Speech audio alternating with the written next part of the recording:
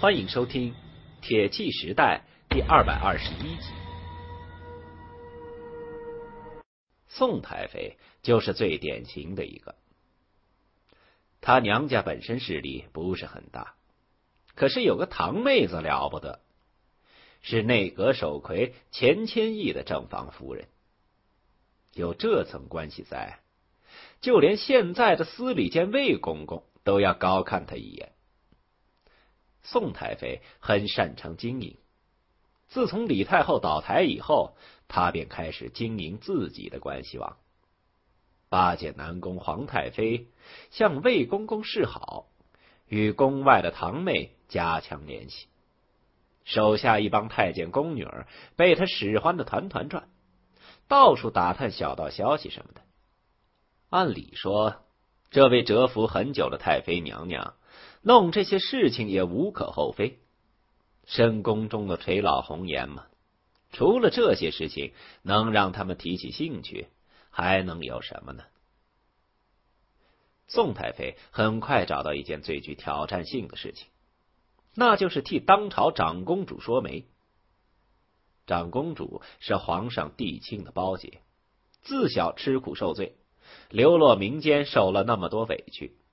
皇上对这个姐姐那是爱护的不得了，侍卫、太监、宫女的配置都是超标准的，比皇后还高，而且要什么给什么，想干什么就干什么。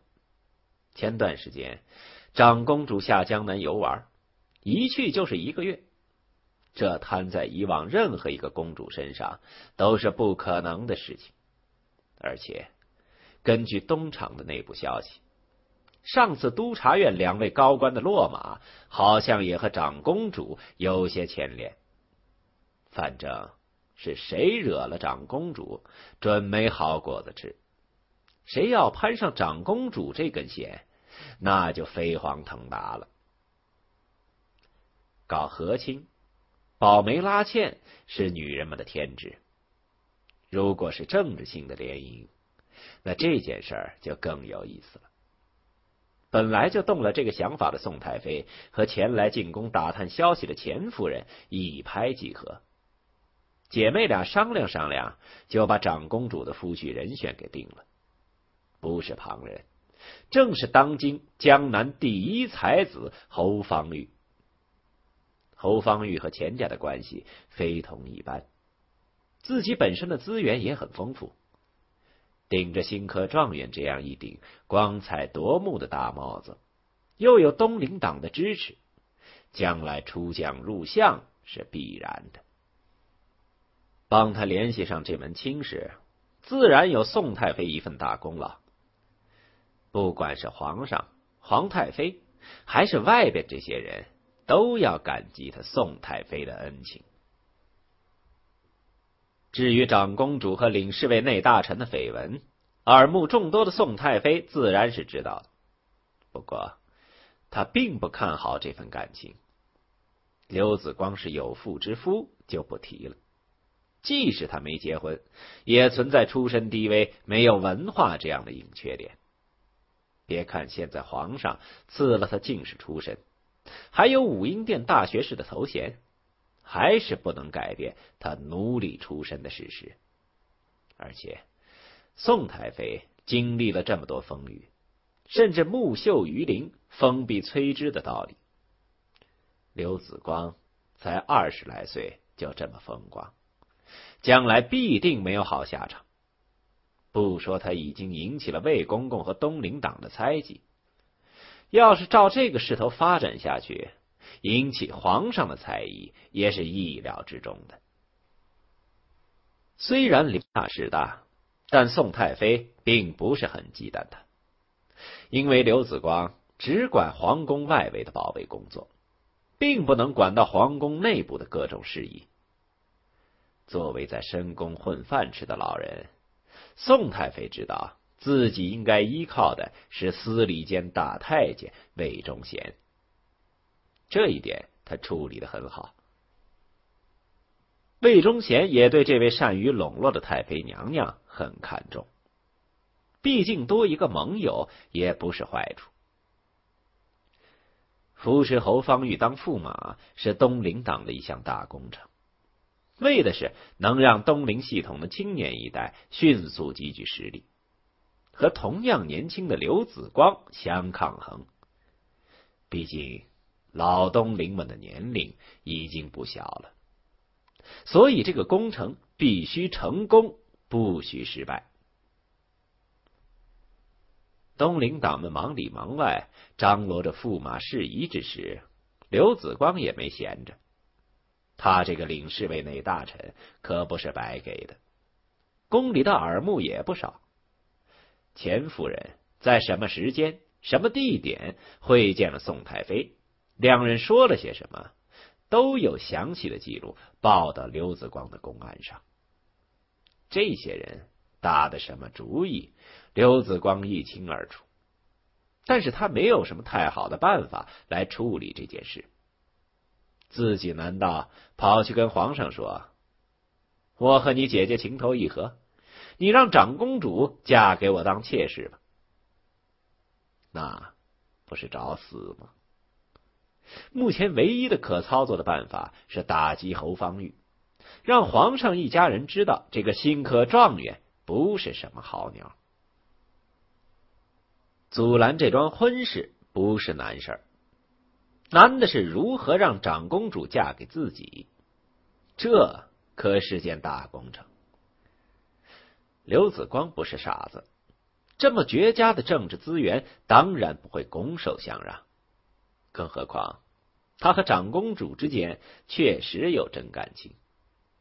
去年春天，那个桃花满天的黄昏。刘子光第一次对朱成许下承诺，临出征台海的时候，又再一次对公主许下承诺。如果还像第一次那样失信的话，刘子光自己都觉得没脸见人。长公主对自己的情谊毋庸置疑，可是皇太妃和皇上的意见也很重要。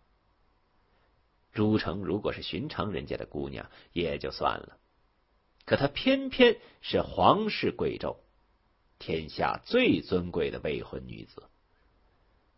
刘子光权势再大，也只是朱家的臣子，而且是一个已经结过婚的臣子，所以这件事极其难办。刘子光到现在也没有拿出一个像样的办法。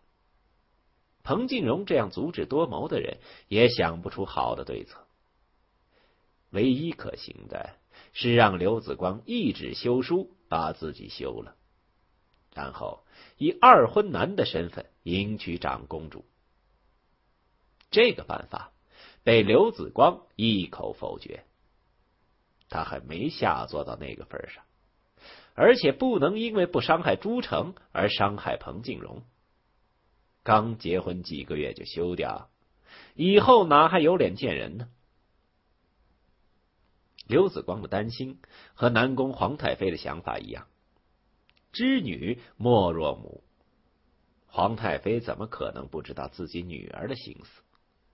本来确实是打算将女儿许配给刘子光的，可是，一来二去的耽误了机会。刘子光居然结婚了，说起来。南宫皇太妃有点埋怨刘子光，怨他害得自家女儿，整天魂不守舍，茶饭不思。所以，当宋太妃拿着新科状元侯方域的几首诗过来献宝的时候，皇太妃就伤了心思。哪个母亲不希望自己的女儿嫁一个如意郎君呢？刘子光虽好，可是已经没戏。在其他候选人中，侯方域确实是最合适的人选。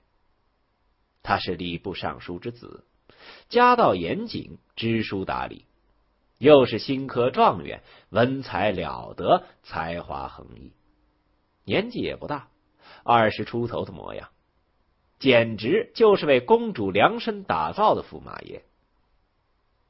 皇太妃很满意。决定传懿旨，让小侯公子进宫一次，相看相看。看这人的模样身量如何，再看气质言谈如何。如果都满意的话，不妨对皇上明说，把这门亲事确定下来，也好断了女儿的胡思乱想。畅听网，聆听世间万象，感受人间冷暖。你的畅听别样精彩，三 w 点听八五点 com。围绕长公主的婚事，一场明争暗斗就此展开。刘子光先让五城兵马司逮捕了宋太妃的亲侄子，随便给他找了点罪名安上，反正。这些官宦子弟的屁股都不干净。当然，这只是一次小小的威慑，表示自己对宋太妃的抗议。这个人很快被钱谦益想办法捞了出来。不过，刘子光的愤怒已经成功的传达了出去。钱谦益不为所动，相反，刘子光的行动给了他一份信心。这是生力内人的表现。钱谦益这样对侯洵说，侯洵也深以为然。京城的水深着呢，不光他刘子光一家独大，十几万京军、锦衣卫、东厂，还有朝廷各部，刘子光的触手并没有伸那么长。事情牵扯到了皇家。谁怕他刘子光呢？皇太后召见的驸马候选人，难道他还有胆子不让进宫不成？刘子光还真想阻拦侯方域进宫。一想到这个自以为是的公子哥在皇太妃面前表演卖弄，刘子光就觉得一股怒气从脚底升起。不得不说。在刘子光的所有敌人中，侯方域是很难对付的一个。他极其聪明，背景也深厚，而且确实有点真才实学。如果任由他进军官场，将来势必成为刘子光的劲敌。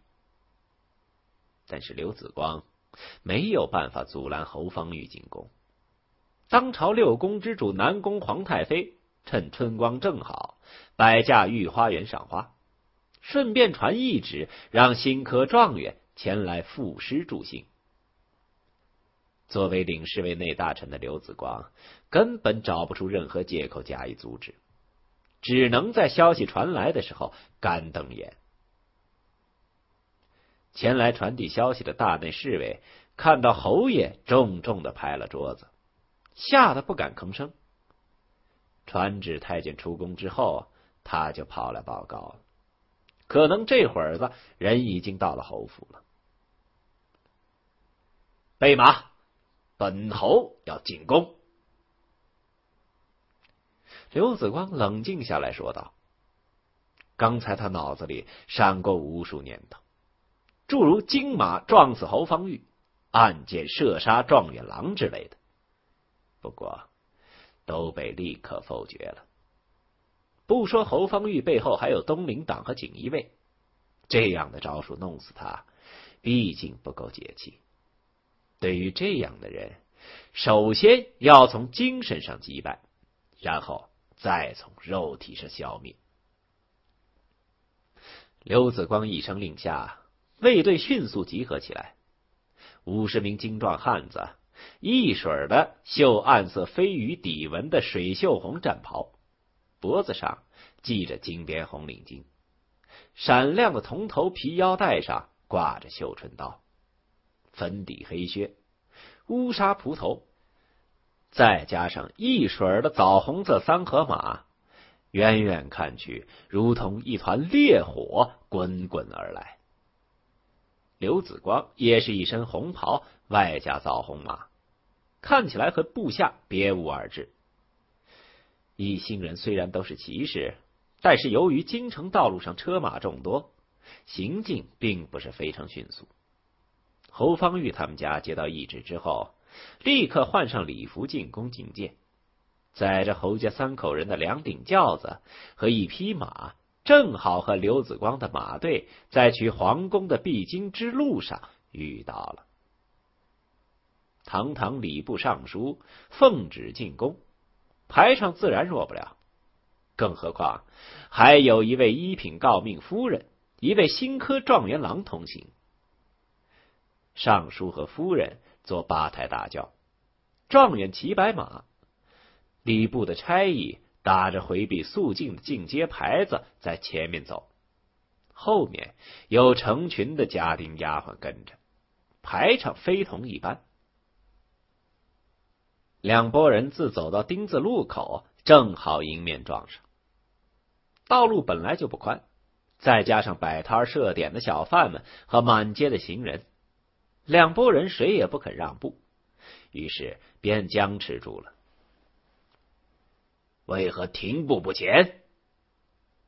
侯尚书掀开轿帘问道：“回老爷，不知和哪儿来的官顶上了，对方不肯让路。”一个家丁头目回答道：“混账！又是那帮不识字的武将吧？看不到我礼部正堂的牌子吗？玉儿，你去看看，是哪个衙门的家伙这么不知礼数？咱们急着赶南宫娘娘的召见，这路是断断让不得的。”侯群听到了那边的马蹄声，料定是一群当兵的，于是打发儿子去办交涉。是爹爹。侯方域一家马夫穿越众人来到队伍最前面，正看见一帮穿红衣服的家伙和自家的家丁对峙着，是红山团的人。侯方域心中一凛，随即。又放下心来，大庭广众之下，还怕他们动武不成？还就不信了，自己一介状元斗不过一个武人。侯方域驱马上前，朗声问道：“对面的可是镇武侯刘大人的队伍？”刘子光也驱马过来，笑眯眯的问。原来是状元啊！这么大排场是要去哪里呀？学生见过刘侯爷，这是奉了太后懿旨，和家言家慈一起进宫陪皇太妃赏花。没成想和侯爷的马队遇上了。侯爷这么匆忙，定然是为了军国大事。咱们这等风花雪月的事情，自然要靠后了。侯方域说着，一偏马头。侯爷，先请。侯方域这一手很高明，根本不和刘子光起冲突，弄得红山团们有火发不出。刘子光也有一拳打了个空的感觉。这小子倒识相，既然人家主动让路了，刘子光也不方便在大庭广众之下找茬打人。只好冷笑着点点头，道：“承让了。”刘子光刚想拨马离开，侯方域歹毒的一笑，往前凑了两小步，道：“侯爷稍待。”刘子光一拉缰绳，狐疑的看着侯方域，看他还能玩出什么花样。只听侯方域轻声说道：“其实，应该学生对侯爷说声承让才是。”嗯，刘子光皱了皱眉头，不明白侯方域葫芦里卖的什么药。侯爷，还记得当初在德月楼上初见吧？你陪长公主微服出行。那真是夫唱妇随、情投意合的景啊！没想到时至今日，这驸马的位子居然是学生得了。哼！不瞒你说，皇太妃招我们全家进宫，就是商讨这个事儿的。所以说，学生要感谢侯爷让妻之恩。侯方域一脸真诚的微笑，说的话却是极其歹毒。杀父之仇，夺妻之恨，都是不共戴天的大仇。他这样说出来，分明是故意刺激刘子光。啪！刘子光手中的马鞭子就抽到了侯方域英俊的脸。侯方域说话的时候，就开始注意刘子光的动作了。鞭子抽过来的时候，他迅速的向后躲了一下。但依然被鞭梢抽到，白玉般的面庞上顿时起了一道紫色的伤痕，微微隆起，煞是吓人。刘子光举起鞭子，准备继续打过去。忽听的一声暴喝：“住手！”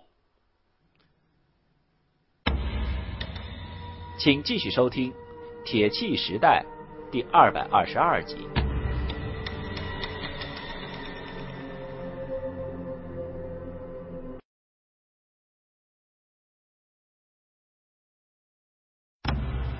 欢迎收听《铁器时代》第二百二十二集。抬眼望去，侯群和钱谦益不知什么时候已经来到了跟前。原来是钱夫人也接到了太妃的懿旨，要进宫赏花。钱谦益正好有事进宫面圣，两口子就一起来了。车马同样被堵在了这个丁字路口。看见前面礼部正堂的仪仗，钱阁老就下轿子过来相看。两人见面一说，觉得不大放心，于是两个老头子一起就过来观察情况。正好看见刘子光殴打侯方域的一幕。侯爷，犬子纵然有千般不对，也有我这个当父亲的来管教。侯爷还请自重。侯寻气得面色铁青，不过说话还留有分寸。钱谦益也很愤怒，刘子光的跋扈已经超乎了他的想象和容忍范围。侯爷也要有个朝廷大员的样子，当街殴打状元，成何体统？钱谦益是内阁首魁，官职在刘子光之上。资历更比刘子光老了很多，有他和侯寻在场，刘子光自然不能再肆无忌惮的打下去。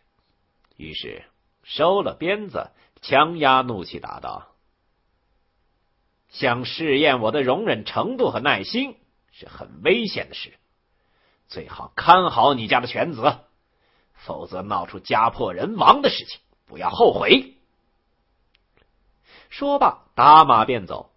丝毫不理会两人在后面吹胡子瞪眼，红山团的骑兵也紧跟着大帅纵马而去。有几个一脸横肉的家伙还拿着鞭子威胁性的指了指侯方域，大有你小子等着瞧的意味。这场好戏被京城百姓看在眼里，晚上还不知道有多少版本的故事开始流传。看着红山团绝尘而去的背影，侯寻狠狠的跺了跺脚，转而问自己的儿子：“那厮为何打你？”南厂的人，大人还需要理由吗？侯方域微微一笑，嘴角的抽动导致脸上的鞭痕火辣辣的疼。不过侯方域心里却是窃笑的。只要能毁坏刘子光的形象，挨一鞭子又如何？刚才这一幕已经被同行的传旨太监看在眼里，这个证人可是花钱也收买不来的。钱谦益和侯寻都是老人精了，自然不相信刘子光无缘无故就会殴打侯方宇。可是没等他们继续问，闻讯赶来的侯夫人和钱夫人就把侯方宇围住了。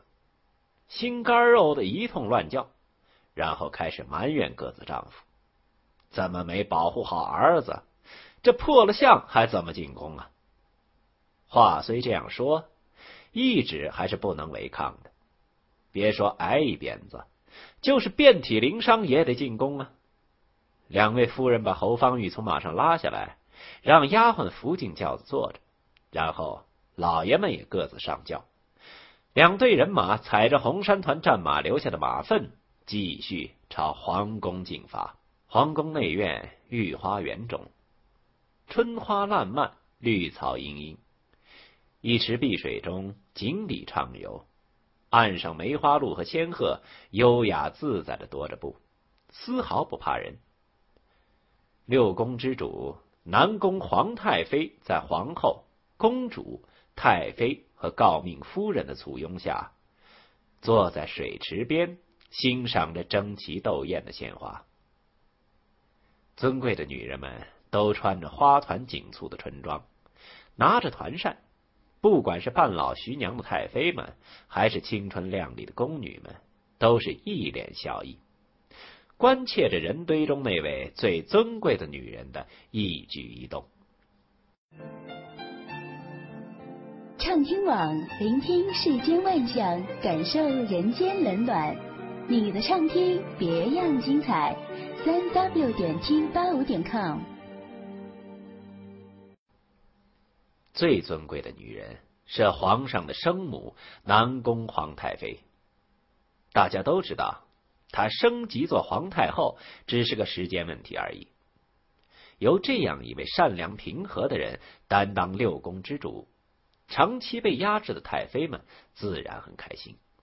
就连太监宫女们也觉得日子比李太后时期好过多了，起码不会隔三差五杖毙几个小太监。皇太妃今天邀请的客人是一帮诰命夫人，还有新科状元侯方域。邀请新科状元的动机，几乎所有的人都知道。唯一被蒙在鼓里的是长公主朱成。如果他知道这次赏花会是为了给自己选驸马，说什么都不会参加的。约定的时间到了。侯尚书和钱阁老家的人还没到，让皇太妃等客人，这种行为极其的失礼。真不知道礼部尚书家是怎么搞的。正在疑惑，忽听太监奏报：一品诰命夫人钱宋氏、侯李氏、新科状元侯方玉见驾啦。听到太监的奏报，南宫皇太妃露出笑意，轻声道：“快传。”身旁的太监马上高声将口谕传了出去。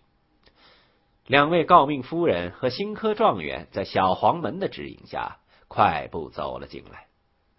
到了近前，三人一齐下拜，恭请皇太妃、太妃、皇后和公主的敬安。南宫太妃并未责怪他们姗姗来迟，和善的说：“来人呐，给两位诰命和状元郎赐座，上茶。”三人再次拜谢了皇太妃，恭恭敬敬的在绣墩上坐了。众人久闻状元才貌双全，一起望过去。却发现侯方域冠玉一般白净的面庞上趴着一根可怕的伤疤，好像丑恶的红色怪虫子一般。虽然并不是很粗很长，但极其影响美感。好端端的一个英俊少年脸上来了这么一道子，实在令人扼腕叹息。再看两位诰命夫人，侯夫人隐隐有哭过的痕迹。而钱夫人则一脸余怒未消的表情。联想到他们的迟到，众人忍不住浮想联翩。不过皇太妃没有出言相问，别人也不好开口。宋太妃急了，本来说好的让侯方域打扮的漂漂亮亮的来给太妃们瞧瞧，可是居然整出这么一条难看的疤痕来，这不是诚心捣乱吗？不对，一定有人从中作梗。看两位诰命的表情，好像有难言之隐。不行，这个头我要帮他们出。两位妹妹，为何姗姗来迟啊？还有玉儿脸上这道疤是怎么回事啊？你们放心，南宫娘娘在这里，有天大的事情都能给你们做主。宋太妃一言既出，终结哗然。谁这么大胆子，敢殴打娘娘的客人？大家的目光顿时集中在三位客人身上。只见侯夫人欲言又止，侯方域大度的一笑：“唉，没什么，是我马术不精，自己跌伤的，和他人无关。”钱夫人诧诧然想说些什么，也被侯方域一个眼神制止住。只能气鼓鼓的坐在绣墩上不说话了。南宫娘娘见此情景，知道肯定有事。既然侯家人不敢说，那就让随行的太监来说吧。于是换过传旨，太监问道：“哀家问你，状元脸上的伤究竟是何人所为？”那太监是魏忠贤安排在娘娘身边的。属于东厂戏人嘛，自然不会偏袒任何人。于是他一五一十的将刚才发生的事情讲了一遍，基本上是不带个人感情的平铺直叙。所有听众都会自然而然的感受到刘子光的嚣张跋扈。征路本身就是不对的，且不说侯尚书的官衔并不低于刘子光多少。就是论年纪，也是刘子光的叔父辈啊。更何况他们是奉了懿旨进宫的，别人就算再急，也要给他们让路。这件事情上，侯方域处理的很好，有礼有节，不强自出头，主动让路给刘子光，已经显示出了足够的善意。但是刘子光居然毫不领情，不由分说的拿鞭子抽了状元郎。把一张英俊的帅脸生生的毁掉了，这不是找茬是什么？可怜侯方玉到了娘娘跟前都不愿意说刘子光半句不是，这人和人的差就那么大呢？听了太监的叙述，一帮太妃义愤填膺，纷纷斥责起刘子光的无礼来。他们并没有受过宋太妃的什么好处。只是看了侯方域的一张被打伤的帅脸，而触发了泛滥的同情心而已。要知道，侯方域这种调调的帅哥，不但是少女们的偶像，对于中老年妇女一样具有极大的杀伤力。南宫娘娘并没有像预料中那样勃然大怒，只是淡淡的说：“这孩子也忒梦浪了些。”语气不咸不淡，好像是个护短的家长。要知道，刘子光和他娘俩的关系可非同一般。可以说，没有刘子光的帮助，娘娘和公主根本就没有出头之日。娘娘是个明白事理的人，也知道刘子光为什么打人。这桩案子，他是不会帮侯方域讨回公道了。不过，对于侯方域为何不敢说是刘子光打了他，娘娘还是有些好奇，于是开口问道：“状元，为何不敢据实以报？”回娘娘，只是些小摩擦罢了。郑武侯是国之利刃，脾气大些也是应该的。微臣实在不想因为个人的一点委屈，导致侯爷的形象受到损害，也不愿意因为这样的小事。导致朝廷文武失和，君臣失信。臣虽不才，这点担待还是有的，所以刚才不敢，也不能据实以报，请娘娘恕臣之罪。侯方域撩起红色的状元袍，潇洒的跪下，给娘娘磕头请罪。旁边的太妃们一个个心疼的不得了。都暗自赞叹侯方域的懂事和大度，和他比起来，那刘子光就是一个只会打人的莽夫而已。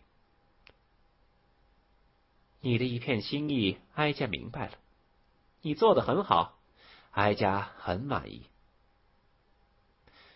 娘娘只字不提承办打人凶手刘子光的事情，搞得那帮太妃们很不乐意。不过侯方域倒不在乎，他的目的已经达到了，起码通过这张悲情牌，获得了后宫中大部分人的同情和喜爱。这一场他赢了。侯方域心中得意洋洋，脸上却不动声色，恭敬的回到了自己的绣墩前坐下，一双眼睛低低的在眼前这帮人中扫视着，搜寻着今天相亲的另一个主角长公主殿下。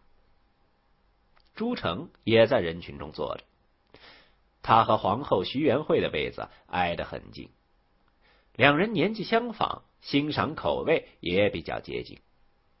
都对侯方域形象不是很感冒。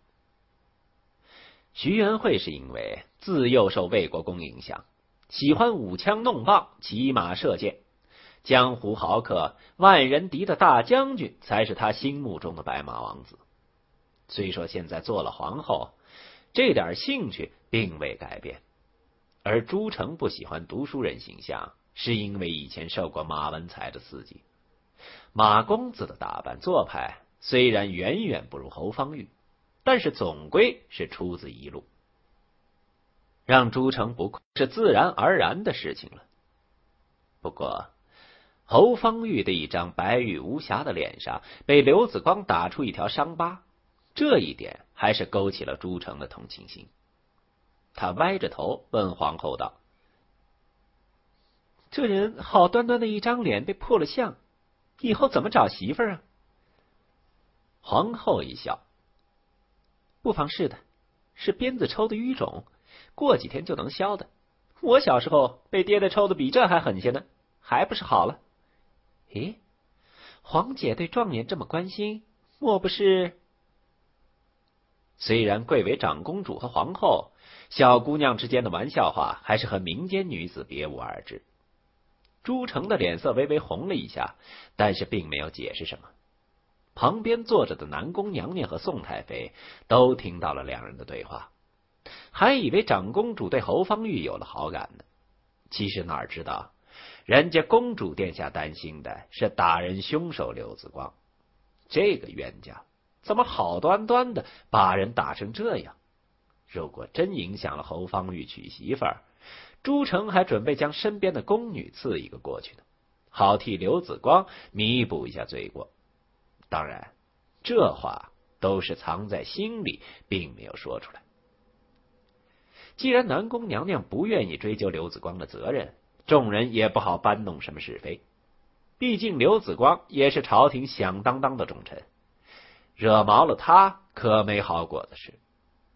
太妃们在宫里自然不会有什么闪失，宫外那些亲戚可就难说了，保不齐的哪天失火或者遭贼，所以这场风波就此打住，大家都默契的不再提鞭子门事件，把注意力转移到了这烂漫的春花上。喊状元郎前来，一来是看看他的身形容貌气质。二来是考量一下他的杂学，能考上状元的自然是才高八斗、有惊天伟地之才。可是有才学，并不等于夫妻生活就会和睦。按照太妃们的说法，能找个擅长吟诗作对、焚香抚琴、煮酒弹唱的风流才子才是最佳。以后。长公主跟着驸马爷游山玩水，到处留下不朽诗篇，那才真的是神仙美眷的惬意生活。太妃们在深宫中生活的久了，自然有些浪漫主义的情绪化。身高一米八二、唇红齿白、面如敷粉的侯方域，从外形上已经符合了他们的要求。再加上侯公子的状元身份和一副好脾气。这些多年不见男人的太妃们眼睛里几乎要冒出火来了。侯方域已经看到了座位上有长公主和皇后，于是他抖擞精神，主动要求向娘娘们献诗一首。娘娘们自然欣然允诺。只见小侯公子站起身来，高挑的身材衬上红色的状元袍，白生生的领子从圆领礼服上露出来，说不出的精神，道不明的儒雅。他从袖子里取出一柄折扇，哗啦一声展开，一步三摇，在水池边走了几步，便念出一首《咏春》来。一首七言律诗，谈不上多么出色，但是从这样一位翩翩少年口中咏诵出来，本身就是一种美。而且侯方域吟出一首之后，又根据御花园中的鲜花、水池、假山等景物，继续作了三四首诗。最后一篇歌颂春花的绝句里面，还顺带着恭维了长公主。很隐晦的将长公主比作了御花园中最美的奇葩。朱成认识字，但不懂诗。洪泽湖边的渔民生涯不容他有这样悠闲的生活情趣。不过，南宫娘娘和其他太妃都听出了侯方域诗句中的意思，大家的脸上都忍不住漾着笑容。看来这位侯公子真是明白人呢。又风雅又多才，气量也好，简直就没有一处缺点。张公主找一位这样的驸马，绝对是最佳人选。御花园中其乐融融，乾清门外却敬畏森严。十六个大内侍卫守在宫门，严禁任何人进出，急得前来告状的钱谦益和侯巡团团转。老尚书的面子被刘子光辱没了，状元郎的帅脸也被丑花了。面对无赖加无耻的镇武侯，老人家只能告御状了。可是等了老半天，都不见皇上下旨召见。听侍卫说，陛下和镇武侯有要紧的军国大事商议，不许任何人打扰。请继续收听《铁器时代》第二百二十三集。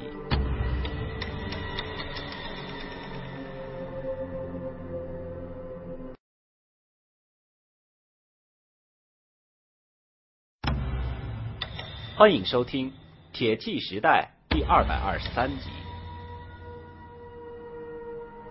两个老臣才不相信朱由校会和刘子光商量什么正经事情。因为他们已经听见乾清门里传来的机器轰鸣声。没错，此时刘子光正陪着小皇帝玩新开发的越野车呢。高底盘，四轮驱动，结构简单耐用的越野车是烽火四轮车的改进版，去掉了所有的装饰品之后的产物。用空心铁管和铁皮焊接的车架，四个充气橡胶轮子。改良型烧的是纯猛火油的发动机，前面两个铺着藤垫子的座椅，后面是一个小货仓，能装四个士兵或者是五百斤的货物。乾清宫院子里用黄土和沙石堆成了起伏不平的山地。小皇帝驾车，刘子光坐在副驾驶的位子上，两个人玩的正开心。本来刘子光进宫是想和皇上谈谈关于长公主婚事的问题，可是碰上热情的朱由校邀请来一同试新车，一来二去便把这个话题给耽误了。这辆越野车是由朱由校帮大明军队设计的军用轻型突击车辆，适合在平原戈壁使用，将来打西夏、打满清的时候都能用得上。为了设计这两样车。朱由校可没少花心思，最近一段时间，朝政都放给魏忠贤和内阁去做了。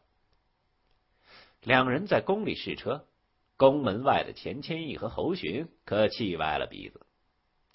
朱由校喜欢这些奇技淫巧的东西，大家都知道，可是居然为了玩耍而不接见臣子，就未免有些过了。钱谦益仗着自己的身份尊崇。硬是要往里面闯，乾清门侍卫并不是刘子光的嫡系红山团，而是大汉将军出身。别看身量高大，貌似鲁莽，其实心里清楚的很。什么人能得罪，什么人不能得罪？这钱阁老就属于不能得罪的系列。乾清门被钱谦益拿着护板砸开，十六个侍卫居然没挡住两个老头子。二人冲进来之后，看到好端端的乾清宫被弄成这副样子，都痛苦的摇头叹息。再看副驾驶的位子上坐的刘子光。愤怒的心情终于找到了宣泄口，礼部尚书当场就演起了全武行，要为国除奸，打死刘子光这个带坏小皇帝的大奸臣。这话有点言过其实了。朱由校打小就喜欢摆弄高科技的玩意儿，刘子光只是起了个推波助澜的作用，何罪之有呢？侯洵不能当面斥责皇上。只好拿刘子光开刀，反正他以直臣自居，不怕得罪权贵。五六十岁的糟老头子当然打不过刘子光，一双手被刘子光抓住，动弹不得。刘子光压着火，没有还击，要不然十个侯勋都死了八百回了。这边朱由校看不下去了，出言劝道。侯尚书为何紧抓着郑武侯不放呢？这越野车是朕做的，和刘清并无干系。有什么你就冲着朕来吧。听到这话，侯洵更加愤怒了，摇着脑袋哀叹道：“哎，玩物丧志，玩物丧志啊！东陵主公好不容易从奸党手中帮皇上夺回了天下。”又要沦落在这些佞臣手中了。看到火候差不多了，钱谦益也走了上来，苦谏道：“陛下乃一国之君，切切不可沉迷于声色犬马。刘侯爷，您身为重臣，更应该多劝劝陛下，不能跟着胡闹啊。”朱由校虽然亲政了。但毕竟是个十七岁的少年，对于年龄能当自己父亲的钱侯两位大人还是很尊重的。听到他们这么一说，顿时觉得自己罪孽深重，一点没有当皇上的样子，辜负了大家的希望。想到这儿，朱由校的脸红了。可是刘子光却不这么认为，他忍不住出言反驳道。二位大人，此言差矣。皇上身体力行，为禁军研制四轮车，怎么能说是声色犬马呢？这是为国操劳，为江山社稷着想。你们不帮忙也就罢了，怎么可以诬陷皇上、诬陷本侯呢？你！侯洵狠狠的瞪了刘子光一眼，怒道。好一个牙尖嘴利的镇武侯！这么一说，你不但无过，还有功了。这乾清宫是大明皇帝处理政务的场所，不是你们玩泥巴的地方。摆弄这些铁皮壳子，就是为国操劳了。宁臣呐，宁臣！皇上数月不理政务，就是受你的迷惑。刘子光也急了，大声道：“这是禁军在戈壁滩上使用的战车，不是什么铁皮壳子。皇上体恤士兵，日夜沿着战车，为的是大明将士少流血，多打胜仗。这样勤勉的皇帝，你还不满意？你到底想怎么样？难道让皇上学你那样，晚上泡在秦淮河上的画舫里？”让姑娘嘴对嘴的喂酒喝，就是为国操劳。侯洵老脸一红，顿时语塞。有其父必有其子。侯方域喜欢流连于花街柳巷，有一半是受父亲影响的。南厂番子对刘子光的政敌都加以监视。侯洵昨天晚上还在秦淮河上喝酒侠妓呢。喝得烂醉如泥，丑态百出。他以为那是个私人会所，没想到还是被刘子光知道了。这下脸皮没地方放了。不过老家伙就是老家伙，几秒钟就缓过来了，哼哼的还想反驳刘子光。那边皇帝发话了：“朕确实是为兵部研发战车。”如果你们来就是为了阻止朕，那你们打错主意了。朱由校本来还觉得有点惭愧，仿佛小孩子没做完作业被大人发现了一样。这会儿听刘子光振振有词的一席话，朱由校顿时感觉到自己的伟大和正确，而且对关键时刻帮自己出头的刘子光更加信赖。你说？都是同殿为臣的人，说话的差距咋就这么大呢？这帮老头子说话一个比一个犯闲，人家刘子光咋就这么明事理，说话贴心窝子呢？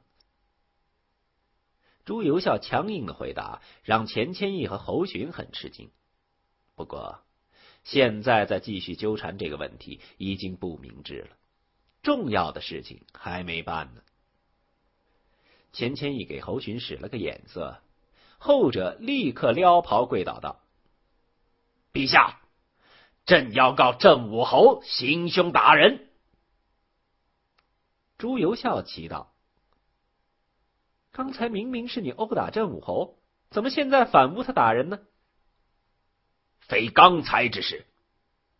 今日剑内和犬子奉南宫太妃懿旨进宫赏花。”不像在路口和镇武侯的马队相遇，小儿上前恭敬有加，请侯爷先行。哪知道他居然扬鞭打人，打得我儿满脸是血。此等仗势欺人之行径，实在是不把微臣放在眼里，不把大明律放在眼里，不把皇太妃放在眼里。好了，好了。不就是闹点小摩擦吗？又没出人命。我看这样好了，让郑武侯赔些伤药费，此事就算过去了。多大事儿啊！这点小事也跑来告御状，我看你们也是闲得发慌了。朱由校打断侯寻的话道：“显然，他对刘子光打人的事情毫不在意。这场闹剧。”让朱由校玩越野车的兴致一下子全没了，他悻悻的一个人回宫去了。刘子光目送皇帝离开，转而对侯寻道：“令郎何在？本侯去给他赔个不是。”刘子光的态度突然转变，让钱谦益和侯寻大感意外。侯寻道：“皇上既然下了旨。”让镇武侯赔些伤药费，那咱们也只好遵旨。我儿陪皇太妃、长公主他们赏花去了，马上就出来。侯爷有什么赔罪的话，就在这宫里面说吧。刘子光知道侯勋是怕出了宫门，自己再揍侯方域一顿，所以坚持要在皇宫里面赔礼道歉。他自然是无所谓了。想都没想就答应了。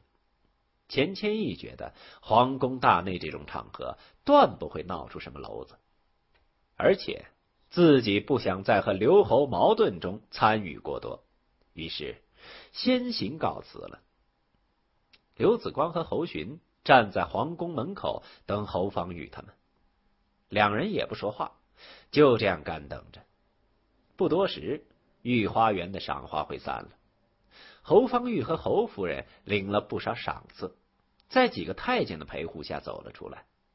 至于钱夫人，则被他家堂姐宋太妃留下菊花了，并没有跟着一起走出来。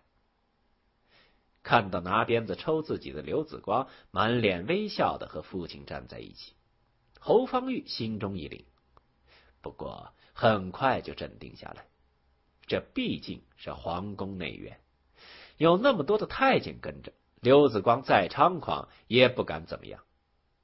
侯夫人看见刘子光这个恶魔，也心中害怕。紧紧抓着儿子的袖子，不敢松手。看到他们二位出来，刘子光笑盈盈迎上去道：“侯夫人，状元，你们赏完花了？”侯方域被他笑得心中发毛，不敢答话，只是微微点头。刘子光继续说：“看见长公主了，殿下对你印象怎么样啊？”侯方域还没说话，侯夫人先接茬了。南宫娘娘、皇后陛下、公主殿下都对我儿很是赏识，就不劳侯爷费心了。说完，冷冷的看着刘子光，下巴挑起，一副你能把我们怎么样的表情。哼，赏识？没想到侯公子这么受欢迎啊！看来是我一鞭子打的太轻了，要是再多抽几鞭子。说不定这驸马当场就赏你做了。刘子光抱着膀子讥讽道，全然没有赔礼道歉的意思。畅听网，聆听世间万象，感受人间冷暖。你的畅听别样精彩，三 w 点听八五点 com。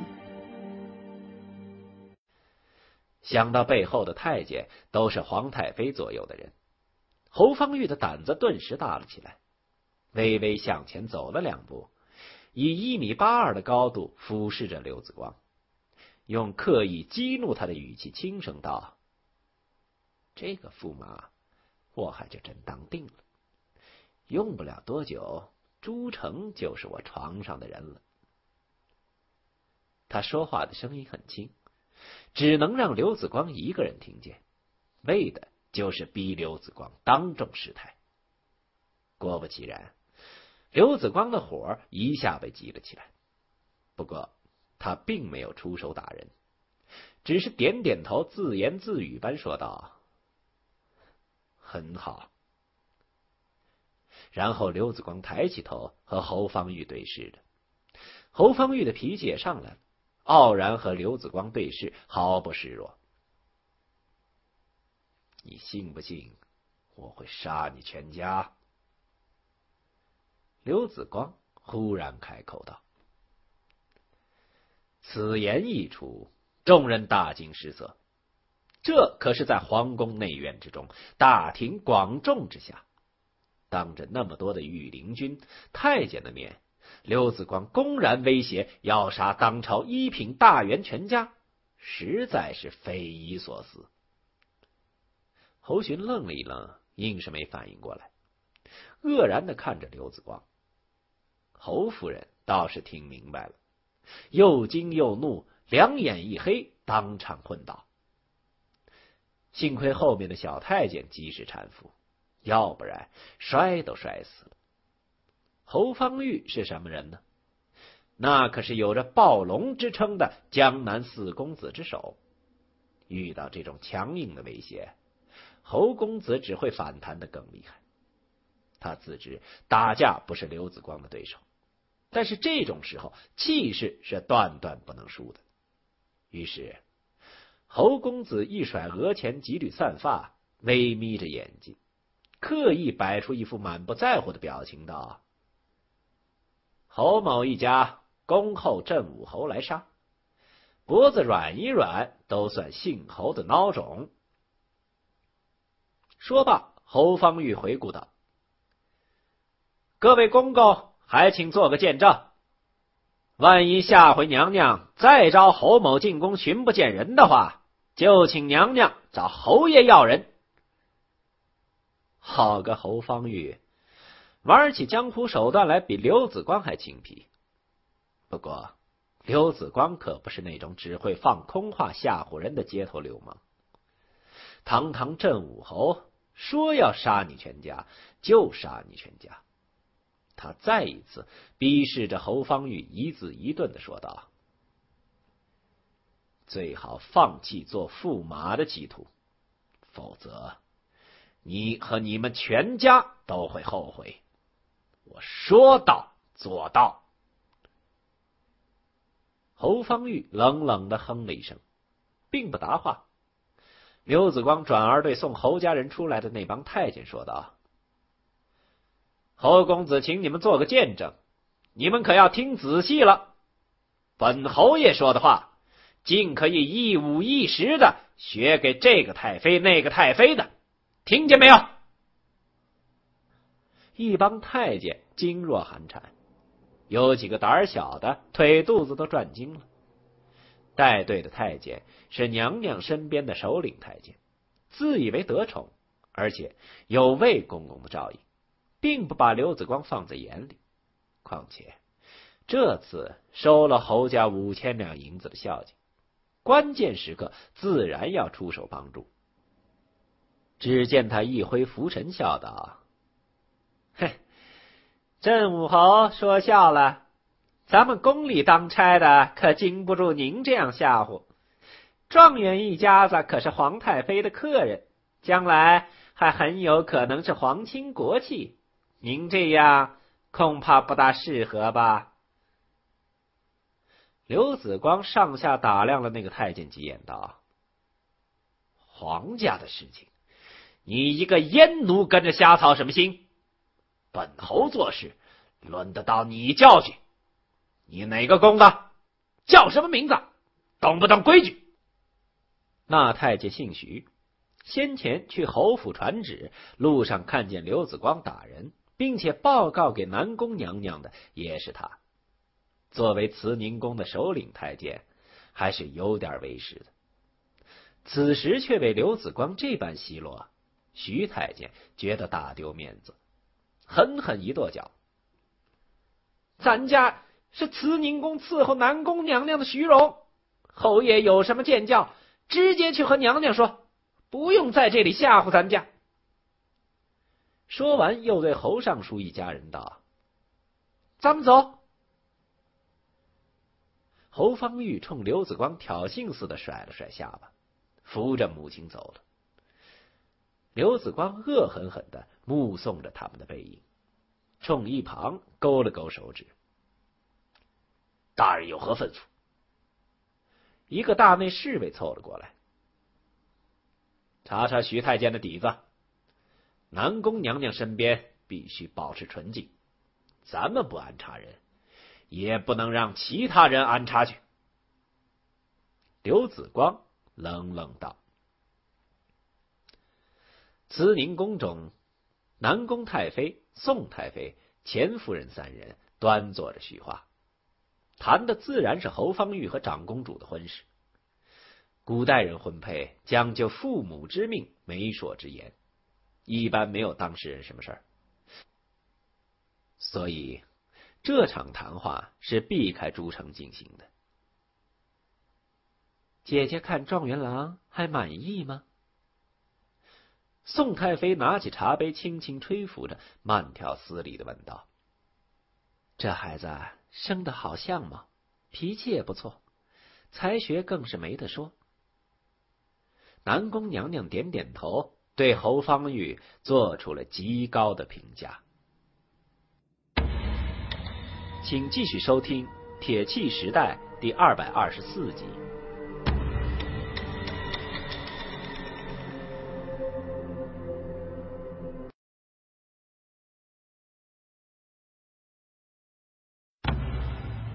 欢迎收听《铁器时代》第二百二十四集。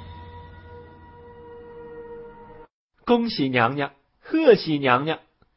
适才看到殿下似乎对侯公子的伤情颇为关心呢。这婚姻大事总是要他们年轻人自己相中才好。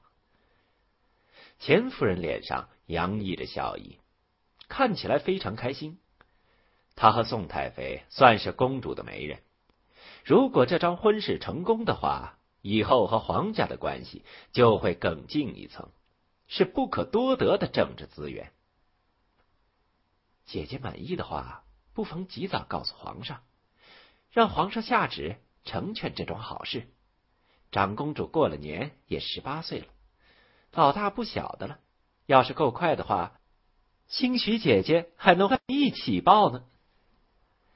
宋太妃拿着手帕掩着嘴角，痴痴的笑。仿佛是她亲自嫁人一般开心。嗯，这件事儿就这么定了，到时候少不得你们姐妹俩的谢美酒。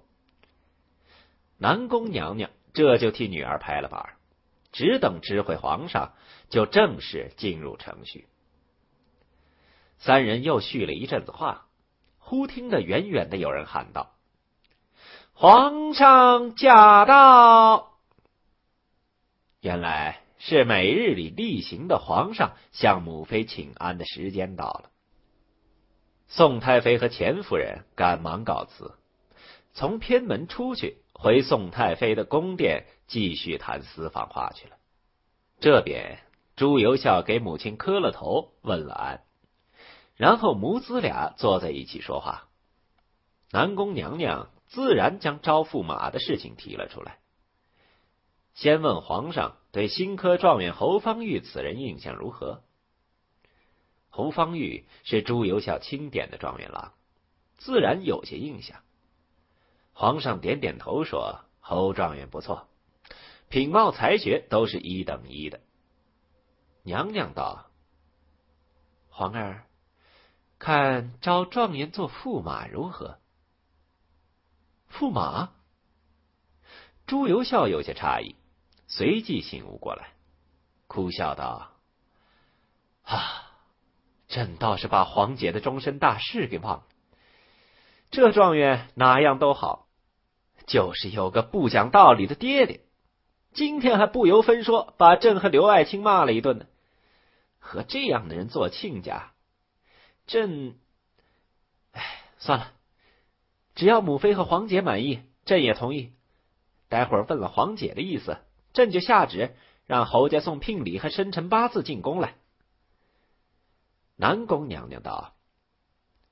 你姐姐是个害羞的人，怎么好这样相问？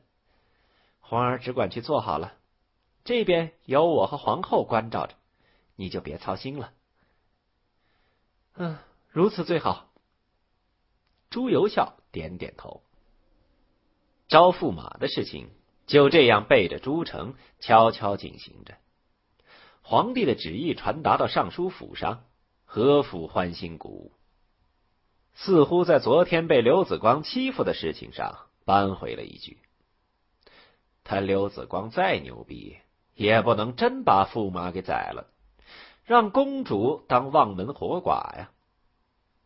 侯方域尤其得意，他最喜欢这种让对手有苦说不出的感觉。刘子光越是放狠话，越是能显示他的色厉内荏。他侯方域成为当朝驸马以后，就能穿上大红色的麒麟补子官服，在刘子光跟前大摇大摆的抖威风。只要他再敢炸毛，回去和公主一说，公主再到皇上娘娘那儿一告状，那准有刘子光的好果子吃。目前这件事已经进入正规程序，只要不出纰漏。这个驸马是坐定了，所以最近一段时间，侯方域很本分，连家门都很少出，更别说流连于花街柳巷了。最多就是到钱阁老府上打探打探风声什么的。世上没有不透风的墙，虽然南宫娘娘刻意隐瞒着朱成。可是招侯方宇为驸马的事情，还是传到了长公主的耳朵里。传话的正是皇后娘娘。徐元惠可不是个能守住秘密的人。朱由校把这件事情告诉他以后，他第一时间就跑来询问朱成：难道真的相中了侯方域？长公主愕然，她什么时候也没表示过愿意嫁给侯方域啊？事关重大，她赶紧找到母亲，想阻止这件事。可巧钱夫人和宋太妃都在场，三个人当着朱成的面一起夸赞起侯方域来：什么年轻英俊，出身名门，年少博学，多才多艺。反正，在他们嘴里，侯方域没有一丁点儿的缺点。只要嫁了他，以后肯定幸福和谐，生活美满。朱成心里惦记着刘子光，哪里容得下什么侯方域？他生性善良，不愿意当众反驳母亲，只是紧咬着嘴唇不松口，就是不答应这桩亲事。宋太妃笑道：“，呵 呵公主这是挂念母亲，不愿意嫁。以后出嫁了，经常回宫来看就是了。娘娘给皇上知会一声，不放驸马出京做官就是。”钱夫人也劝道：“哎，女人总有嫁人的一天。当初我嫁给我家老爷之前，那几天也是一样的，缠着母亲不愿意出嫁。”说要守着父母一辈子的傻话，哎，成了婚就明白了，小夫妻的日子也滋润的很呢。朱成依旧不说话，他是那种外柔内刚型的人，虽然不说话，但绝不表示默认，只能代表他在做无言的抗争。知女莫若母。南宫娘娘自然明白女儿心中所想，他寻个来头，将宋太妃、钱夫人两人请走，然后开始苦口婆心的教育起女儿来。南宫太妃选择侯方域做驸马，确实是一片苦心。平心而论，侯方域在任何方面都极其优秀，几乎是完美无瑕的人，能嫁这样的人。对于任何一个女人来说，都是可遇而不可求的。至于长公主心中挂记的那人，现在已经是不可能走在一起的了。朱成早已不是洪泽湖边那个身份低微的渔家姑娘，而是尊贵的长公主殿下。作为天子的姐姐，是绝不能嫁给别人当妾的。这事关皇家的体统，朝廷的尊严。是不可逾越的红线。长公主听了母亲的苦劝，依旧咬着嘴唇不说话。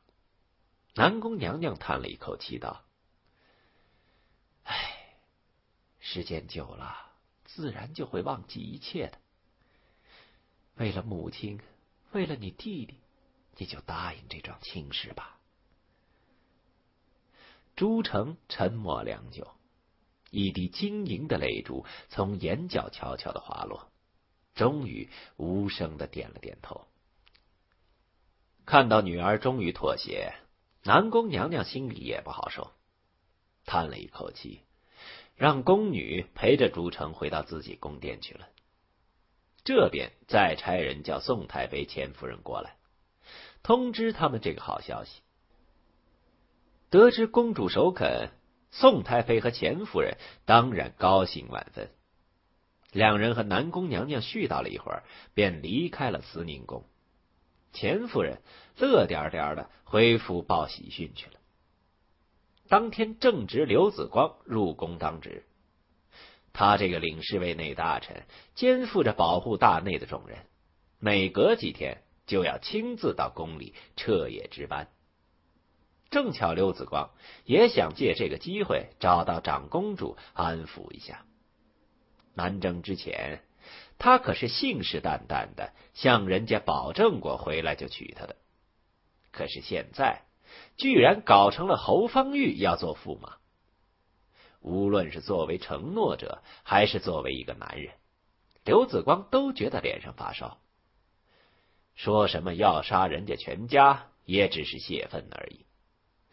堂堂一品大员，哪有那么好杀的？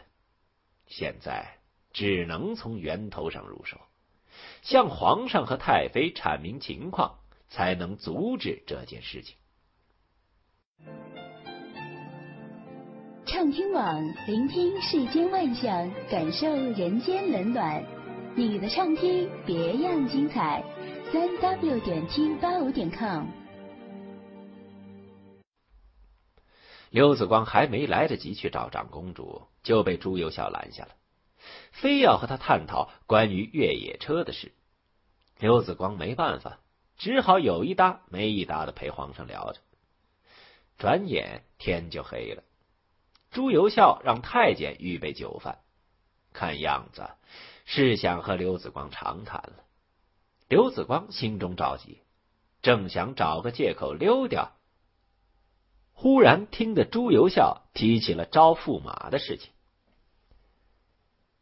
刘青，你觉得侯方域这个人怎么样？这个人有才无德，不堪大任。哦，何以见得？陛下还记得去年郭征郭御史事件吧？最后闹得沸沸扬扬，整个督察院现在见到我都不给好脸色。当然记得，这和侯方域有什么关系呢？朱由校微微皱眉，把筷子放下，认真的问道：“事关姐姐的终身大事，不由得他不打起十二分的精神。”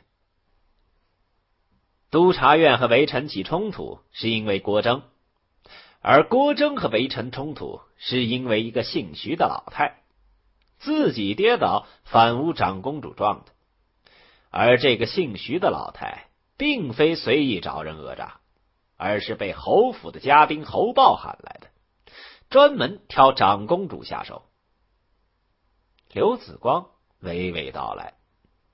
朱由校的表情变得越来越严肃。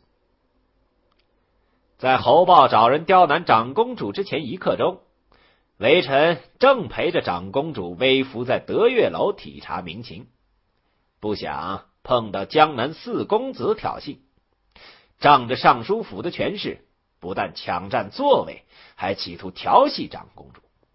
鉴于是微服出访，微臣就没有大打出手。只是用恭敬腰牌把他们吓走了，然后就发生了后来的事情。徐老太当街撒泼的时候，四公子正在旁边的楼上观看。好一个江南四公子，原来是此等样人！朱由校一拍桌子，把旁边的小太监一个机灵。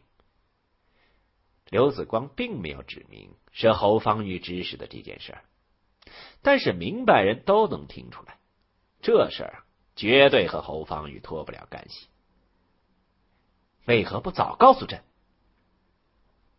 后来因为一系列的事情，徐老太也死了，督察院也闹翻天了，关键的当事人侯豹也不知所踪，没有证据，又事关皇家的体面，此事便作罢了。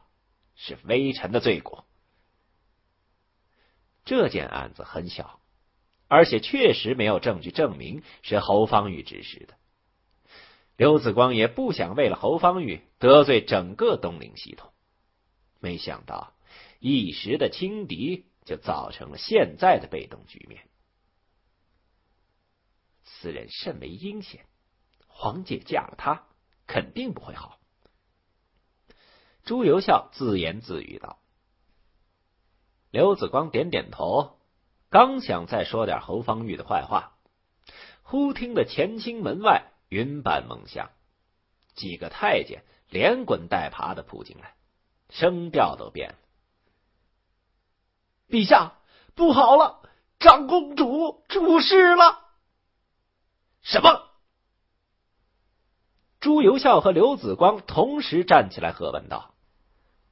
朱由校手中的象牙筷子都掉了，刘子光手中的酒杯虽然没有落地，但是明显也在颤抖。殿下，他满地的血，死尽了。太监语无伦次，话也说不出个儿。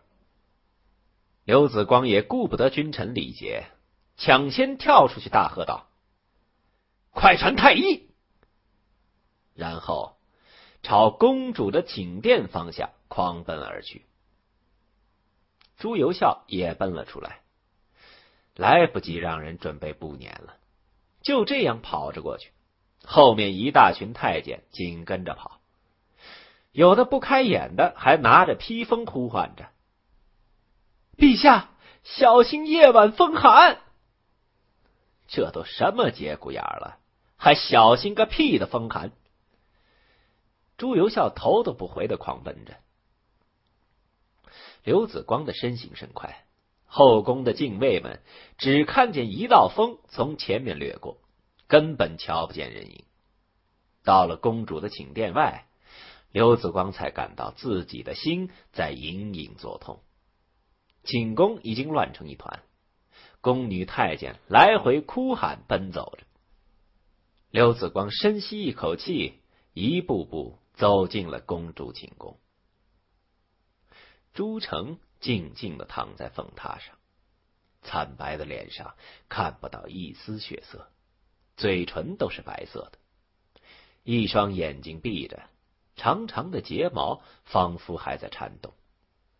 他穿了一件和公主身份很不搭调的鱼白色布裙，这还是在洪泽县的时候，用刘子光给的银子在集上车布自己做的，是朱成进宫之前最体面的一件衣服。死的时候穿这件衣服，或许别有寓意。宫殿里弥漫着血腥的味道，地上全是刺眼的红色。饶是刘子光这样见惯了沙场的英雄汉，都心中不忍。朱成的右手放在床边，手腕被割出了一道极深的伤口，虽然已经被包扎上了，但是还有殷殷的血迹渗出来。流了这么多血，人肯定是没救了。刘子光站在凤榻前，再也忍不住悲伤。一闭上眼睛，昔日的种种情景浮现眼前。洪泽湖畔，美丽聪慧的渔家女；小县城桃花树下，倚门眺望的青山女孩；还有德月楼上心疼满桌子糕点，要打包带回宫给娘亲和弟弟吃；还有御花园假山亭子里。在自己怀抱里抽泣的柔弱女孩，一串英雄泪从眼角滑落。男儿有泪不轻弹，只因未到伤心处。这一切，刘子光真的伤心了。对长公主的死，他要负很大的责任。当东林党开始策划驸马事件的时候。他没有挺身而出加以阻止。当皇太妃召见侯方域的时候，他只是色厉内荏的威胁，要杀人全家，并未做出任何实质性的举动。甚至当皇上发出圣旨，要侯方域的生辰八字的时候，他还是畏首畏尾的，不敢明说。直到皇上提问，才想起说侯方域的坏话。遇到难以解决的问题，就采取鸵鸟政策，让人家一个弱女子一肩承担所有的压力，这还是男人吗？这哪点像镇武侯刘子光的做派？难道为了这些浮名，为了所谓的世俗压力，就能牺牲掉善良的朱成吗？刘子光陷入深深的悔恨之中。如果能有一次重来的机会，他甘愿放弃所有的权利和财富，带着朱成远走高飞。可惜，可惜，已经没有如果了。朱由校紧跟着也到了，金冠跑掉了，靴子也丢了一只，气喘吁吁的朱由校。一看见姐姐这副模样，立刻扯着嗓子大喊道：“太医，太医都死哪儿去了？”太医的反应也不慢，皇上前脚到，他们后脚就到了，忙不迭的跑进来观察了长公主的伤势，一个个面露难色。为首的医官斗胆道。公主全身的血都流尽了，老朽实在无力回天，还请皇上节哀。胡扯！皇姐明明还有救，她睫毛还动呢。你们这帮废物，要是救不活公主，统统拉出去斩了！朱由校爆发雷霆之怒，顺手将案子上一柄极其名贵的玉如意摔在地上，摔成了七八片。宫女、太监、太医们吓得魂飞魄散，顿时跪倒一片，求皇上饶命。请继续收听《铁器时代》第二百二十五集。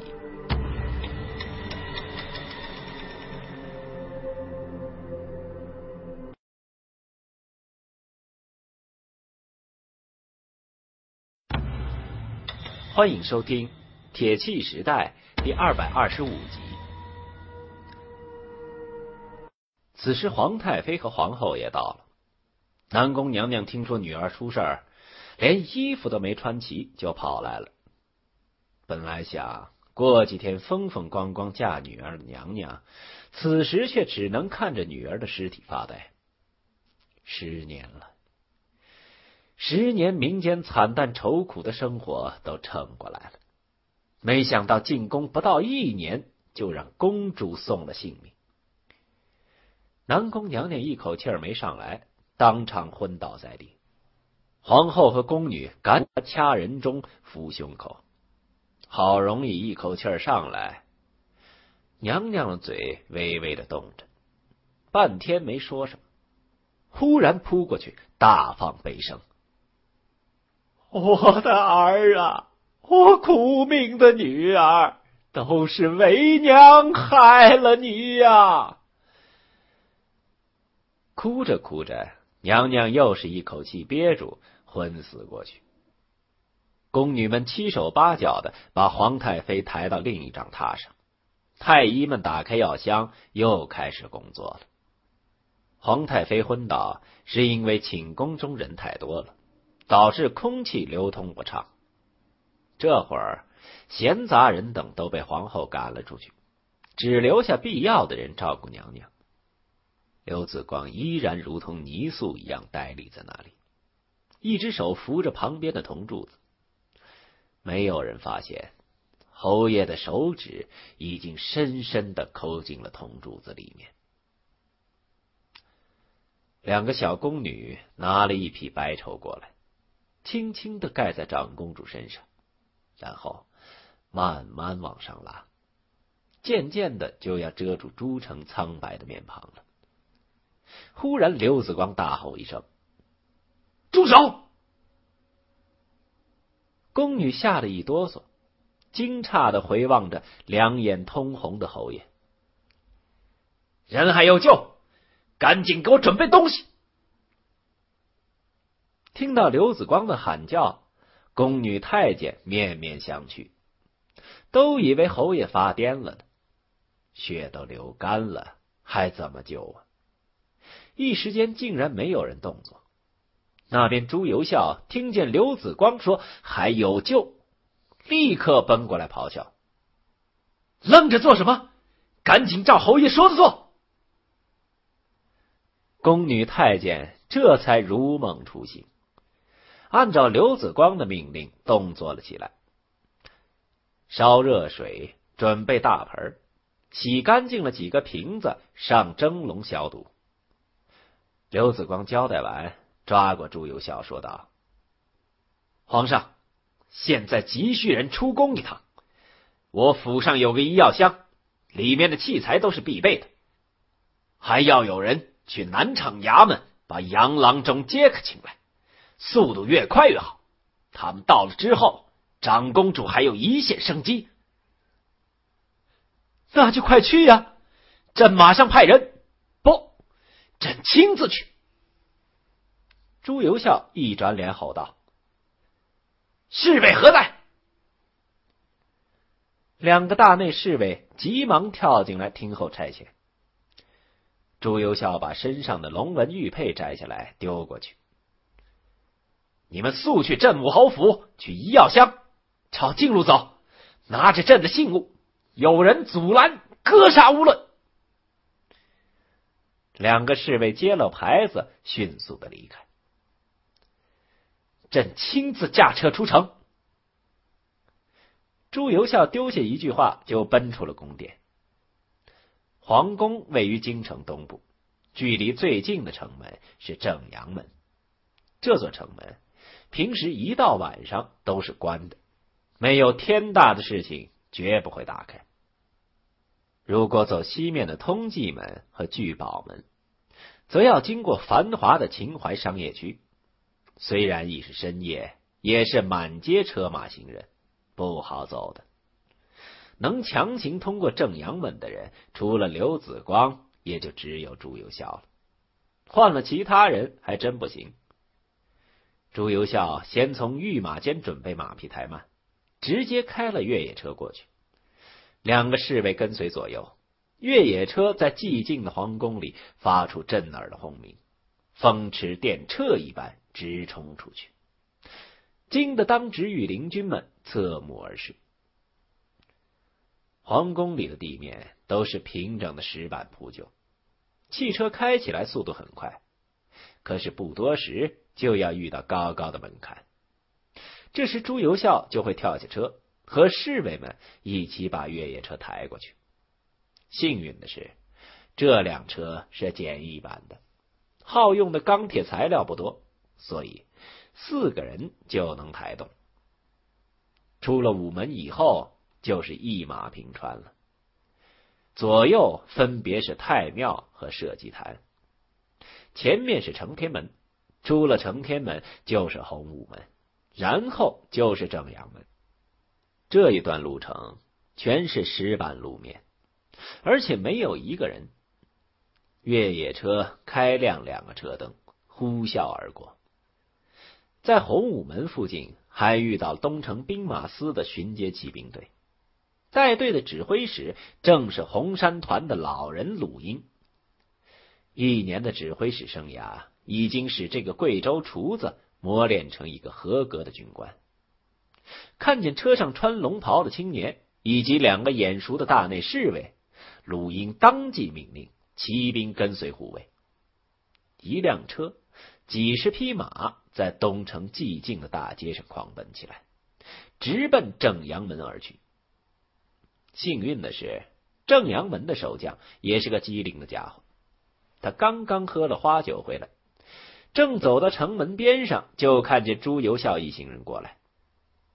朱由校的龙袍在城门的电弧灯照耀下极其醒目，而且他身后两个大内侍卫都是四品高级侍卫，专门保护皇上的。再加上东城兵马司的骑兵跟随。守将的酒意一下子就醒了，快给朕开门！朱由校从驾驶座上站起来，冲守城兵卒喊道：“鲁英他们也跟着狂喊：‘快开门！’大有这边不开门，那边就要动武的架势。开门！守将在一瞬间就做出了决定。虽然不知道皇上这么着急出城是什么原因，但是他明白，如果耽误了皇上的事情，自己这颗脑袋立刻就得搬家。至于私自开门的责任，明天让他们找皇上说理去吧。出了正阳门，就是平坦的土路，非常适合越野车和战马的奔驰。骑兵们已经将松油火把点燃。紧跟着越野车向南厂方向狂奔，可是战马毕竟跟不上汽车的速度，很快就被甩在了后边。两个奉命去镇武侯家的大内侍卫一路翻墙越脊，怎么进怎么走，怎么快怎么走。有皇上的玉佩在手，倒也没有不识相的人前来阻拦。不多时，他们就出了皇宫。赶到了距离紫禁城不远的镇武侯府，彭敬荣在家坐镇，反应速度自然极快的。放在书房里的医药箱被迅速取出，交给侍卫带走，前后连片刻的时间都没有耽误。畅听网，聆听世间万象，感受人间冷暖。你的畅听别样精彩。三 w 点听八五点 com。等医药箱拿到皇宫的时候，朱成已经躺在装满温水的大木盆里，这是用来恢复体温的最好办法。为了保持水的温度，不时有宫女将热水加进去，将冷掉的水置换出来。公主的伤口也敷上了上好的金疮药，用绷带包扎起来。刘子光让人准备了参汤，硬生生的往公主嘴里灌，不知道这有没有用。反正死马当活马医了。医药箱到了，刘子光赶紧打开箱子，取出从琼斯博士那里敲诈来的玻璃针管，换来一个侍卫。让他从自己身上抽血，侍卫毫不含糊，足足抽了满满一针筒的鲜血。要知道，这可是大型针筒，一管子下去足有四百毫升。不够，再来！刘子光取下捆住右臂的皮条，扎到了左臂上，用右手和牙齿扎紧，继续让侍卫换一个针筒，接着抽。抽出来的血被装进消过毒的瓶子里，然后用橡胶软管和细如牛毛的空心针扎进朱成的血管里进行输血。生命之泉一滴滴的注入了公主的血管，但是人丝毫没有好转的迹象。再抽！刘子光斩钉截铁的说。将手臂又伸给了那个临时充当护士的侍卫。侯爷，那侍卫见刘子光的脸上明显的没有了血色，哪还有胆子再抽？让你抽你就抽，哪儿那么多废话？是。侍卫只得将粗大的针筒再次伸向刘子光的胳膊。冤孽呀！目睹这一幕的皇太妃、皇后、宫女们都黯然泪下。镇武侯这是在拿命救长公主啊！尤其是皇太妃，明明知道女儿的心思，还将她逼到这条绝路上来，现在如何不悔恨万分？等琼斯博士赶到。长公主体内已经有了三千毫升刘子光的血液在流淌了。按理说，这么多血液不足以使失血过多的伤者恢复健康。不过，刘子光的血液里含氧量特别高，基本已经可以支撑一个人不死了。上帝呀，你居然抽了这么多血还没事儿，真是太神奇了！琼斯看到四个装血的空瓶子，忍不住发出了惊叹。刘子光无力的笑笑，苍白的嘴唇已经看不到一丝颜色。你来了就好，我的血不够，还需要继续输血。当然要继续输血，下面的工作交给我好了。琼斯换上消过毒的白袍子。洗了手，戴了口罩，全面接管了临床工作。但刘子光依然坐在原地关注着。长公主需要很多血液，这很容易办到。大批的宫女侍卫都可以献血，不过并不是每个人的血都能用。琼斯博士选那些面色红润的宫女，每人先抽一点血样，和长公主的血进行配血。如果血型符合的话，就可以用。整个皇宫都被调动起来，所有的宫女都要献血。宋太妃自然也得到了封赏，她赶紧换了衣服，装作很关心的样子，来到公主寝宫打探消息。到了宫门口，却被侍卫生硬的拦下了，说没有皇太妃的懿旨，所有人不得靠近。更多的血液输入了朱成的血管，他苍白的面庞终于有了一点颜色。渐渐的，眉毛合动了两下，嘴唇张开，微弱的声音说道：“马公子，不要，不要。”看到长公主苏醒，一帮人呼啦啦全围了过来，然后被朱由校又轰了回去，只将母亲扶过来探望。众人都不明白，公主口中说的马公子是何许人也。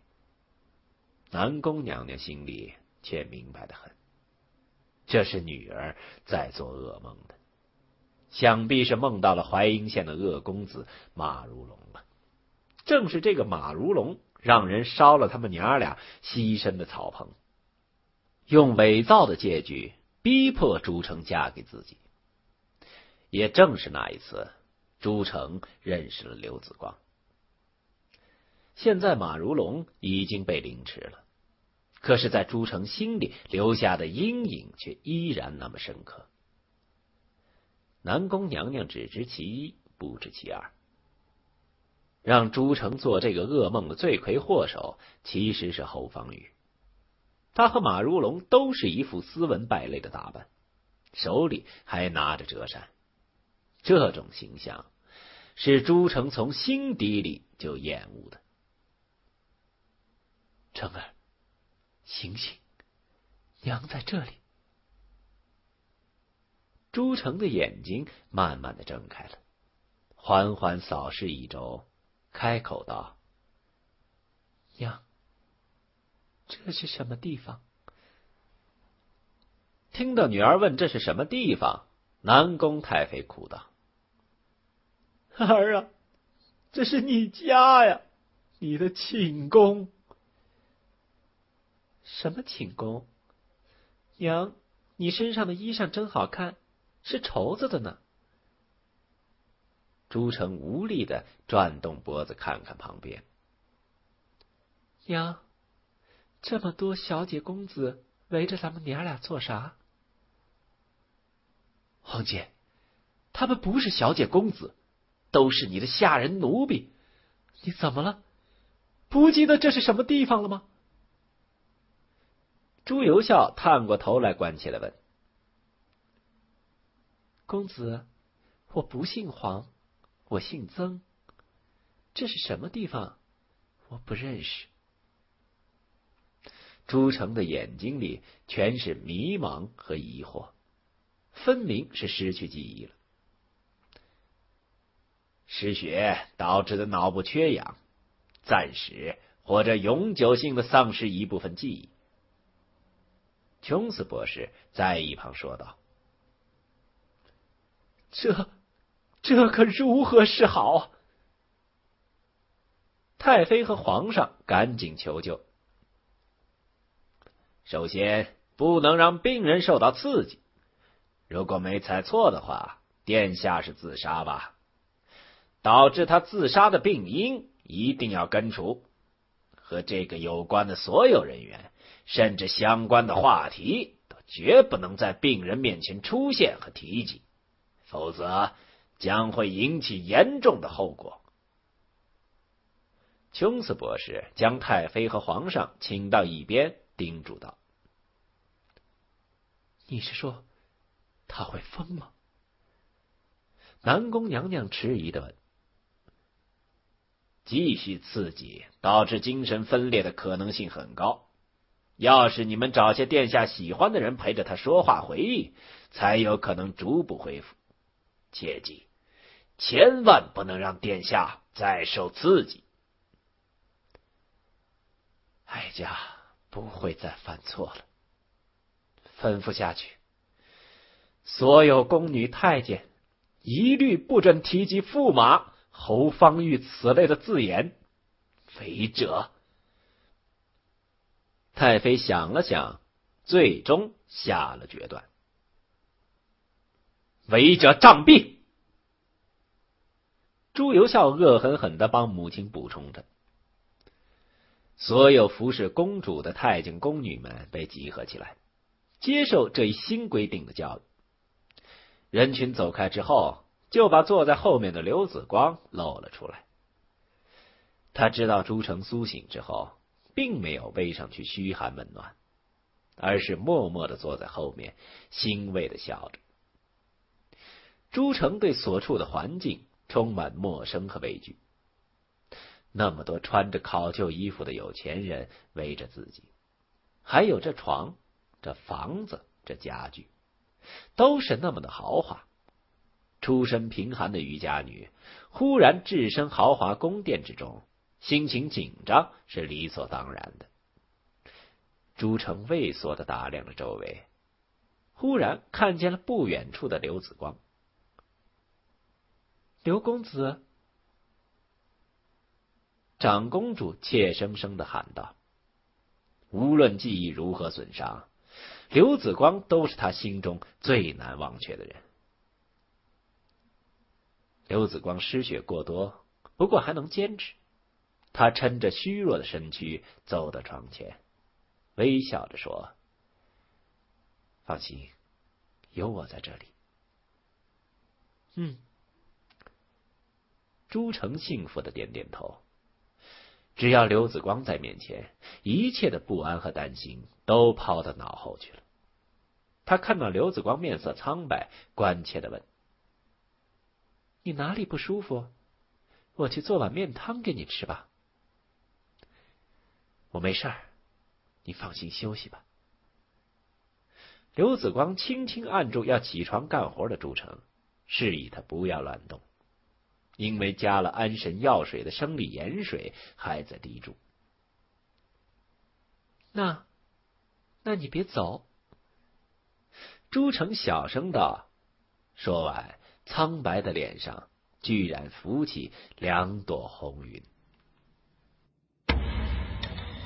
请继续收听《铁器时代》第二百二十六集。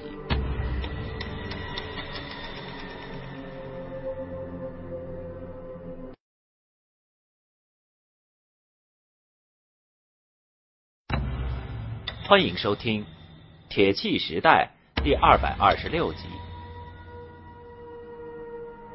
我不走，永远都不会走。刘子光握住朱成的手，十指相交，信誓旦旦的安慰着。朱成安心的笑了，药物的作用开始见效，他握着刘子光的手，沉沉睡去。刘子光也不把手抽回，就这样静静的陪坐在一旁。刘亲家这是？朱由校很奇怪，什么时候黄姐和镇武侯这么亲密了？话还没说完，就被皇后一把捏住腰间。嘘，别妨碍黄姐休息。宫里所有的人都被撤走，只留下两个机灵的宫女在门口听候差遣，其他人。都聚集到了偏殿里，继续商议医治公主的办法。正商量着，南宫娘娘身边的首领太监徐荣过来禀报，说是宋太妃在宫门外请见，有要事商量。南宫娘娘沉吟片刻，道：“让宋太妃去早早歇着，哀妾没空管她的要事。”徐荣应声出去。娘娘又道：“慢着，公主这边的事情切莫外传。”徐荣再次躬身道：“谨遵娘娘口谕。”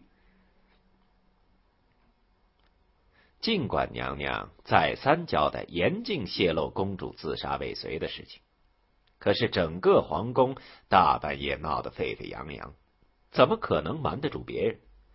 只不过流传的版本多有不同，有人说公主遇到刺客了，还有人说公主是自己跌伤了。反正不管怎么样，长公主都受了很重的伤，至于具体情况就不得而知了。情报通过宋太妃的渠道传到钱夫人耳里，而后又传到了尚书府上，这帮人。顿时心焦起来。长公主一出事，整个婚姻进程就要大受影响。虽然有圣旨在手，但那并不代表长公主就是他们侯家的人。在这个关键的时刻，没有人能帮上忙，大家只能坐在家里干着急，皇宫内院的事情，钱谦益和侯洵都不能公然去问。皇宫的出入也比以前严格了许多，想借着打探堂姐的由头进宫打探消息的办法也行不通了。而那个该死的刘子光却天天待在皇宫里，听说已经两天两夜没有回府了。不行，绝不能这样坐以待毙。如果这样下去，婚事肯定会被刘子光那厮搅黄。侯方域考虑再三，决定孤身进宫查探究竟。这个想法刚说出来，就遭到了大家的一致反对。且不说皇宫内院不是那么容易进的，就是混进去了，又能如何呢？难道还能把公主拐带出来不成？你们放心，我自有分寸。侯方域矜持的一笑，对于自己的个人魅力，他还是很有自信的。这个世界上，没有人能抵挡住自己迷人的微笑。如果他侯方域下决心追哪个女人，就一定能成功。别说是个没见过世面的乡下公主了，就是尼庵里清心寡欲的尼姑，遇到风流倜傥的侯公子，也只有乖乖投降的份儿。侯方域的计划是混进皇宫，找到长公主，施展自己的泡妞大法，将生米做成熟饭，这样就万事大吉了。根据上次在御花园赏花的印象来分析，长公主对自己还是很有好感的，不过还没达到死心塌地的喜欢那种地步。或许是他的欣赏水平还达不到那个层次吧。侯方域这样想。他这样洪泽县出来的丫头，自然不能和京城里的大家闺秀相比。乡下丫头喜欢的。可能是那种坏坏的男孩形象，哼！要论坏，我侯方域可不比别人差。想到这里，侯方域又是微微一笑。侯夫人对儿子的计划很不放心，可钱夫人对侯方域的计划表示支持，说宫里的事情不用担心，有宋太妃和徐公公罩着呢，万一被发现。事情闹开了也无所谓，毕竟南宫娘娘对这个未来女婿还是很喜爱的。就算为了长公主，也不会让侯方域出事。到时候说自己因为担心公主的病情才混进来探望，说不定还能博取丈母娘的欢心呢。主意打定，众人便开始操办起来，还是走徐公公的路子比较稳妥。徐公公不缺银子，可是有些亲戚需要照顾。侯尚书答应事成之后，帮徐荣的本家侄子谋个肥缺，这才把事情定了下来。虽然皇宫的进出检查比以前严格了许多，但是身为南宫娘娘身边的首领太监，徐荣还是有些特权的。这天。他特意选了一个身材高挑的小太监，跟自己一起出宫办事，然后偷偷上了一辆马车，让小太监和早已等候的侯方域互换了衣服，然后徐荣带着伪装成太监的侯方域回宫去了。有徐荣的关照，侯方域顺利的进入皇宫。他面白无须，装成太监，破绽不大。只是得把那份狂放不羁的才子风度收敛起来，免得被那些虎视眈眈的大内侍卫们发现。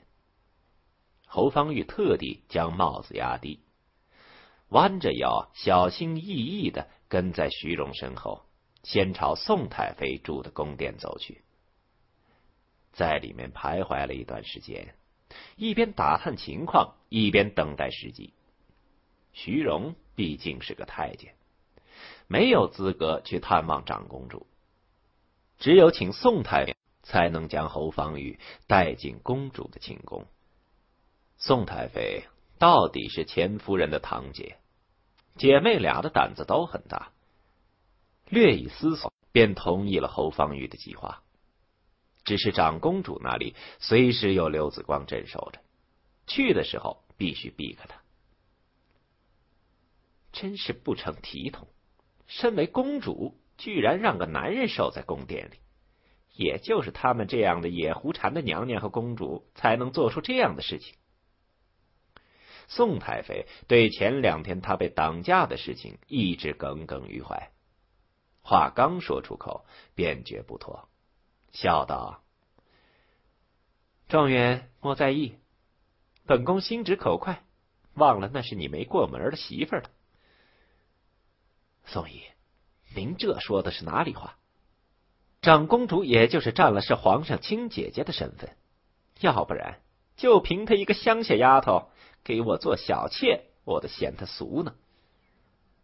侯方域故意顺着宋太妃的脾气说话，他知道宋太妃并不喜欢朱城母女，不为别的，就是单纯的嫉妒而已。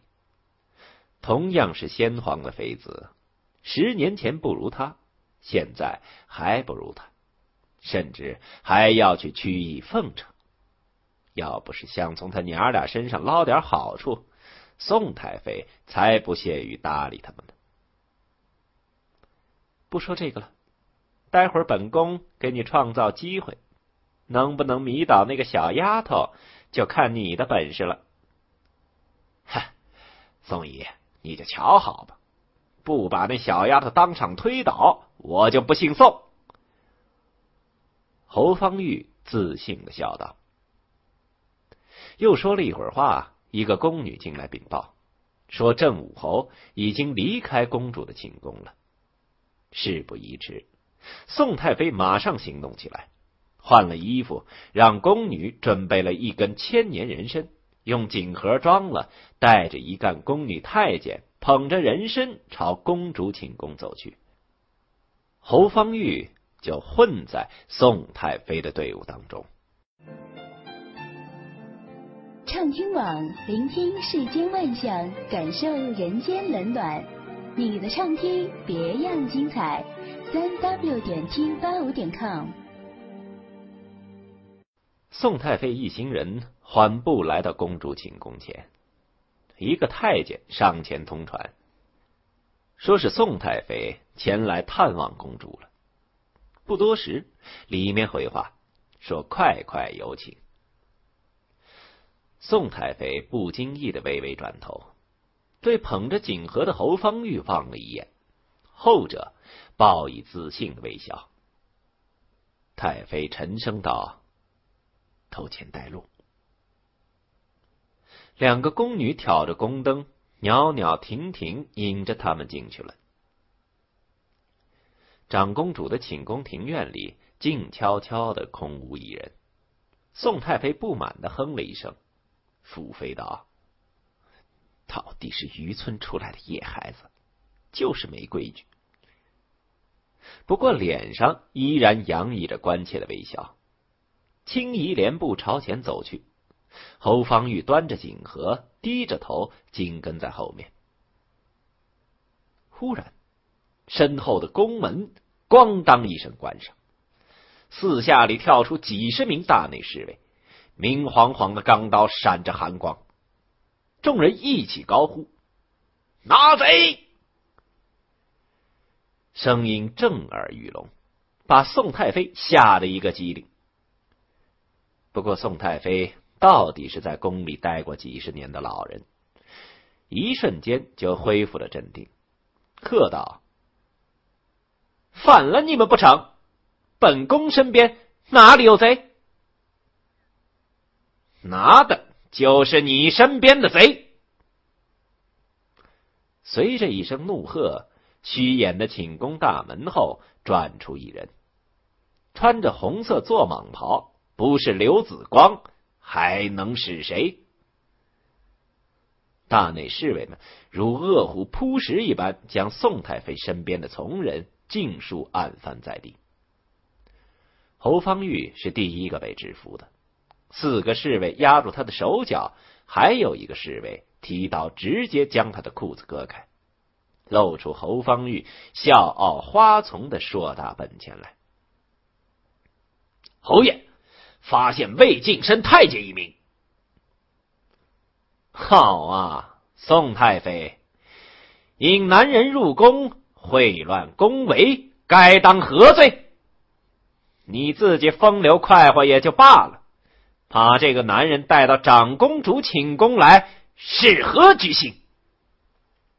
刘子光厉声喝问着，根本没有把宋太妃放在眼里。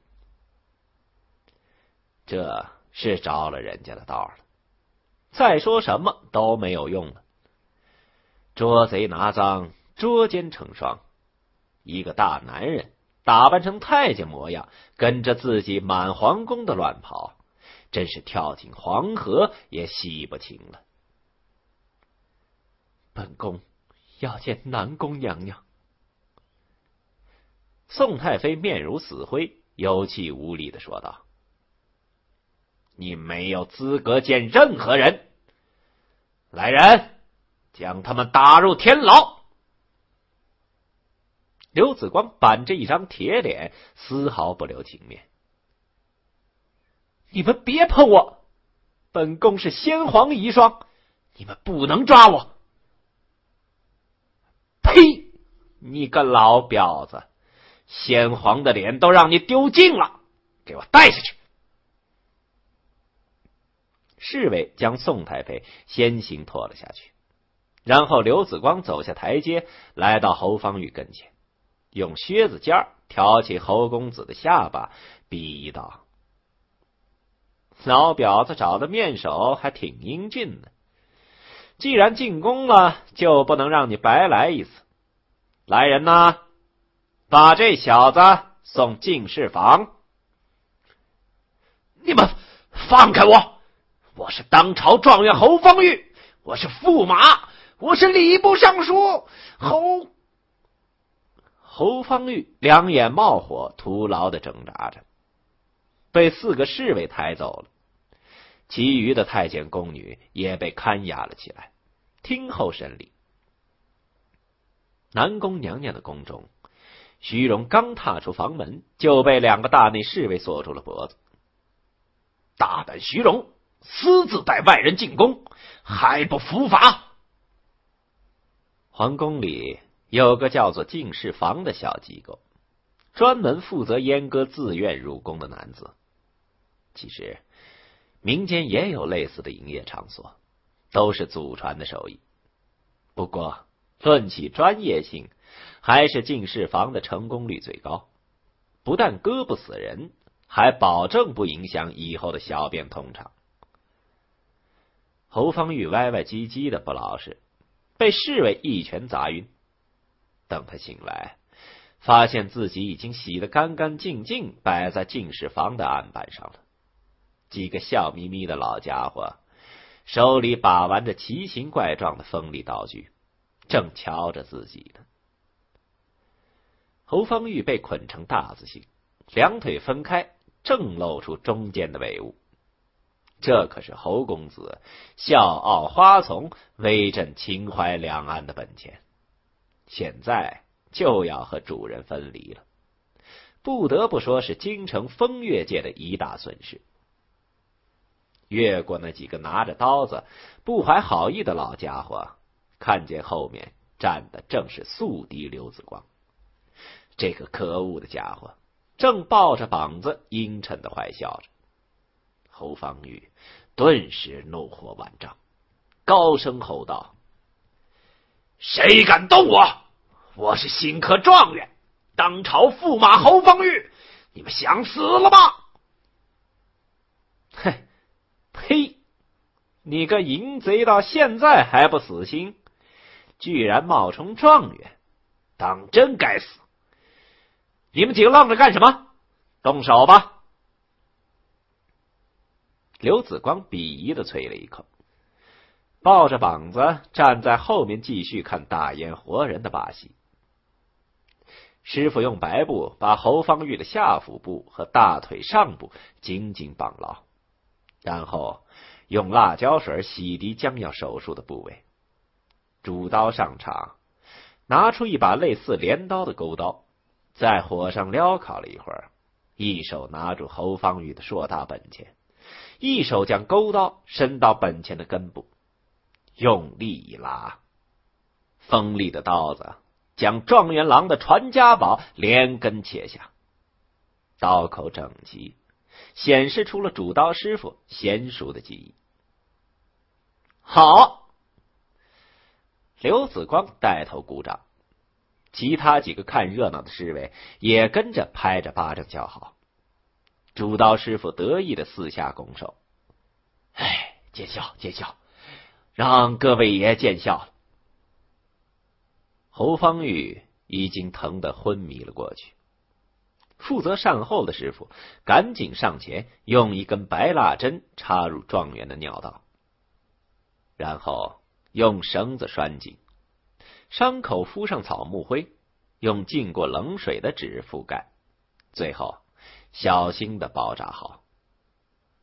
经过这一系列的程序后，侯方玉还不能马上卧床，必须由人搀扶着在屋子里走上两三个小时才能卧床。手术后三天必须滴水不进。三天过后，拔掉白蜡针。尿喷涌而出，即阉割成功。当然，这都是后话了。刘子光就没有兴趣再欣赏下去。他留了三个侍卫在进士房，让他们看着侯公子，以免他做出过激举动。自己先回去了。至于侯公子的宝贝，被仔细的放进了一个广口玻璃瓶，用药水浸泡着。等到合适的时机，刘子光自会送到侯府上去，让侯尚书也分享一下乐趣。这两天，刘子光并没有拿侯家人开刀，并不代表他把这口恶气忍了。南厂的力量被彻底的调动了起来，监视侯府前府，在宋太妃宫里安装了窃听器。徐荣的一举一动，更是在严密的监控之中。既然要报复，就要把所有牵扯到这件事儿的人都打击到，尤其是这个不甘寂寞的宋太妃，仗着宫外钱阁老的关系，牛逼哄哄。这回通过打击宋太妃，也能给钱谦益一点提醒，不要试图触摸刘子光的底线。请继续收听《铁器时代》第二百二十七集。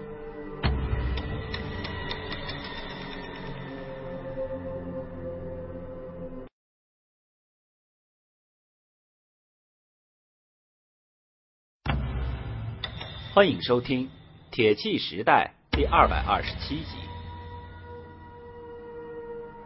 侯方域想通过徐荣混进皇宫，实在是极其愚蠢。有时候，极度自信的人就喜欢用些蠢办法。刘子光在第一时间就知道了对方的计划，又气又乐，索性让禁卫们故意放水，将侯方域放了进来，然后关门打狗。其实长公主现在已经不在皇宫里居住了。刘子光连夜派工兵在玄武湖中的岛子上搭建了一个渔村。找了些渔民住进去，然后趁长公主昏睡的时候，把人挪了过去。因为杨郎中又说了，要让病人在记忆时段消失以前的环境中生活，对病情大有好处。这牵扯到脑子的事情，娘娘和皇上哪有不应允的道理？一切事宜交给了刘子光全权办理。不管费多大力气，花多少钱，只要能治好长公主的病，都在所不惜。正因为如此，刘子光才会选择在公主寝宫里拿人，这样可以坐实宋太妃和侯方域的罪名。你一个大男人，装成太监模样混进公主的进宫，这道理。到哪儿都说不过去，给他安什么罪名都是成立的。监视徐荣在宋太妃宫里安装窃听器这些事情，并没有告诉南宫娘娘和皇上，直到侯方域被处理完毕，才告诉皇上，宫里混进了坏人，意图对长公主不轨，已经被警惕性极高的大内侍卫们擒获。现在长公主的地位和皇上差不多了。凡是涉及到他的所有事宜，一律无条件开绿灯；凡是对长公主不利的人和事，一律从快、从重、从严打击。不管是谁，一查到底。刘子光迅速将宋太妃和侯方域处理了，就是本着这一铁的原则来办理的。长公主割腕自杀，失去记忆。都是宋太妃保媒引起的恶果，现在他居然又私自把侯状元带进宫来，还想混进宫这不是嫌长公主的病还不够重吗？还想再刺激一把？还有那个徐荣，居然吃里扒外，私自带人入宫，这都是天大的罪孽，打死他都不亏。即使南宫娘娘脾气再好，这回也动了真气。哀家不管了，一切交给皇上和皇后处置。宫中混进了男人，这案子被皇上交给了内务府处置，也是符合规矩的。因为大内侍卫只有当场处置的权利，并不具备事后执法的职责。内务府接了案子，也没什么好做的了。冒充太监的侯方域已经成了真正的太监，宋太妃也已经在天牢里住着，徐荣也被和钱谦益、侯寻他们关系一直很好的魏忠贤也丝毫帮不上忙。即使能帮忙，他也不敢帮，因为事情涉及到长公主。那可是皇上和娘娘，还有镇武侯的心尖子，丝毫的差池都能葬送掉自己来之不易的政治前途，尤其是后者最为可怕。自己已经没有小鸡鸡供他割了，那么能割的就只有这颗脑袋了。要依着刘子光的脾气。起码要三尺白绫刺死宋太妃，再将侯方域满门抄斩。可是最终心慈手软的南宫娘娘还是忍不住出面干预了，说是为了女儿的病情，不愿再添杀戮，一切从轻发落吧。经过内务府的调查，混进内宫的男子确系新科状元侯方域。并非什么淫贼，混进宫来主要是为了探视长公主的病情。但是无论理由多么的充分和令人同情，乔装进宫这条大罪是洗不干净了。既然状元净身了，就相当于受到了腐刑的惩罚，内务府就不追究他的责任了，等养好了伤，放回家就行。内务府不追究，不代表朝廷不追究。皇上借口侯方域品行不检点，夺了他的状元头衔，以后永不录用。侯寻教子无方，罚俸一年。畅听网，聆听世间万象，感受人间冷暖。你的畅听别样精彩，三 w 点听八五点 com。宋太妃从天牢里放了出来，不过太妃的头衔被剥夺，沦为普通宫女身份，打发到浣衣局干粗活去了。至于拿贼有功的刘子光和众侍卫，各有丰厚的赏赐。前尚书府上，钱谦益和夫人正过府拜望。自打侯方域化妆进宫以后，就没了消息。皇宫封锁的极其严密，根本联系不到宋太妃。侯夫人挂念儿子，急得发烧上火，卧床不起。侯勋没办法，只好请钱谦益两夫妇过来商议。侯大人，多劝劝夫人，玉儿聪明机警，随机应变的能力很强，一定不会有事的。钱夫人劝着：“玉儿的本领，我自然知道。”可是那毕竟是皇宫内院，这都一天一夜过去了，怎么还没有音讯传出来呢？侯寻愁眉苦脸的说：“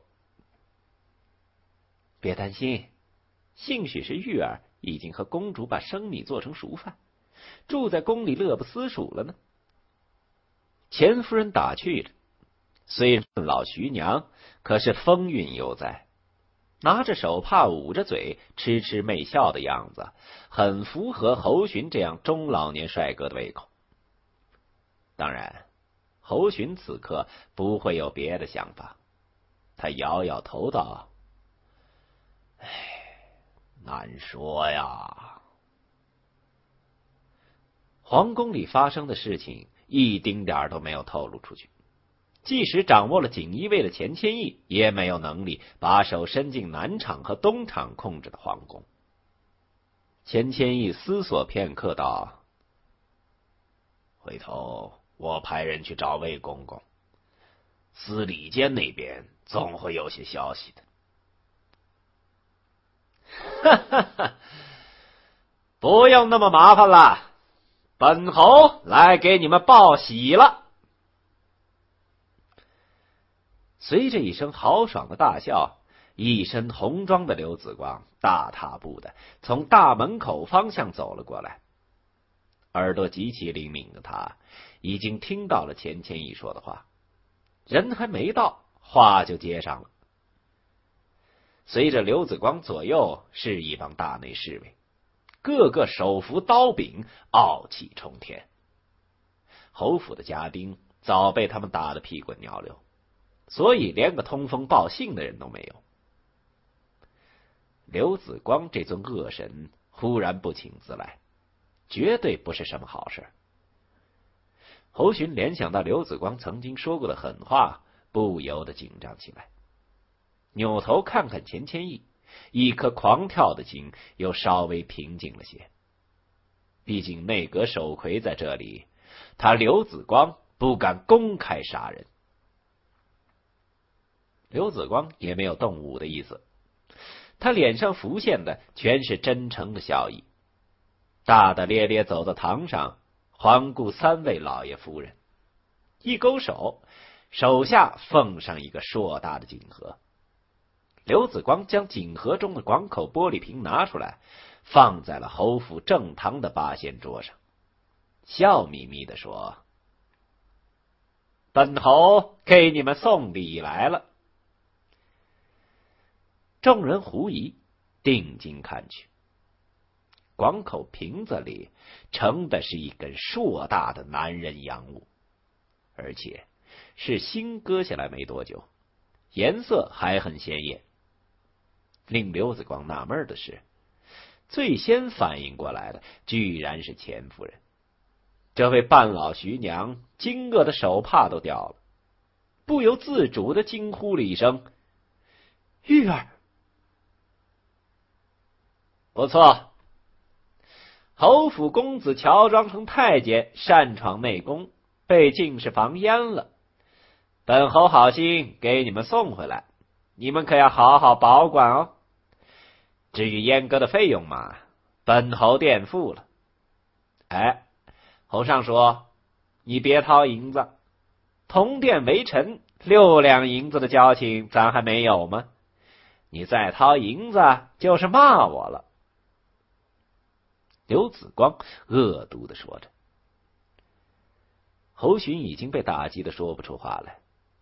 他老眼昏花，就看见瓶子里黑压压的一坨东西，正想掏出眼镜看个究竟呢。听刘子光这么一说，惊得眼镜也掉了，呆坐在椅子上，说不出话来。刘子光冷笑一声，转而向钱夫人说道：“钱夫人好眼力啊，一眼就能认出这是侯公子的宝贝。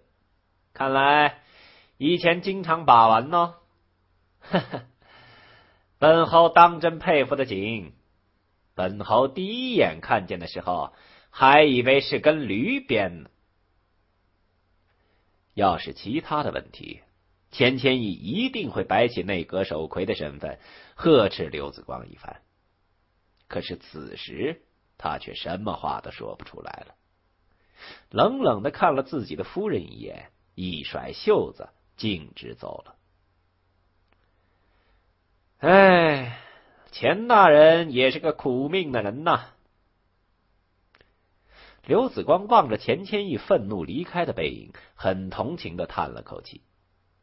钱夫人手足无措，呆坐了片刻，掩面而去。刘子光闯进来的时候，就有侯府的丫鬟跑进去禀告了夫人。夫人硬撑着病体走了出来，还没看到桌子上的玻璃瓶，先看到了机智气使的大恶人刘子光。刘贼，你把我儿藏到哪里去了？我儿要是有个三长两短，老身就跟你拼了！玉儿，玉儿，他已经被这个贼子侯寻一张英俊的老脸上，五官已经扭曲的不成样子。他忽的站起，伸手要去拔墙上的家传宝剑，要和刘子光玩命。侯夫人听见丈夫这样说，也惨呼一声，撇开丫鬟的搀扶，挥动着指甲朝刘子光扑过来。刘子光纵身向后一跳，避开两位老人的雷霆一击，变戏法一样从袖子里摸出一个明黄色的卷轴，沉声喝道：“皇上有旨，侯勋夫妇听旨。”没想到啊，刘子光还是带着圣旨来的。面对钦差，侯寻夫妇只能强压着满腔的怒火，对仇人跪下，听他宣读圣旨。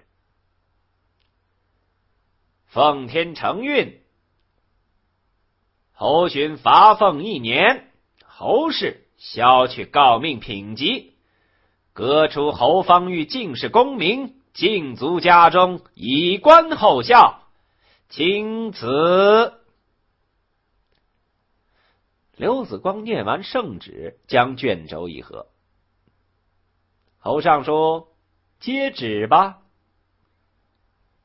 侯勋满脸悲愤，用力的在地上磕了三个头，道：“臣侯勋领旨，显。”吾皇万岁！万岁！万万岁！说完，一口鲜血便喷了出来。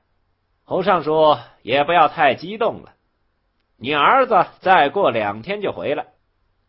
现在伤口还，春天又容易见风，进士房的师傅们照料的很周到，放心吧。至于你老侯家无后的问题，也好解决。这些年，侯公子在外面留下的野种可不老少，随便找一个回来就是了。实在不行，不是还有尚书大人您吗？瞧您这身子骨，再生一个同样优秀的小侯公子也不是难事儿。哈哈哈！刘子光说罢。带着侍卫们扬长而去，只将背影留给眼睛喷火的侯府众人。三天以后，形同枯槁的侯方域被一顶小轿抬到了府里。他一回府，就将自己关在书房里不出来，拒绝和任何人说话，就连最要好的冒辟疆等人来了，也不愿意接见，甚至。连茶饭都吃得很少。从名声远播的江南四公子之首，复社领袖，新科状元，未来的驸马爷一路狂跌，成为一个无用的阉人。这种巨变，就是神经再坚强的人也支撑不了。怕儿子寻短见，侯寻夫妇让佣人彻夜守在书房外面监视着。每到吃饭的时间，侯尚书就亲自来劝，拿汉朝时候司马迁的故事来鼓励儿子。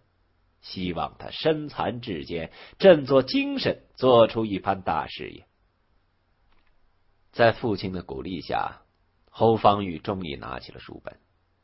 他立志要效仿司马迁，写出一本千古流传的名著来。考虑再三，书名定为《明史》，要记录下大明几百年来的风风雨雨、忠奸善恶。自打上次从侯府出来以后，钱谦益就再也没有和侯勋搭过话。人要脸，树要皮，何况是他堂堂的当朝内阁首魁呢？幸运的是，自家夫人和小侯公子的丑事并没有宣扬出去，这才让钱大人稍微放了点心。钱夫人自知对不起丈夫，很自觉的搬了出去。让一直住在钱家别业里的柳如是搬进了府邸。当然，休妻这种有损颜面的事情是不能做的。细想起来，钱谦益还要感谢刘子光呢。没有他这一闹，自己做梦都不知道被小侯公子送了一顶绿油油的方巾。现在夫人从眼前消失了。长袖善舞、八面玲珑的柳大家搬进了府里，也算随了钱阁老的一个夙愿。司礼监大太监魏忠贤的心里很不舒服。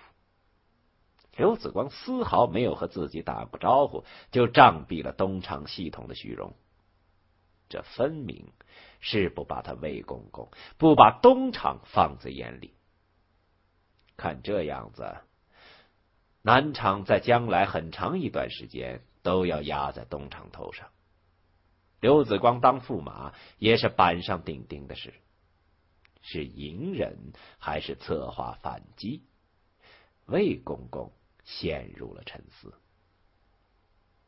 玄武岛屿先前是皇家花园，建有雅致精美的小庭院，种着竹子，各种珍奇花卉。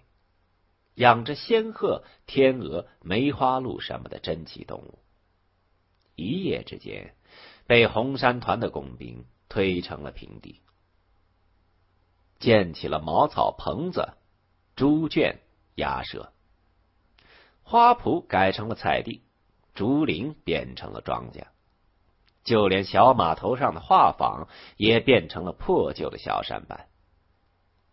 一群衣着简朴的渔民。被连夜拉来，住进这座一夜之间建成的村子。临湖的一所小茅棚里，身穿靛蓝布裙的曾成正坐在灶前烧锅，一边拉着风箱，一边往炉膛里递着柴火。白净的小脸上被锅灰弄得脏兮兮的，不过他的神情非常的愉悦，眉飞色舞的。一边烧锅，一边哼着小调。锅里米饭，身旁还有两条肥美的大鱼等着拾掇。过一会儿，等他京城卖鱼回来，就能吃上热腾腾的饭了。嗯，还有从村里酒铺沽的二两白酒，给他解解馋。请继续收听。《铁器时代》第二百二十八集，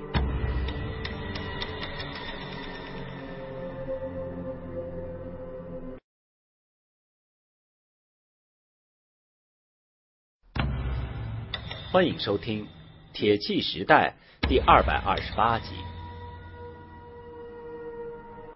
曾成心中的那个他，就是自己还没圆房的男人刘子光。现在他们两人已经离开了洪泽湖，搬到了这个世外桃源一般的小岛上居住。这里没有官兵，没有水匪，没有财主恶霸，没有苛捐杂税，有的只是心爱的人、和善的邻居和这一片碧波万顷的湖泊。当然，这些都是刘子光告诉曾成的。可怜的长公主受过强烈刺激，脑组织又曾经严重缺氧，所有的回忆都停留在了入宫以前的状态，而且随时都有恶化的可能，稍有不慎就会变成脑残。所以大家选择了就近的玄武湖作为疗养场所。这个湖泊本来就是皇家产业。现在更是警卫森严，绵长的湖岸上，每隔二十步就站了一个警军，严禁闲杂人等靠近。湖里的那些渔船都是特意安排的，渔村里的居民也经过严格培训，怎么说话、怎么办事儿都有规定。反正是不能把曾成当做长公主看待。把她看作是一个普通的渔家女孩就可以了。为了治疗女儿的脑病，南宫娘娘也脱下了凤袍，换上了金钗布裙，住进了渔村，陪着女儿一起过苦日子。他们的新家是两间茅草屋和一个没有墙的棚子，简陋的木板上还贴着过年时候买的春联和门神。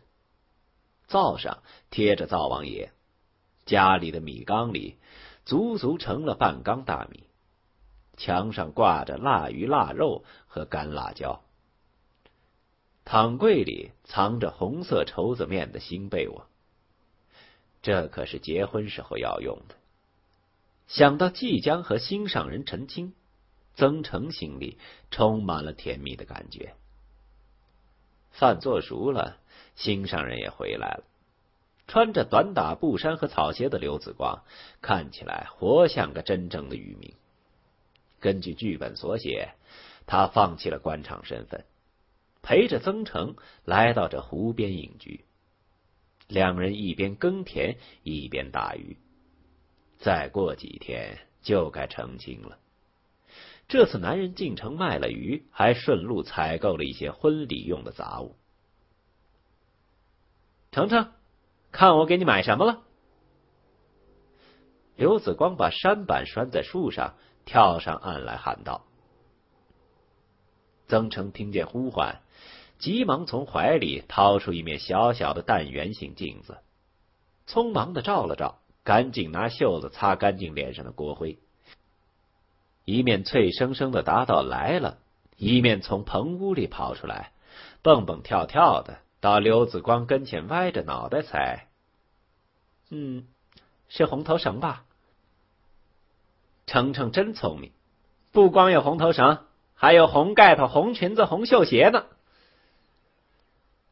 刘子光把包袱皮打开，如数家珍的给曾成一样样的数着。这得花多少铜板呀？那半船鱼卖的钱够吗？还是买些布匹针线回来，我自己做合适。咱家的手工又不花钱。曾成明显有些心疼，可是拿着那些礼物又舍不得撒手。不贵，才花了一吊钱，我每天卖鱼都能赚四五十文呢。再加上咱家还有三分水田，只要咱俩好好干活，好日子有奔头。刘子光笑呵呵的说着。装贫苦渔民对他来说还是有点难度的，不光要学撒网打鱼，还要学着习惯家里只有几百个铜板积蓄的窘状。嗯，好日子有奔头，这里没有官差税吏，咱们的日子一定能好起来。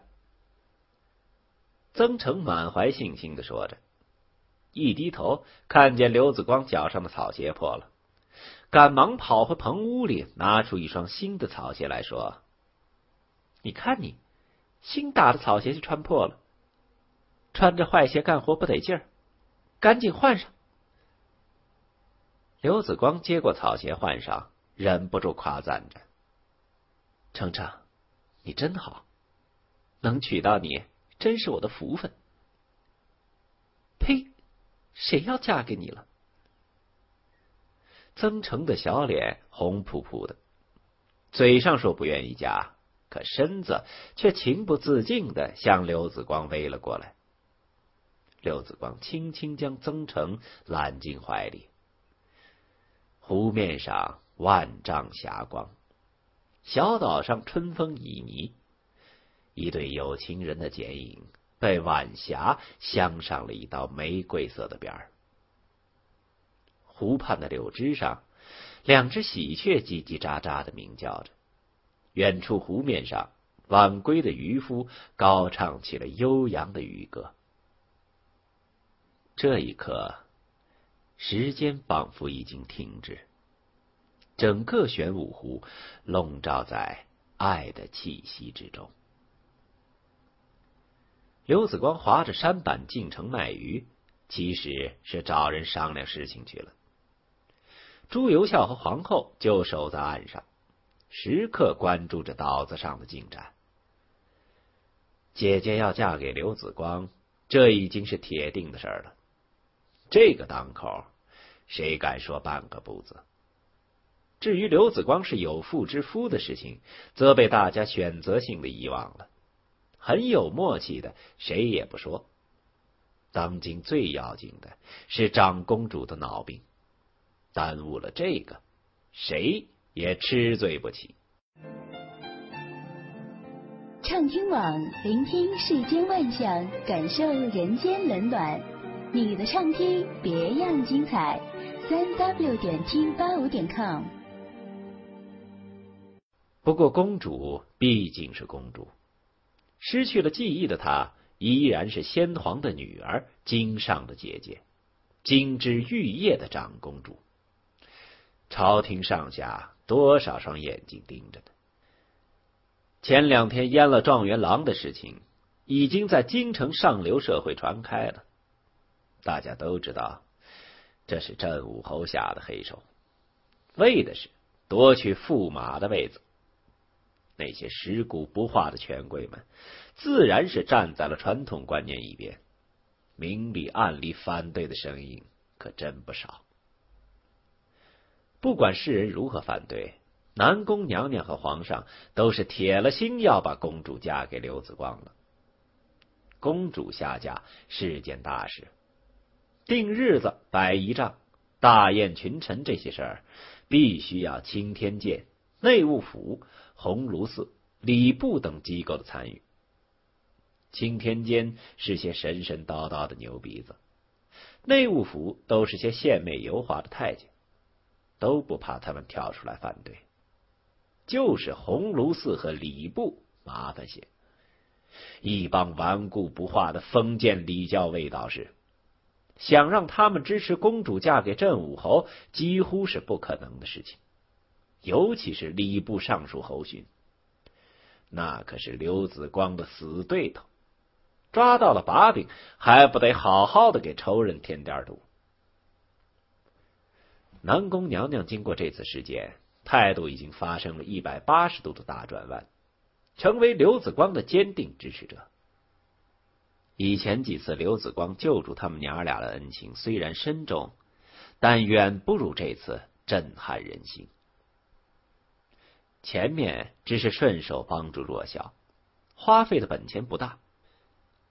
这次刘子光可是玩命上的，三千毫升的鲜血，那可是足足一大盆啊！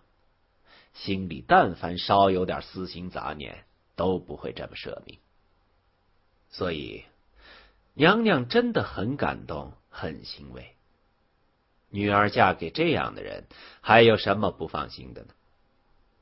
至于种种世俗的之苦，就让他们哪儿凉快到哪儿歇着去吧。有什么样的母亲，就有什么样的儿子。朱由校更是双手双脚赞成刘子光成为他的姐夫，皇后也是坚定了站在刘子光这一边。至于刘子光府里，更是一片强烈的赞同声。彭静荣姐妹甚至住进了湖心岛上的渔村，当起了龙套演员，以实际行动紫光。刘小猫听到大人们议论到什么皇宫大内公主驸马的时候，也眼睛一亮，喵喵乱叫表示支持。其实他是想到了御膳房里的各种珍馐美味，以为和大内攀上亲戚就能随便进去吃了。湖心岛上的小日子还在继续，每天曾成在家养鸡喂猪。和邻居小姐妹一起修补渔网，拿红纸剪窗花什么的。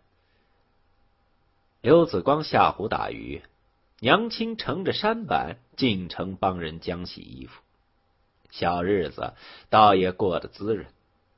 他却不知道，刘子光和娘亲乘船上岸之后，就换了衣服，坐上十六台的大轿子，进了皇宫商量事情去了。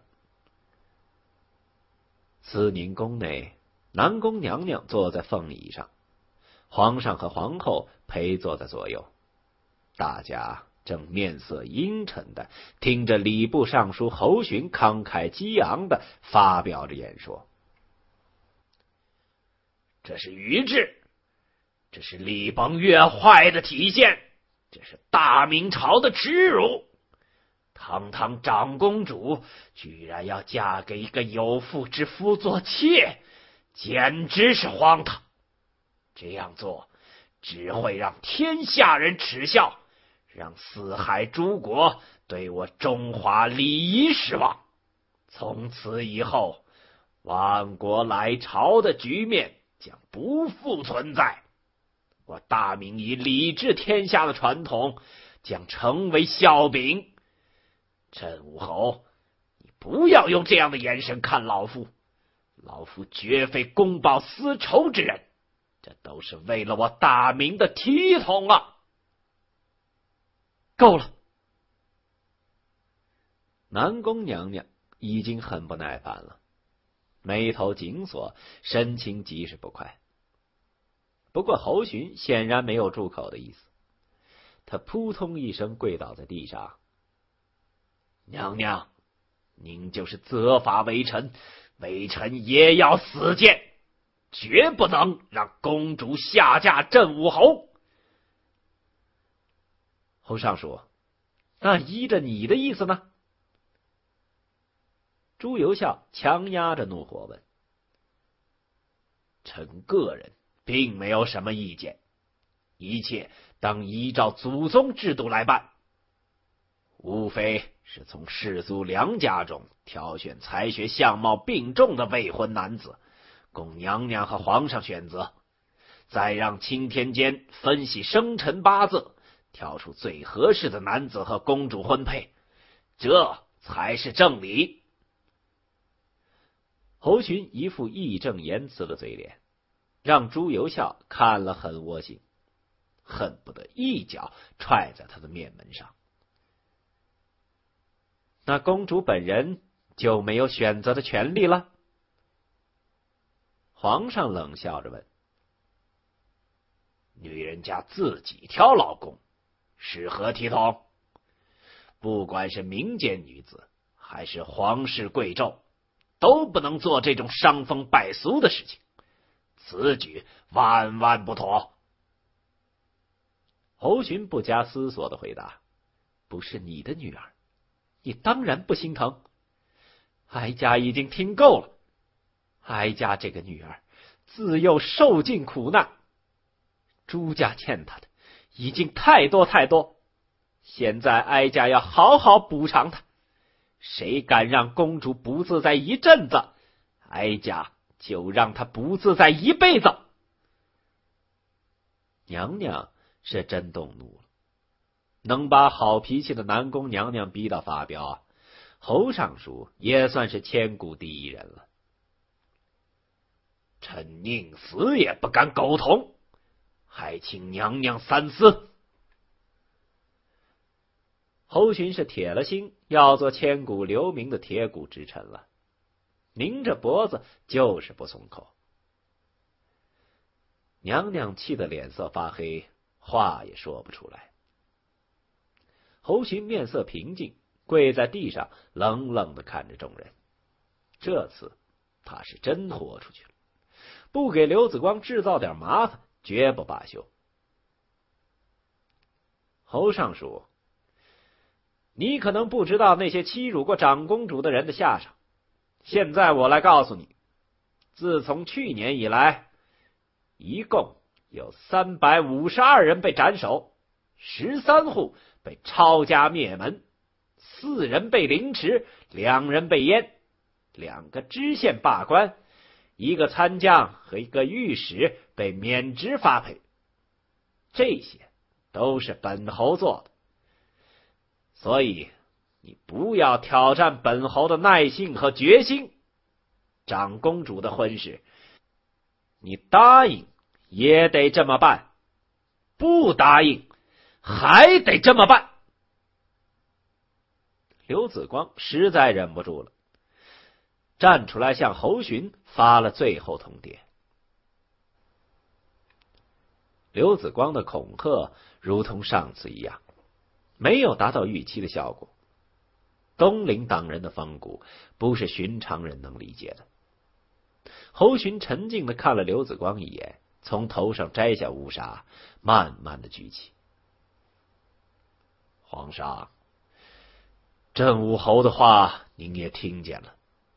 超品的侯爵都这样咆哮朝堂，微臣这个执掌礼部的尚书已经没有再干下去的必要了，请皇上准许微臣告老还乡。朕准了，你下去吧。朱由校厌恶的一摆手，根本不把侯寻的要挟放在眼里。又不是什么离开了朝廷就无法运转的重要角色，居然还真把自己当回事刘子光这样的万人敌猛将难找，侯寻这样读过几本书的酸儒可遍地都是。没了他张屠夫，还吃带毛猪不成？随便找个人就能把礼部担当起来。朱由校一时眼色。魏忠贤上前将侯寻的乌纱接了过来。年纪不大、城府颇深的魏公公乐得看刘子光和东陵党起争端。他看得很清楚，这场斗争必将以刘子光的胜利告终，因为他背后有娘娘和皇上的力挺。不过，即使胜利，也是惨胜，刘子光的声誉必将受损。八面玲珑的魏忠贤一边接过乌纱，一边笑眯眯的说道：“侯大人，乌纱咱家先帮你保存着，等皇上气儿消了，自然会让您官复原职的。”侯勋微微向魏忠贤颔首，表示感谢，然后伏在地上给太妃和皇上磕了三个头，便傲然离开了慈宁宫。外面乌云盖顶，一阵阵冷风吹过，掀动侯勋头上花白的头发。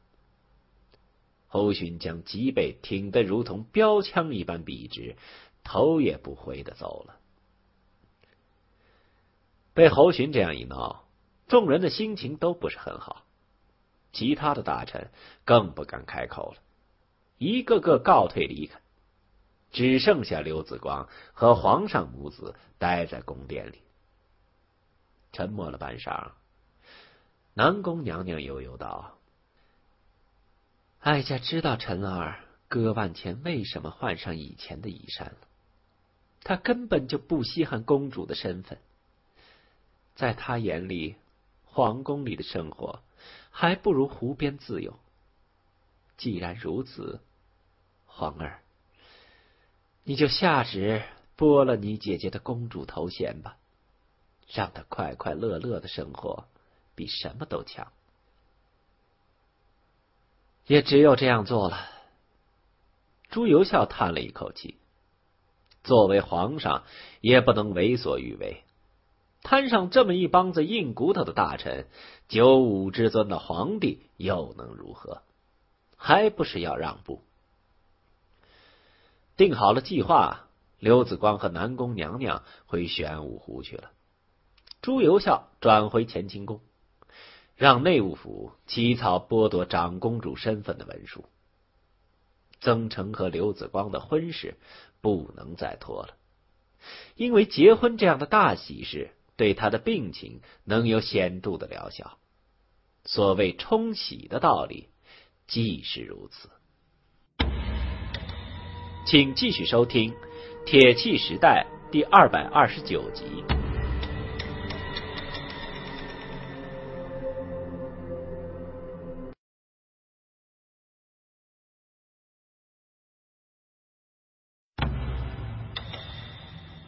欢迎收听《铁器时代》第二百二十九集。侯勋被罢官的事情迅速传遍了京城。作为东林党的元老级人物，侯群的活动能力和人脉都很强。年轻的东林世子们本来就因为侯方域被阉而憋了一肚子的火，现在终于找到了宣泄的出口。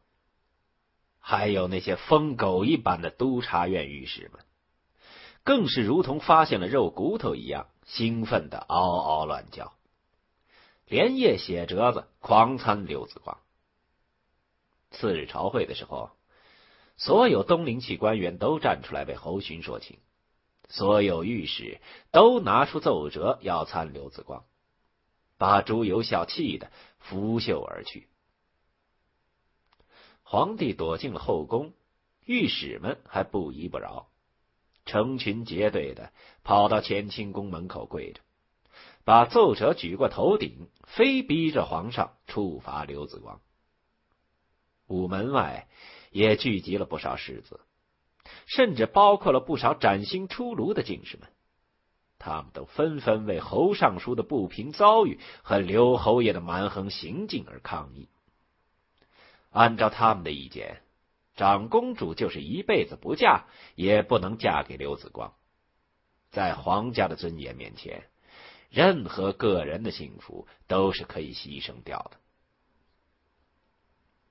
这次抗议活动烈度并不是很大，毕竟只是些家长里短的小事情。皇帝家嫁公主而已，又不是清军南下西夏东征。对于乾清宫外的大臣和御史们，皇帝迅速做出了反应，让太监宣读了一份圣旨。侯洵保留礼部尚书职位，暂放三个月大假休养，等病好之后再复职。降长公主朱成的身份为庶民，择日下嫁镇武侯。这样一来。既堵住了御史们的狗嘴，又给了东林党面子。圣旨一下，官员们悻悻的离开了乾清宫。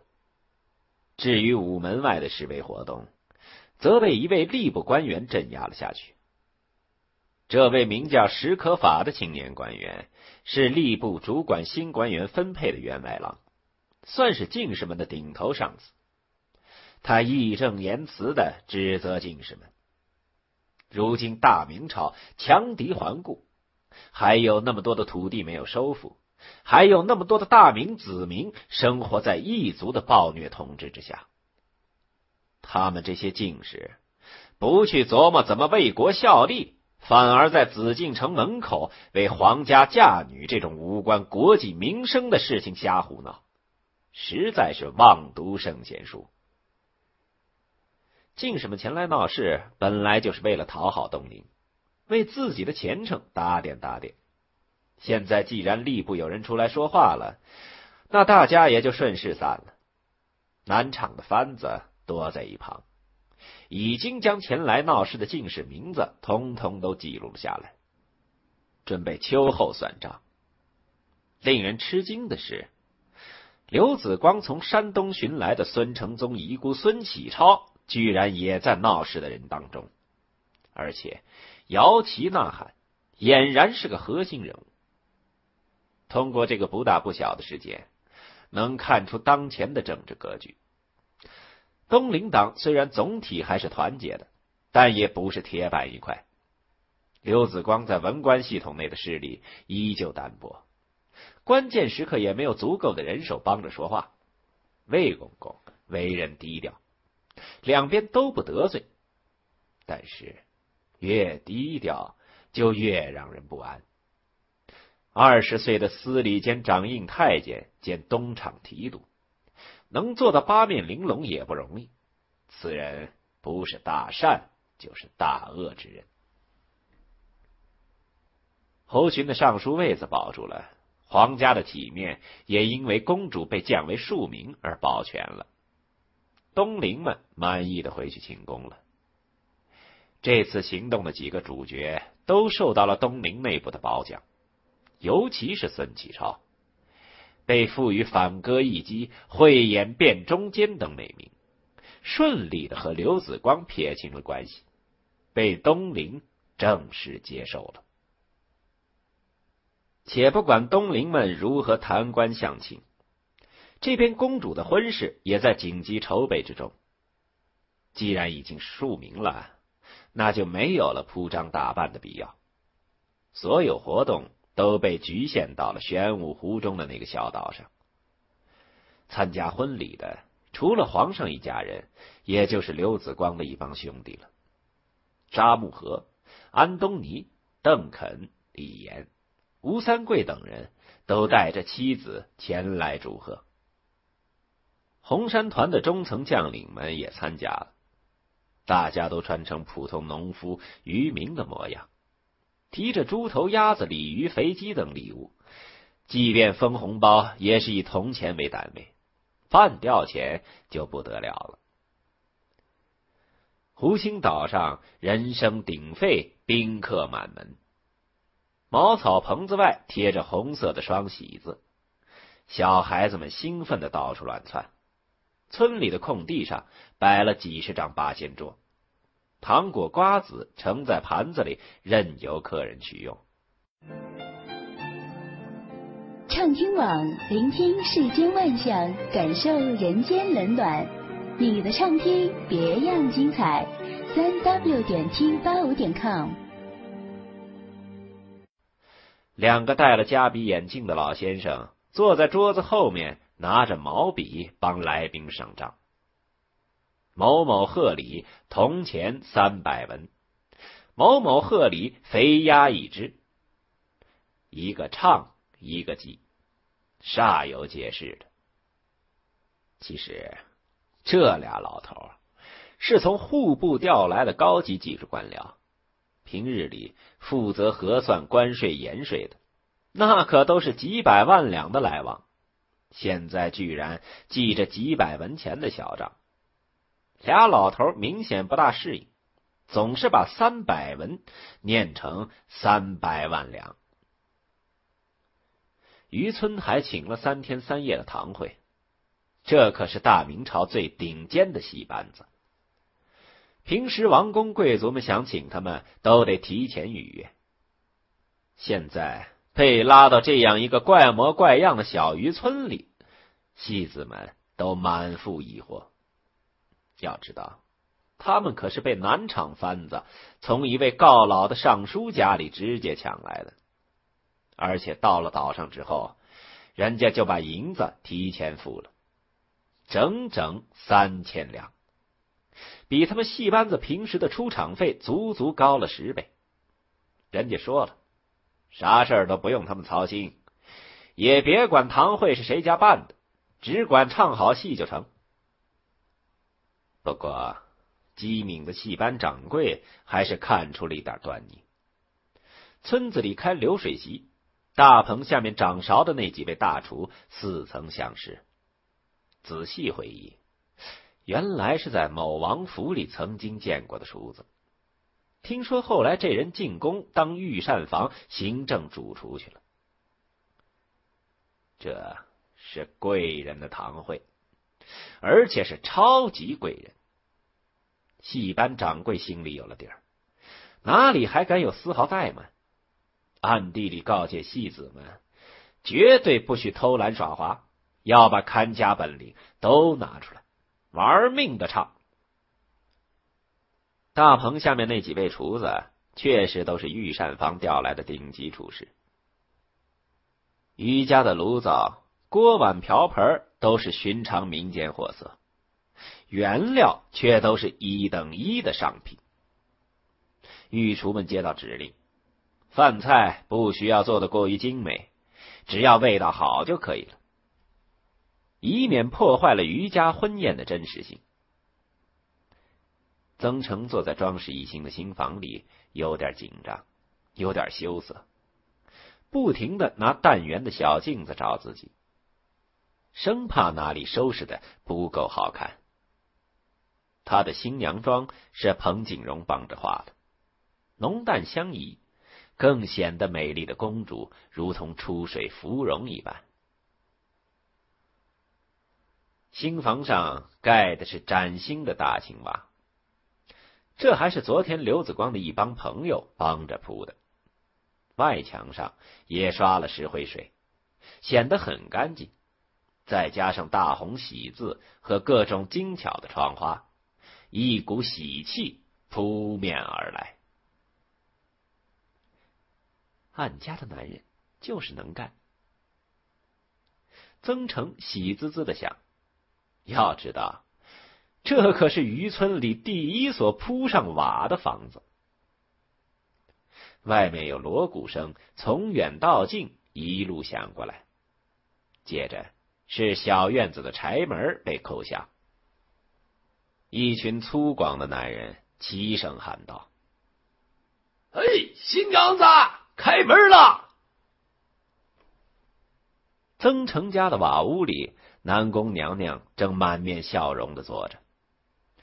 老人家今天穿了一件干干净净的布裙，头发用梳子蘸了水梳的水滑，鬓角还特地插了一朵小红花。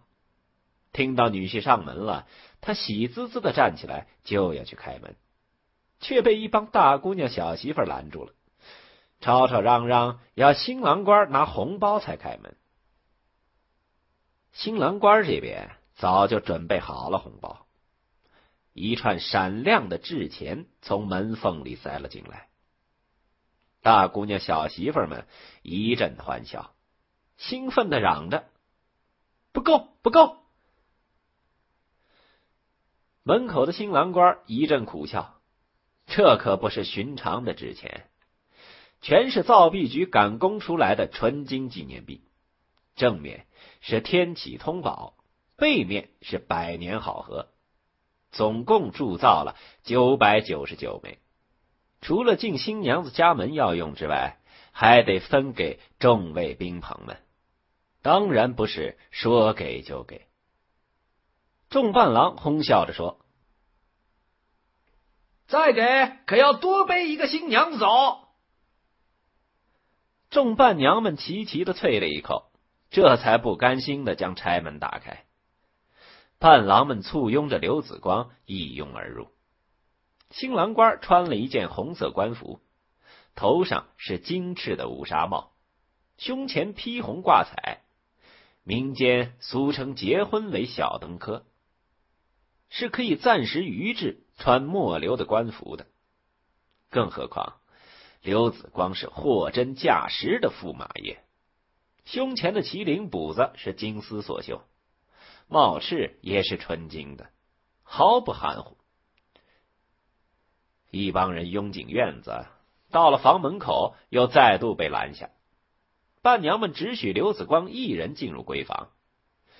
闺房里，曾成已经披上了红盖头，赤着脚坐在床沿上。刘子光被几个伴娘推进来，蹲在床沿，笨手笨脚的帮曾成穿上红色的绣鞋。摸着曾成精致白净的小脚丫，刘子光忍不住在他脚心挠了挠。新娘子顿时嘻嘻的笑出声来，身子还一扭一扭的。窗外顿时爆发出一阵大笑。原来宾客们都趴在窗户边公然偷看。穿上绣鞋，新郎官就将新娘子背出了门，在大队人马的簇拥下。吹吹打打向自家的房子走去。同在一个小村子里，就没有必要动用花轿了。新郎官背着走就行。出院门不到十丈，就是刘子光和曾成的新房。这也是一座瓦房，里里外外打扫的干干净净。竹篱笆围成的院子里，已经聚集了客人。小孩子们在大人的腿下面钻来钻去捉迷藏，还有村里的狗也兴奋的乱窜。堂屋的大门敞开着，门口摆着火盆。刘子光要背着新娘子从火盆上跨过去，代表将来的日子红红火火。进院子的时候，早已等候在两边的宾朋们一起狂撒纸钱。堂屋的地上摆了两个蒲团，中堂上贴了一个大大的双喜。两边是喜庆的对联，条案上摆着香炉和贡品，这是拜堂时候用的道具。吉时已到，村里德高望重的老人前来主持婚礼。在他的主持下，一对新人一拜天地，二拜高堂，然后夫妻对拜。高堂是来不全了。只有南宫娘娘一个人坐在堂上接受新人的跪拜，其他位置都用牌位代替。儿子的婚礼没摊上参加，嫁女儿可是赶上了。虽然没有公主下嫁时候的隆重礼仪、硕大排场，但娘娘的心情非常的高兴，乐呵呵的喝了一碗新人敬献的糖水。便开始招待起客人了。今天这场婚礼走的是最普通的乡村仪式，连地主家的规格都赶不上，以符合曾成所处的真实环境，所以连新娘子的母亲接受跪拜之后，也要下堂招待客人。好在南宫娘娘也是过惯了苦日子的人，干起活来一点也不生疏。不过那些客人们可没有胆子接受娘娘的服侍，大家也就是在曾成面前演戏而已。等新娘子被新郎官用红带子牵进了洞房，娘娘还是娘娘，大臣还是大臣，规矩一点都不乱。娘娘是个善解人意的人，知道自己在这里势必会影响大家的兴致。便摆驾回宫去了，留下一帮年轻人在这里玩耍。举行完婚礼，正好是午时，忙活了一上午，大家的肚子开始咕咕叫了。村子中央的空地上，一排排长条桌、长条凳整整齐齐的列着，鸡鸭鱼肉流水一样往上送。成坛的美酒堆在旁边，任人取用。席是流水席，菜都是大鱼大肉的硬菜。宾客们多是贫苦出身的红山团军官，这种调调正符合他们的审美观点。而朱由校和徐元惠则是第一次参加如此具有乡土气息的婚宴。皇帝自然不用说。皇后打小也是国公府长大的，哪里见过这样无拘无束的场合？对他们来说，这场婚礼简直就是一次狂欢节，一次忘记身份的化妆舞会。流水席上，宾客们敞开了猛喝，一边喝一边划拳行令。村里的狗狗们兴奋的在桌子底下乱钻。寻觅着掉在地上的大肉，小孩们更是开心的乱窜。今天村里简直就是糖果的海洋，各种水果蜜饯满天飞，想要多少都管够。既然是流水席，就是吃完一波走一波，接着来的新客人还坐在这些位子上继续大快朵颐。新的客人自然是刘子光手下的嫡系部队——红山团、南厂衙门、五城兵马司的小伙子们。轮流带着老婆孩子，坐着渔船到岛上喝喜酒。女眷们另外开席，在院子里吃吃喝喝。农家结婚不讲那些俗套。曾成摘了红盖头，陪着姐妹们吃喝，穿着红裙子，忙里忙外，小脸红扑扑的，别提多开心了。流水席一直吃到晚上，众人酒足饭饱，围坐在一起听堂会。忽然，毫无征兆的传来三声巨响，湖面上腾起三条火龙，直直的冲上天空。然后在天空中爆炸，发出五彩缤纷的光芒，赤橙红绿分外妖娆。漫天的礼花将湖面映照的光彩夺目，岛上的人们不由自主的站起来，啧啧称奇。这是工部向刘子光敬献的贺礼，整整九十九枚礼花弹。这是工部下辖兵工厂生产火箭弹的副产品，在弹头里加入各种化学物质，能在燃烧的时候发出不同的光彩。这是礼花弹第一次用于婚庆场合，当然会给人们带来无与伦比的惊讶。京城各大衙门都事先收到通知。不必对玄武湖发生的任何事情做出反应。倒是老百姓们并不知情。经过短暂的惊恐之后，大家便明白，这不是外敌入侵，也不是兵变造反，而是一种新奇的玩意儿。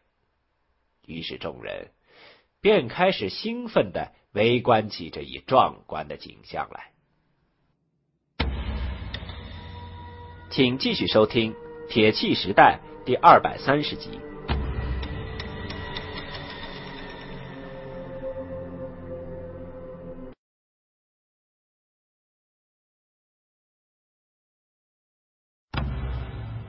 欢迎收听《铁器时代》第二百三十集。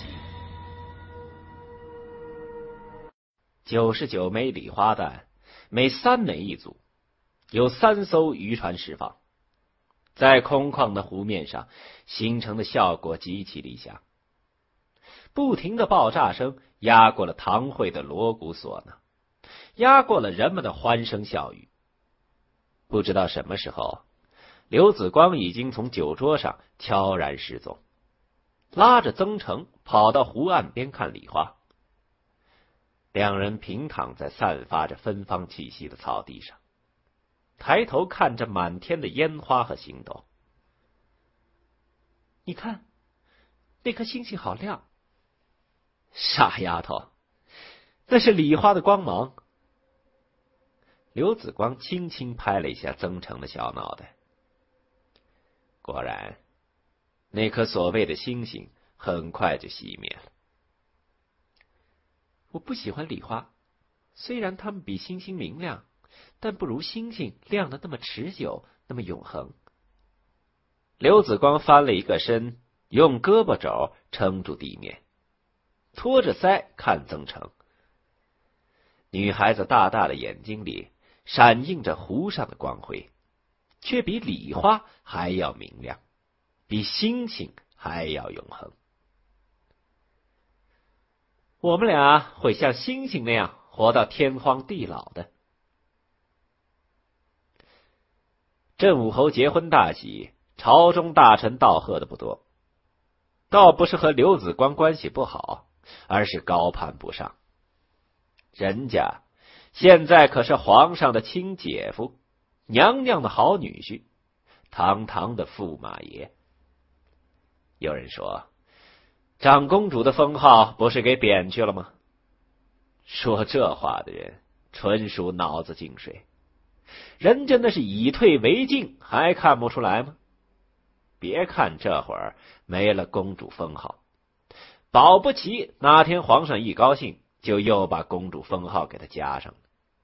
再说了，人家是庶民，又有什么大不了的？不管是什么身份，一样是皇上的嫡亲胞姐。所以一些头脑比较灵活的家伙意识到镇武侯的地位在可预见的将来必将会有更大的提升，甚至会超过当前风头正健的东林党们。朝廷官员，尤其是地方官员。有相当一部分非东陵系统出身。原来的阉党后党当道的时候，他们尚且过着自在的生活。可是政变之后，朝廷的凝聚力得到了大大的增强，再加上自命不凡的东陵党把持朝政，这些官员的利益受到了一定的损害。京畿附近的地方官员已经换成了东陵党的人，下一步。就要拿河南、浙江、两湖、两广、云贵的人开刀了。他们是整天着着急上火，想造反吧又没实力，想投靠吧，人家东陵清流又不甩他们。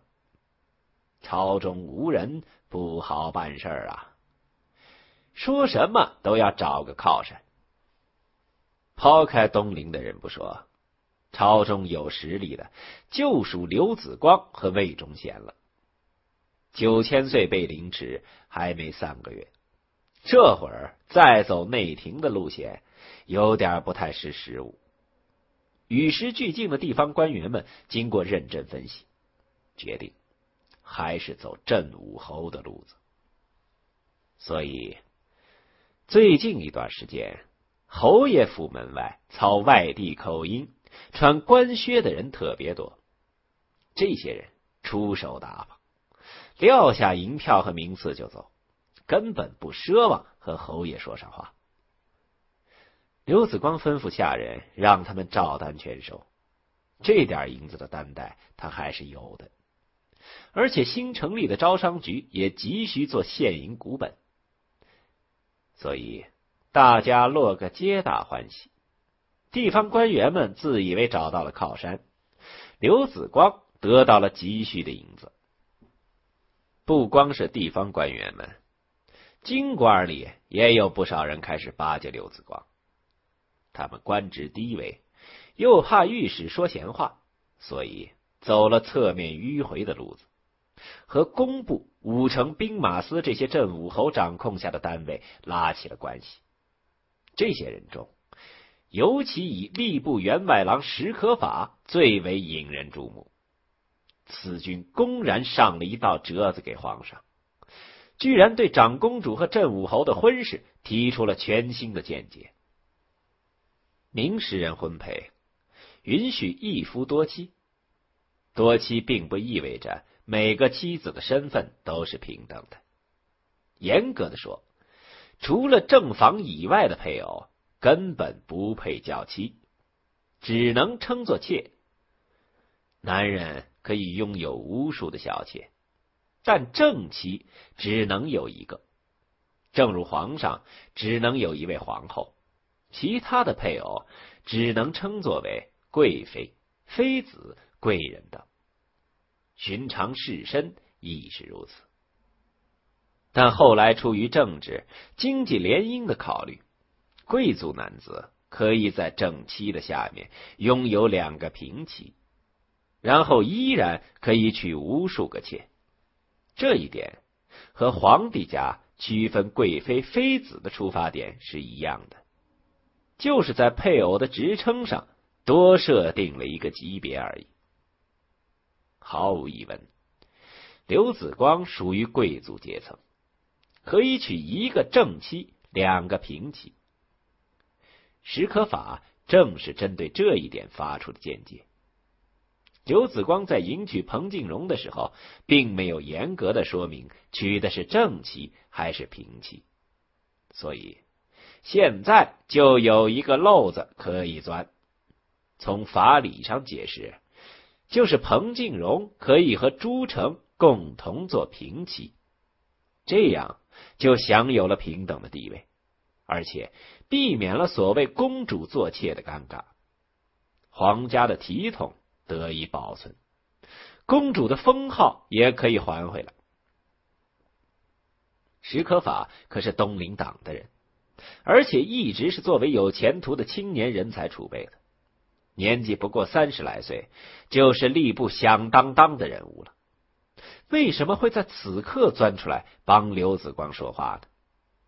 这个疑问很快得到了解答。原来他在东陵内部的派系斗争中受到了打击，才转而寻找新的靠山。石可法的年龄不大，本来是东陵的少壮派、实力派，风头很健。可是随着侯方域这个更年轻、更有才的选手加入之后，就没有他说话的份儿了。现在虽然侯方域已经成了阉人。不能再参加政坛角逐了，可依然没有石可法的机会，因为孙启超以其独特的身份接替了侯方域留下的空缺。怅然的石可法只好选择改换门庭。你东陵不重用我，自然有人重用我。我既然是真经，就不怕不发光。镇武侯这里就是我将来发光发热的地方。史可法的投名状不但解决了长公主身份的难题，而且还得到了刘子光的赏识。经过一番周折，史可法从吏部中调出，升了两个品级，派到山东青州府做知府去了。畅听网，聆听世间万象，感受人间冷暖。你的畅听别样精彩，三 w 点 t 八五点 com。朝堂之上的这些纷争，刘子光并不在意，反正有皇帝小舅子帮他罩着呢。他现在还处于新婚蜜月之中。待在玄武湖中那个风光旖旎的小岛上，过着逍遥自在的生活。唯一美中不足的是，曾成实在太勤快了，每天早上都不赖被窝，早早爬起来到厨房帮老公做早饭吃。刘子光还躺在床上呼呼大睡呢，一摸旁边已经没了人影，喊了两声后。曾成端着一大盘煮鸭蛋跑过来，送到床前给他吃。怎么做这么多鸭蛋？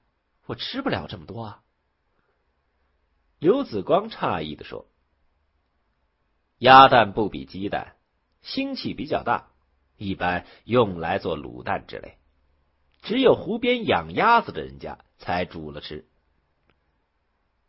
吃不下也得吃。彭姐姐说了。”这些天你身子亏了，要多吃些蛋补补，这样咱们才快有宝宝。说到这儿，曾成的脸不由自主的红起来了。这些天，刘子光是挺操劳的，每天晚上没什么事儿就和曾成一起造人，是耗费了不少精神。不过，给曾成出主意，让他弄些鸭蛋给刘子光进补的。居然是彭静荣，这着实让刘子光哭笑不得。看来他们小姐妹俩关系处的不错，什么私房话都能说。虽然鸭蛋不如鸡蛋好吃，但为了不辜负新婚妻子的一片心意，刘子光还是把这一大盆鸭蛋都给吃了，然后借口说身子不好了。顺势将曾成拉到床上，又轻薄起来。曾成红着脸把他推开，啐道：“大白天的也不害臊，家里的米缸都快空了。我刚才把鸭舍里的蛋收了收，你去卖给收鸭蛋的小贩，赶紧换些米来吧。”哎，这穷日子过起来还真是不爽。整天要为柴米油盐操劳，不过有曾成这样聪慧勤劳的老婆打理，他们的生活已经比在洪泽湖畔的时候强太多了。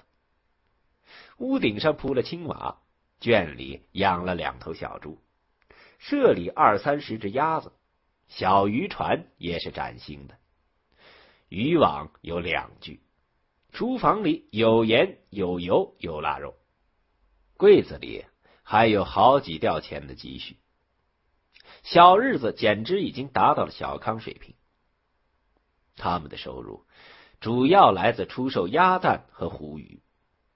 刘子光主外，在湖上撒网打鱼，进城卖蛋卖鱼；曾成主内，喂猪喂鸭子，缝补渔网，做饭洗衣服。两人的生活其乐融融。当然，刘子光并不会真的去打鱼。他撑着小船来到湖中央。跳上一艘伪装成大型渔船的官船，然后开始处理公务。在他所有的职务里面，南厂提督的工作量是最大的，也是最有实权的。每天都有大量的原始情报和经过分析后的结果送到他的案头，由他批准签发。最近这段时间，天下局势很太平。春天是休养生息的季节，就连猎人都不会进山打猎，官府也不会处斩犯人，国家之间也极少发生战争。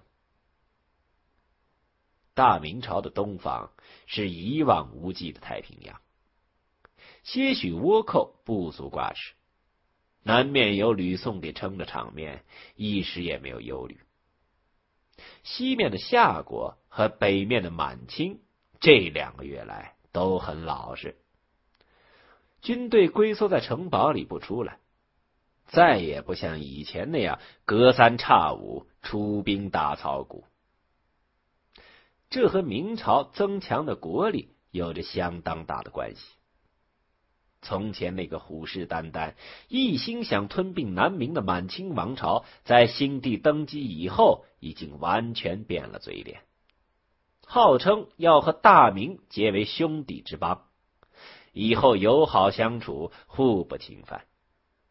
当然，南明要付出每年百万两银子的税币。据满清的使节说，这个钱不算进贡。而是弟弟打发哥哥的一点小意思，这完完全全是仿照以前宋金旧例嘛。铁骨铮铮的东陵们自然不会答应这个说法，派出干员怒斥满清使节。满清派出的使节名叫江须，早年父母是锦州附近的汉族农民，后来被满人掳了去，成为包衣。江须自幼在满人中长大，一口满语说的非常流利，金钱鼠尾的发型非常标准。他机智聪明、忠心为主的事迹在满人中间流传甚广。最具代表性的一件事儿是江须的母亲帮主子放羊的时候偷偷薅羊毛，想帮小江须编织一件羊毛坎肩。这件事儿被江须发现以后，他苦苦沉思了三天，最终决定报告给主子，揭发母亲这种损害主子利益的行为。后来，母亲被抓走，抽了几十鞭子，活活打死。江须连哭了三天三夜，眼睛都哭出血了。他说：“忠孝不能两全。”既然作为光荣的八旗包衣，就要有包衣的觉悟，个人家的孝道要服从大义。这件事让小江须在包衣们中间崭露头角。先帝皇太极还在包衣们中间发明了一场学习江须的运动。但是让江须发达起来的还是另一件事儿，因为他是包衣的后代，所以没有资格进学堂。但江须非常热爱学习，无论是满汉文化，他都有着强烈的兴趣。不让他进学堂，他就趁放羊的闲暇时，趴在学堂窗户外面的大树上偷听先生讲课。被路过的范文成发现，叫到学堂里问了几个问题，七人竟然对答如流，被范先生当场收回关门弟子。带回府上，精心调教，渐渐成为满清年轻一代大臣中的佼佼者。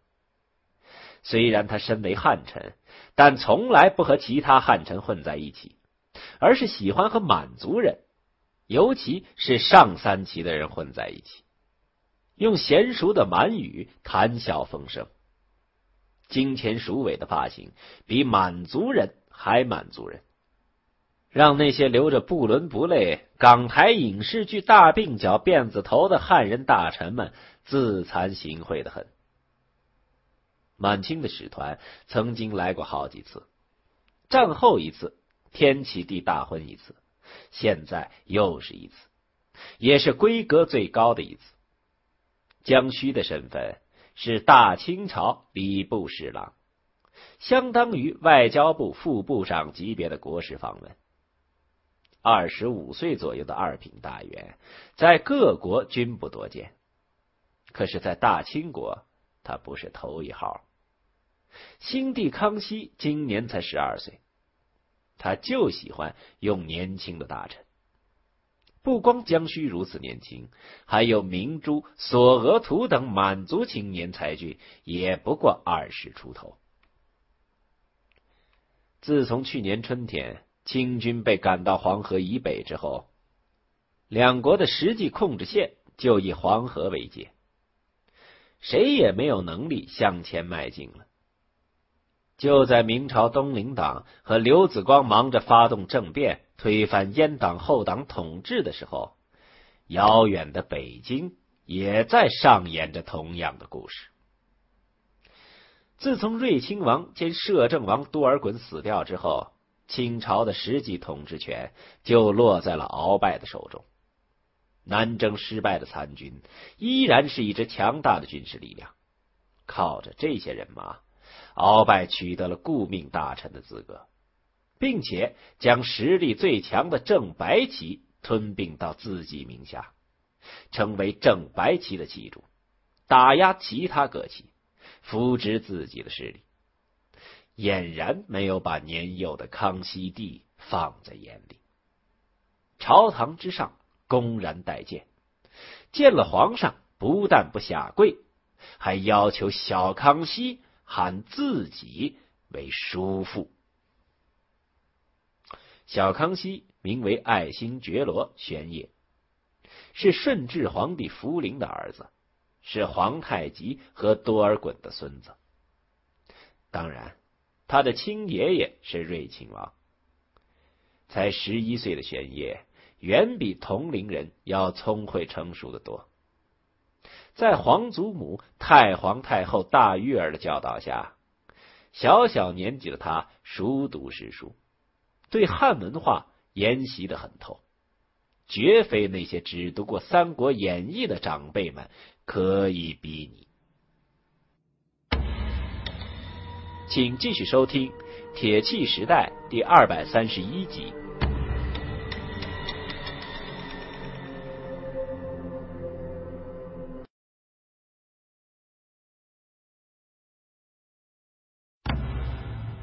欢迎收听。铁器时代第二百三十一集，说到对康熙的教育，不能不提到他的祖母。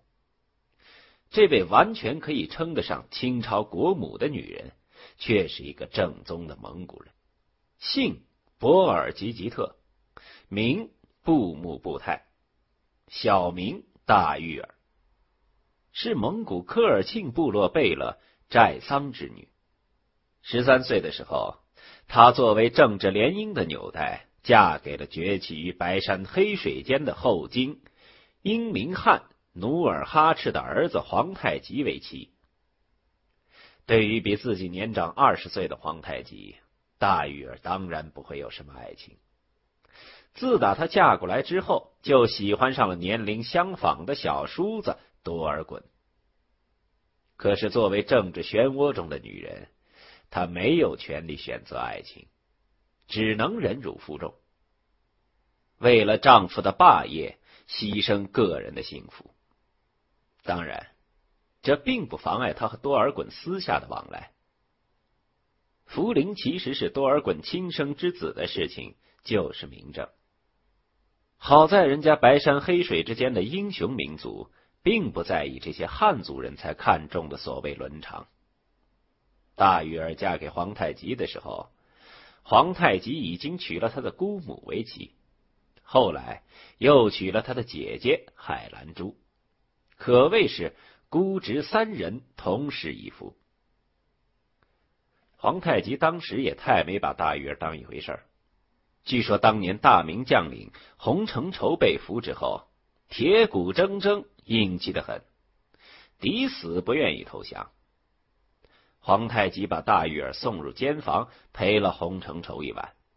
洪大人只当是满清送来的玩物，毫不客气的享用了一番，心说：该吃的吃，该玩的玩，投降是万万不行的。次日一早，大玉儿换上皇妃的正装，再次陪着皇太极前来劝降。这回。铁骨铮铮的洪承畴彻底变成了绕指柔，人家满清实在是太讲究了，皇妃都能送给自己玩，还怕以后对自己不厚道吗？洪大人被皇太极的气量所深深的折服，当场纳头便拜，从此成为满清的忠心走狗。所以说。皇太极容忍大玉儿和多尔衮的来往，也说明他并不在意这些庸俗的传统。能用自己众多妻子中的一个笼络住掌握兵权的弟弟，未尝不是好事。后来，皇太极在南征途中猝死，满清陷入一片混乱。皇太极长子豪格、皇太极兄代善、弟多尔衮、阿七格、多铎等人。都拥有实力接任皇帝，在这个关键时刻，大玉儿凭着自己的宠贵地位和聪明才智，笼络各方势力，尤其是关键人物多尔衮和代善，最终获得成功，拥立自己和多尔衮的儿子福临登基。在这个事件中，再次显示了大玉儿顾全大局的境界。他并没有为爱情盲目的帮助情郎多尔衮成为皇帝，而是让皇太极名义上的儿子福临登基，就是为了保证大清的正统性。好在多尔衮也是重情义的人，并不在意皇帝的虚名，当个叔父摄政王也就满意了。在满清的一步步成功中。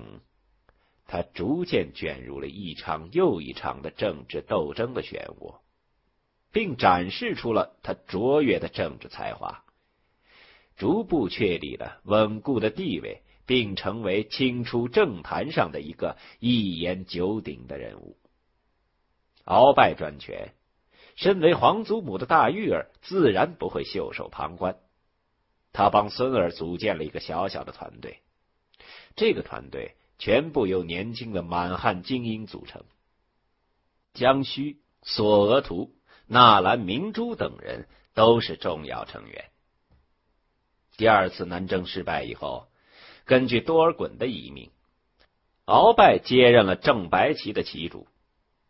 正白旗和正黄、镶黄两旗一样，都是直属皇族的上三旗。鳌拜由此派郑白起名正言顺的接管了皇宫的警卫工作，自己担当了顾命大臣。都说权力能使人堕落，鳌拜也不例外。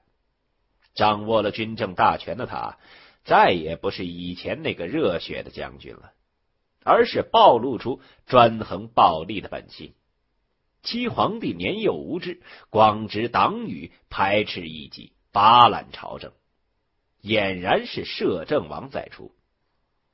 鳌拜出身荣武，对于顺治朝吸收汉文化、变更礼制的做法很不适应。一招权在手，便把令来行，凡事都要遵祖制、复旧章，并且公然打破顺治四年不再捆地的禁令。借其地交换之机扩大圈地，使大批农民流离失所。鳌拜这种倒行逆施的行为引起朝野上下的不满，但大部分人慑于鳌拜淫威，不敢作声。鳌拜的存在已成为皇帝权威的一个威胁，但鳌拜羽翼已成，错置稍有不当，可能就会激起巨变。如何解决这个问题呢？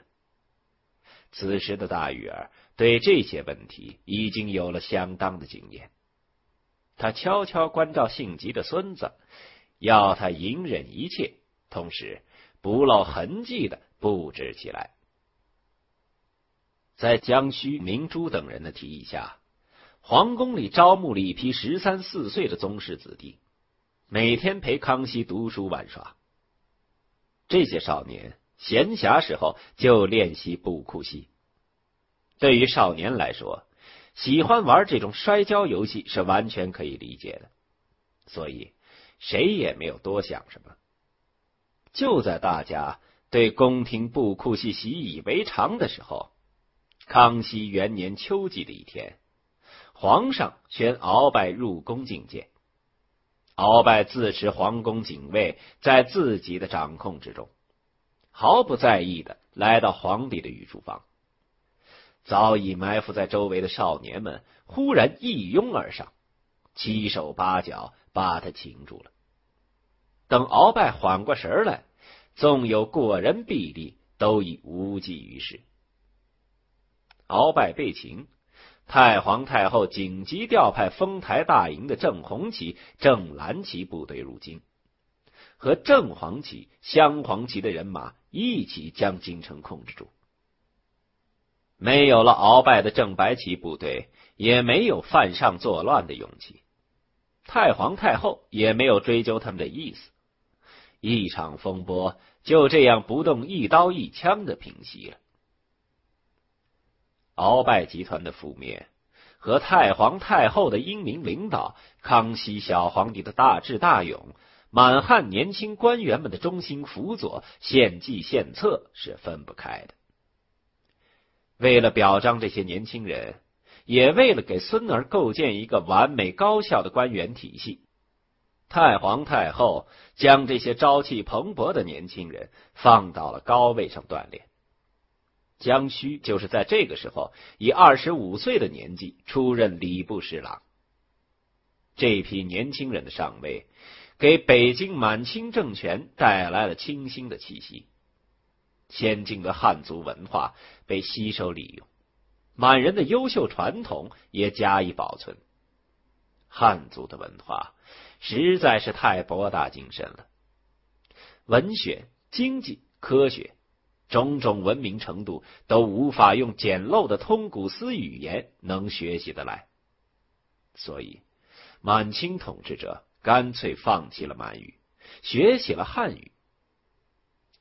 满清入主北京十年以来，大部分满人都学会了汉语。这种以关外口音融合了北京附近方言的语言，就形成了满清统治下的官话。和南京的江淮官话遥相呼应。在这群精英的辅佐下，小康熙从谏如流，减轻了对汉族人民的压迫。除了还要强制剃发易服之外，尽量做些能消除民族矛盾的事情，比如允许满汉通婚，启用更多的汉族官员，表彰诸如岳飞。文天祥这样的汉族英雄，以显示满清统治者的宽宏大度和善解民心。畅听网聆听世间万象，感受人间冷暖。你的畅听别样精彩，三 w 点听八五点 com。作为礼部侍郎的江须，在这个时机。推出了自己多年以来的研究成果。他宣称，满汉绝非敌人，而是休戚与共的兄弟民族。中原农耕文化的汉族人是温顺的绵羊，是弟弟；游牧文化的北方、西方，所谓的鞑子是强健彪悍的狼，是哥哥。兄弟之间经常发生点摩擦是很正常的事，而且正是这种哥哥欺负弟弟的行为，锻炼了软弱的汉民族，致使汉文化不至于消亡。这绝对不是侵略，而是输血。一次又一次的输血，从秦汉到五胡乱华，再到蒙古人的铁蹄踏遍全国，再到今天满清入主中原，都是给汉族人输血呢。正是有了这些彪悍民族的输血，华夏文明才得以延续，疆土才得以扩大。要是没有哥哥们的帮助，汉人早就退化成低等民族了，哪还会有这么多的发明创造、文学巨著？这一切都要归功于游牧民族的狼文化。谎言的可怕，往往在于它听起来像真的。在满清礼部的大力鼓吹下，这种“狼和羊”的说法。居然被很多北方读书人所接受，他们天真的以为，如果自己也学到了狼性，就会和统治者平起平坐了。江须的著作甚至流传到了南明，在世子中广为流传。这种离经叛道却又看起来有点歪理的论点，为大家津津乐道。江须俨然成为一代思想家。正是因为如此，满清朝廷才会派他担任使节，到南京商讨议和大事。江须的名声再大，官职再高，也只是一个包衣。所以，使团里必须有一个高等级的人物来撑场面，尤其是皇族最好。所以，大玉儿挑选了一位身份尊崇的贝勒爷担任名义上的正室。这位贝勒爷名叫玄奇，也是皇太极的孙子，今年才二十出头，在同辈中排行第五，所以又叫五阿哥。五阿哥生得一表人才，头脑也算灵活，拉出来。总不至于丢了爱新觉罗家的面子。满清使团进入南京的时候，排场弄得很大。玄奇贝勒爷带领了一干满汉大员，在正黄旗、骁骑营的护卫下招摇过市。满清官员都不坐轿，骑着高头骏马，穿着蓝色的官袍，头戴黑色的暖帽。萧骑营的士兵们。一身黄色的布面铜大铠甲，帽盔上的黄缨子顶得老高，好像头上插了一根标枪。弓箭佩刀挂在腰间。出于外交礼仪，并没有携带长兵器。这些士兵相当于满清最精锐的御林军，身量武艺都是一流的，派来护卫使团。隐隐中含有显示武力的意思。明朝派出迎接使团的队伍也不含糊，清一色的大汉将军部队，换上普通禁军的衣甲，簇拥在清国使团两侧，一为保护，二来也是为了显示武力。大汉将军们虽然没有打过硬仗，可是气势很足。平均身高都在一米八五左右，骑着高头大马，威风凛凛，丝毫不差于满清的军队。五阿哥身穿团龙蟒袍，走在队伍的前列。南京的天气太热，才四月天就已经热得戴不住帽子了。明朝官员戴的是网眼式的乌纱帽。穿的是薄绸子的官服，自然不觉得甚热。可是满清的官员却不同了，他们一路自北方而来，穿的还是冬季官服，头上也是黑色的暖帽。被春天的阳光一晒，满身都是臭汗。萧七营的士兵们军容严整，谁也不敢乱动。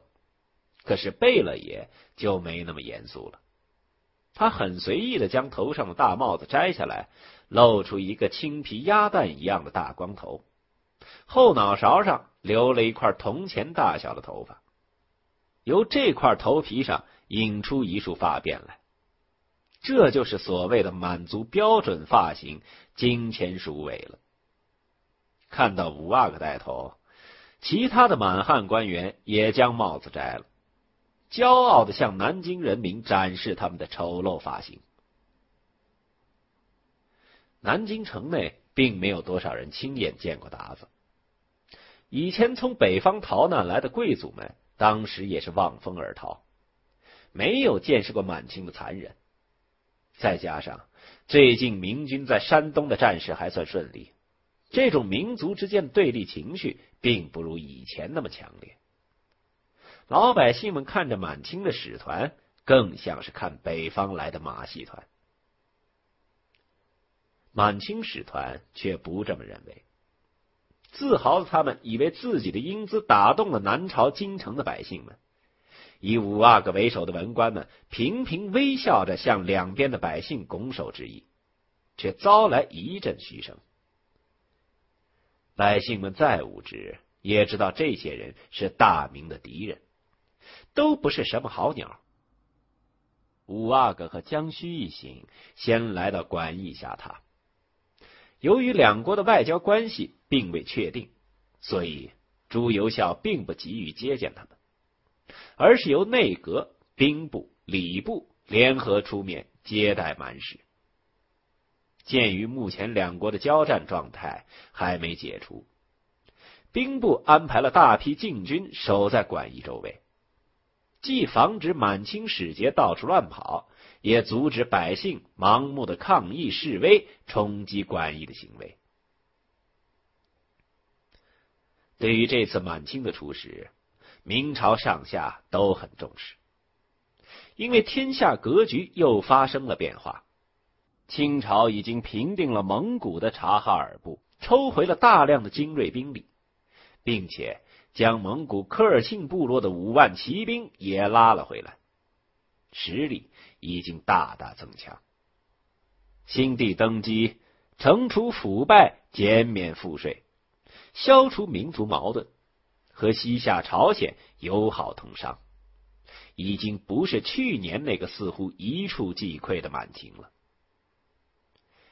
现在的形势和南宋时期宋金长期对峙的局面很类似，双方都虎视眈眈的想将对方一口吞下，但是又都没有那个实力，所以大家心照不宣的整天和谈，谈来谈去的不过是相互摸底、拖延时间，等自己的实力积蓄够了再开阵仗。礼部负责具体的接待工作。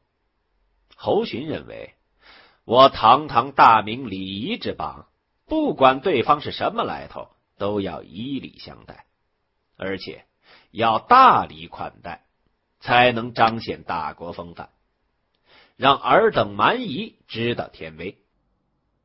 所以，对玄奇和江须并没有限制其行动，相反。还派出礼部官员和随从护卫，任由他们到处游走。五阿哥和江须好不容易到了江南，自然要好好的游玩一下。他们换上方巾蓝衫，在礼部官员和锦衣卫的陪同下，游览久负盛名的秦淮风光。当然，萧齐营的官兵也换上了明朝的服饰。跟随护卫，请继续收听《铁器时代》第二百三十二集。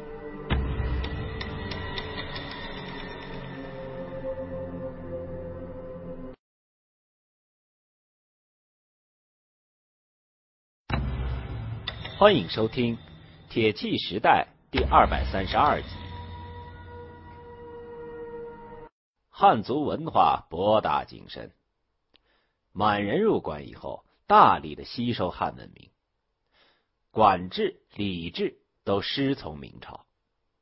汉文化最发达的地方就是江南。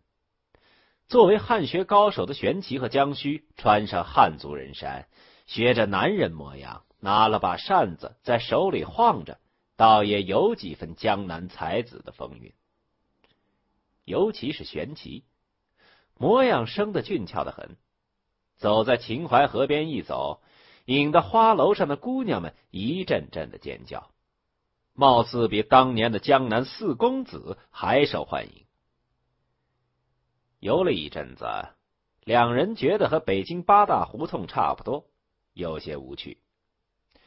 于是沿着秦淮河继续向东，出了东水关之后，又是一片建筑物，正是闻名遐迩的东陵书院。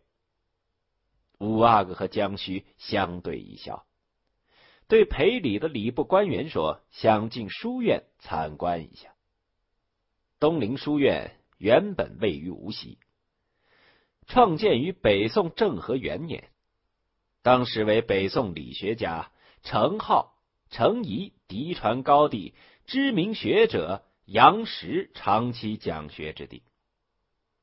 东陵书院名称来历与杨时游庐山时所写《东陵道上闲步》这首诗有关。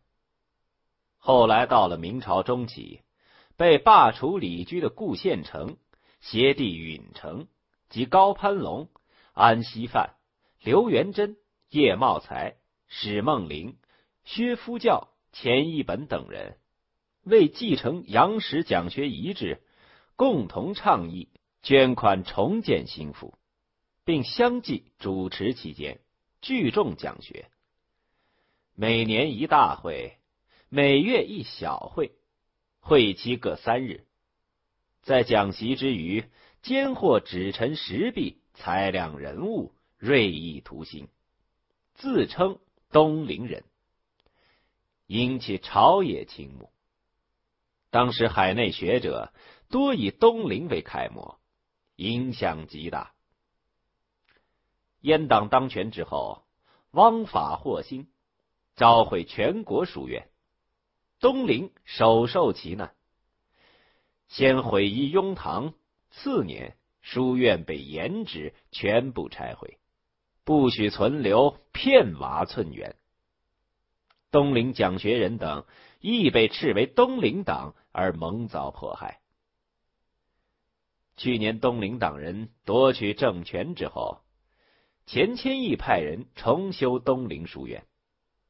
无锡原址上建设一所书院，南京东门外也建造一所，称为二部：半池、东陵精舍、立泽堂、一庸堂、燕居庙、三公祠、东西长廊、来复斋、道南祠、东陵报公祠等主要建筑，和无锡的一部完全一样。而且由于二部在京城郊外，所以前来就读的学生比无锡的一部还要多一些。整日里充斥着莘莘学子的身影。书院的大门外就是秦淮河的小码头，乘着小舟可以直接游览秦淮十里烟花地，正适合风流才子们居住学习。在这里学习的年轻人都是全国青年学子中的翘楚，无论是才学还是家世，都不比城内国子监的学生们差。如果说国子监是北大的话，那东陵书院就是清华。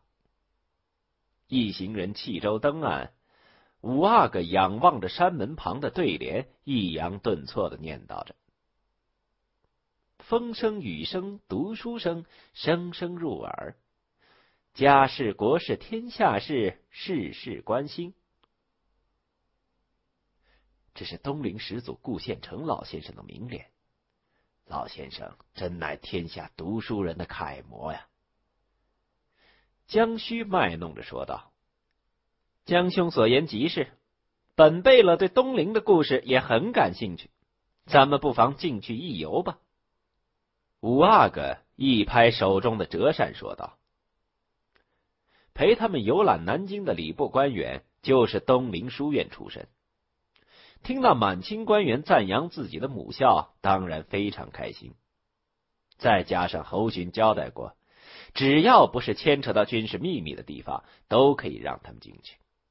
所以，对于五阿哥的要求，他欣然允诺。”一行人大摇大摆的进了书院，此时正是书院休息的时候。只见满院子的方巾乱晃，众多的年轻人捧着书本，摇头晃脑的迎着走着。看到有官差打扮的人进了书院，书生们并不惊讶。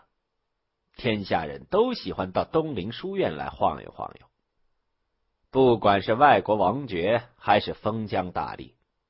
还是寻常的读书人，只要是尊崇儒家文化的人，那东陵书院就是他们心中的圣地。来个把微服私访的官员实在是太平常了，他们根本连接待工作都不屑于做。要知道，书院的山长可是当今内阁首魁钱谦益。可是这一次的客人有些不同。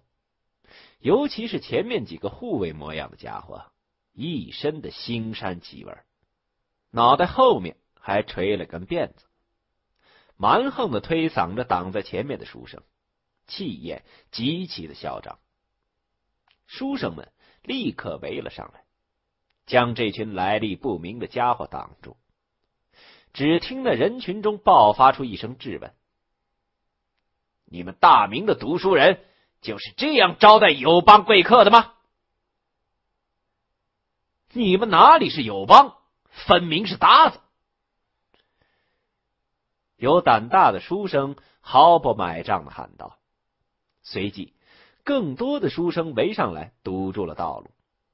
这时候，陪同的礼部官员和锦衣卫开始出面，清开了一条道路，让五阿哥和江须走进去。面对不友好的书生，两位清朝高官保持了良好的气量和风度，一边微笑一边颔首，在众目睽睽之下走进了书院最大的礼堂。这时候，书院的执事已经接到通报赶了过来，想请客人到后堂奉茶。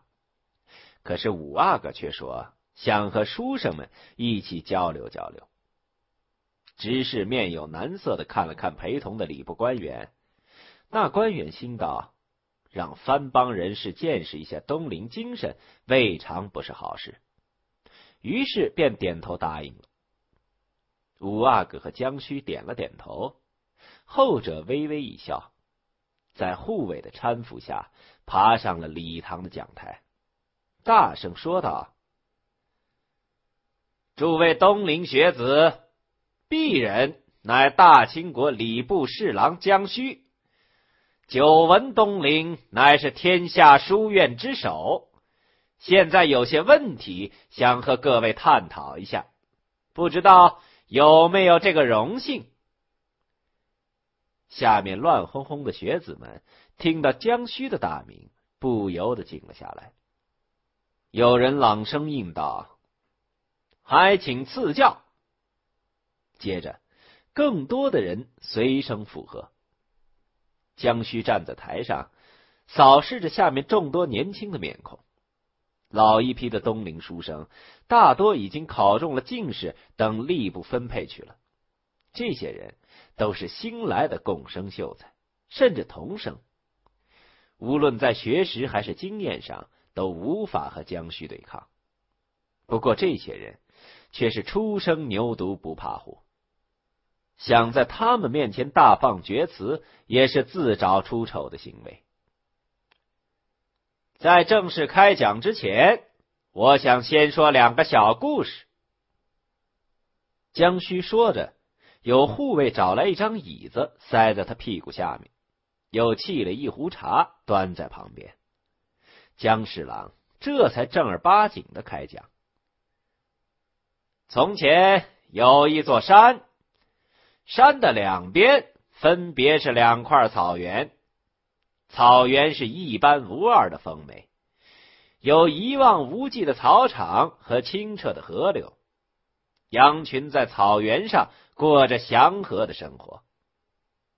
忽然有一天，山北边的草原上来了一群狼，一群靠吃羊为生的狼。从此，北草原上血光四现，羊群被残忍的捕杀，过着朝不保夕的日子。而山南的草原没有狼，羊群依旧过着安详平静的生活。你们说，三年以后，这两块草原分别会是什么样的情形呢？这还用说？北边的草原上已经没有羊，光剩下狼了，而狼没有东西吃，也全饿死了。南面的草原依旧如此，原来咋样还咋样。一个书生在台下答道，旁人对他的回答都点头称是，深以为然。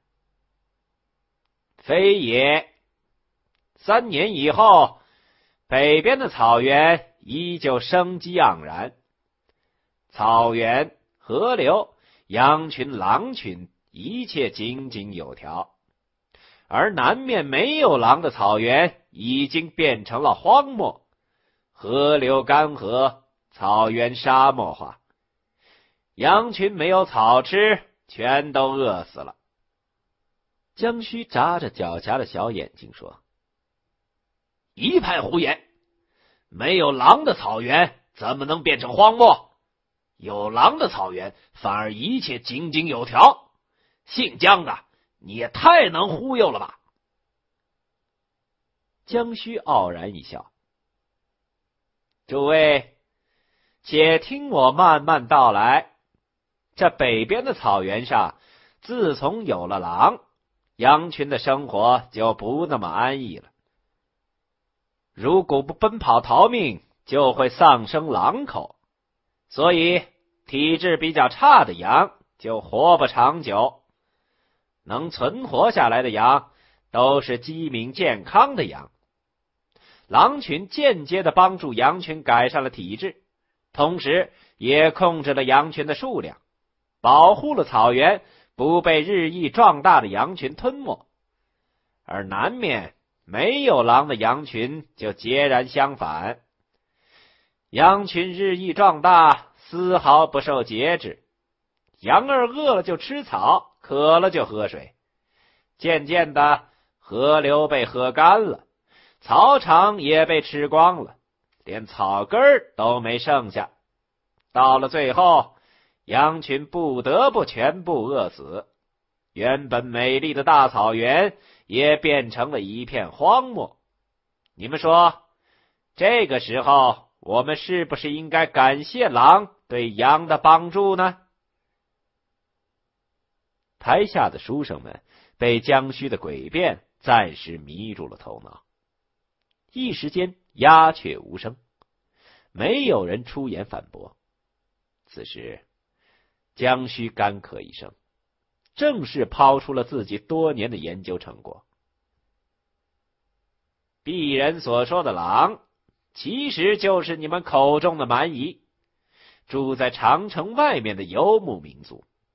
这些马背上的民族像狼一样勇敢、坚韧，富有进取精神。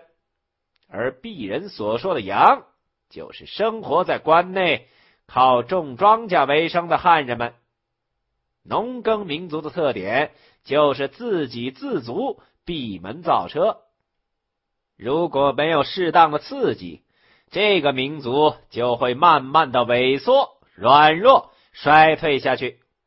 所以，上天就会派强悍的游牧民族进入关内，抢走他们的牲畜、粮食、妇女、儿童，屠杀他们，奴役他们。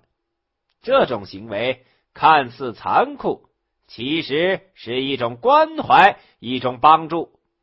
有了这种帮助，农耕民族才会更加勤奋，更加振作。这段惊世骇俗的话说出来，台下一片哗然。有人大声反驳道：“这么说，自古以来的匈奴、突厥、蒙古，还有你们鞑子，闯进我们的家园，烧杀抢掠，都是帮助我们了。”说的不错，事实就是这样的。游牧民族和农耕民族是上天的两个儿子，勇敢的游牧民族是哥哥。勤劳的农耕民族是弟弟。每当农耕民族软弱下来的时候，上天就会派强悍的哥哥冲进中原，给阳性化的弟弟输血，让弟弟重新振作起来。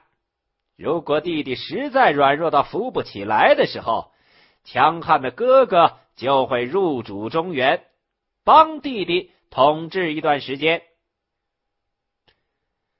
简直一派胡言，大放厥词！东陵学子们对江须的话很不感冒，已经有人开始退出会场了。江须冷冷一笑，道：“鄙人还以为东陵书院是个海纳百川的地方，没想到居然如此心胸狭隘，连真话都听不进去了。”如果你们能听完我的话，再做反驳，并且有理有据的将鄙人驳倒，那江某人情愿在东陵书院的牌子下面磕三个响头。江须这么一说，学子们反倒不往外走了，都留下来看他继续表演。江须顿了顿，接着说道。首先，我再次重申，游牧民族和农耕民族绝不是仇敌，而是相辅相成的兄弟。每一次的民族大输血都是相互性的。农耕民族从游牧民族那里学到了勇敢、血性、坚韧，而游牧民族从农耕民族这里学到了勤奋、创造。当然，还有一些不好的东西。例如骄奢淫逸之类的。每当游牧民族被农耕民族腐化以后，而农耕民族学到了游牧民族的优点之后，中原大地还是要重新回到农耕民族的手中的。畅听网，聆听世间万象，感受人间冷暖。你的畅听别样精彩。三 w 点听八五点 com。历史上的中原王朝，凡是有所作为的，无一例外受到过游牧民族这种血与火的关怀，甚至更深层次的融合。大唐盛世八百年，李家为什么能长久统治？那是因为唐朝是鲜卑和汉族共同创造的。李家有狼性，源于游牧民族。唐朝以胖为美，是胡人的影响，和蒙古族一样，是强悍伟大性格的根源。而宋朝时候的女真征服北宋，侵鲁二帝，国库珍宝被掠空，后宫几千佳丽被掠往北国荒原，是因为。缺少脊梁、刚强的民族性格。说到宋朝，这个朝代就是农耕民族统治的典型例子。先前那点狼性，从唐朝到了宋朝已经消磨殆尽。宋朝的皇帝把军队交给文官统治，自己整天沉迷于书画丹青、美人醇酒。人民的生活一落千丈，整个宋朝就像被羊啃完的草原一样，面临毁灭。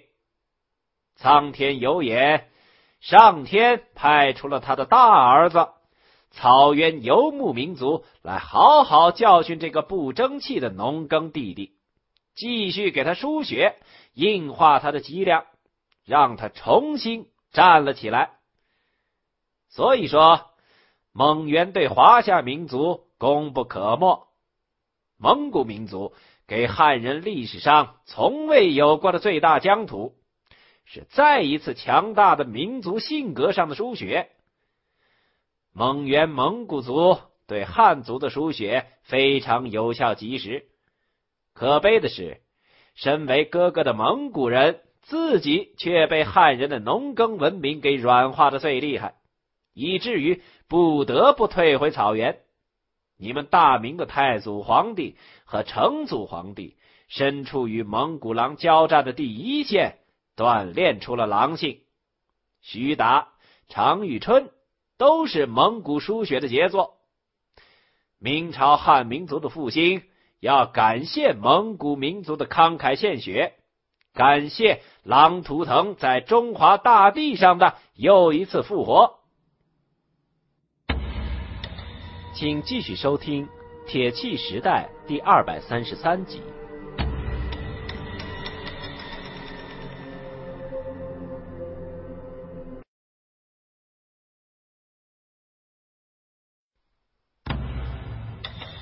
欢迎收听《铁器时代》第二百三十三集。不过，明朝最终还是没能征服北元，甚至有位皇帝还被人生俘了去。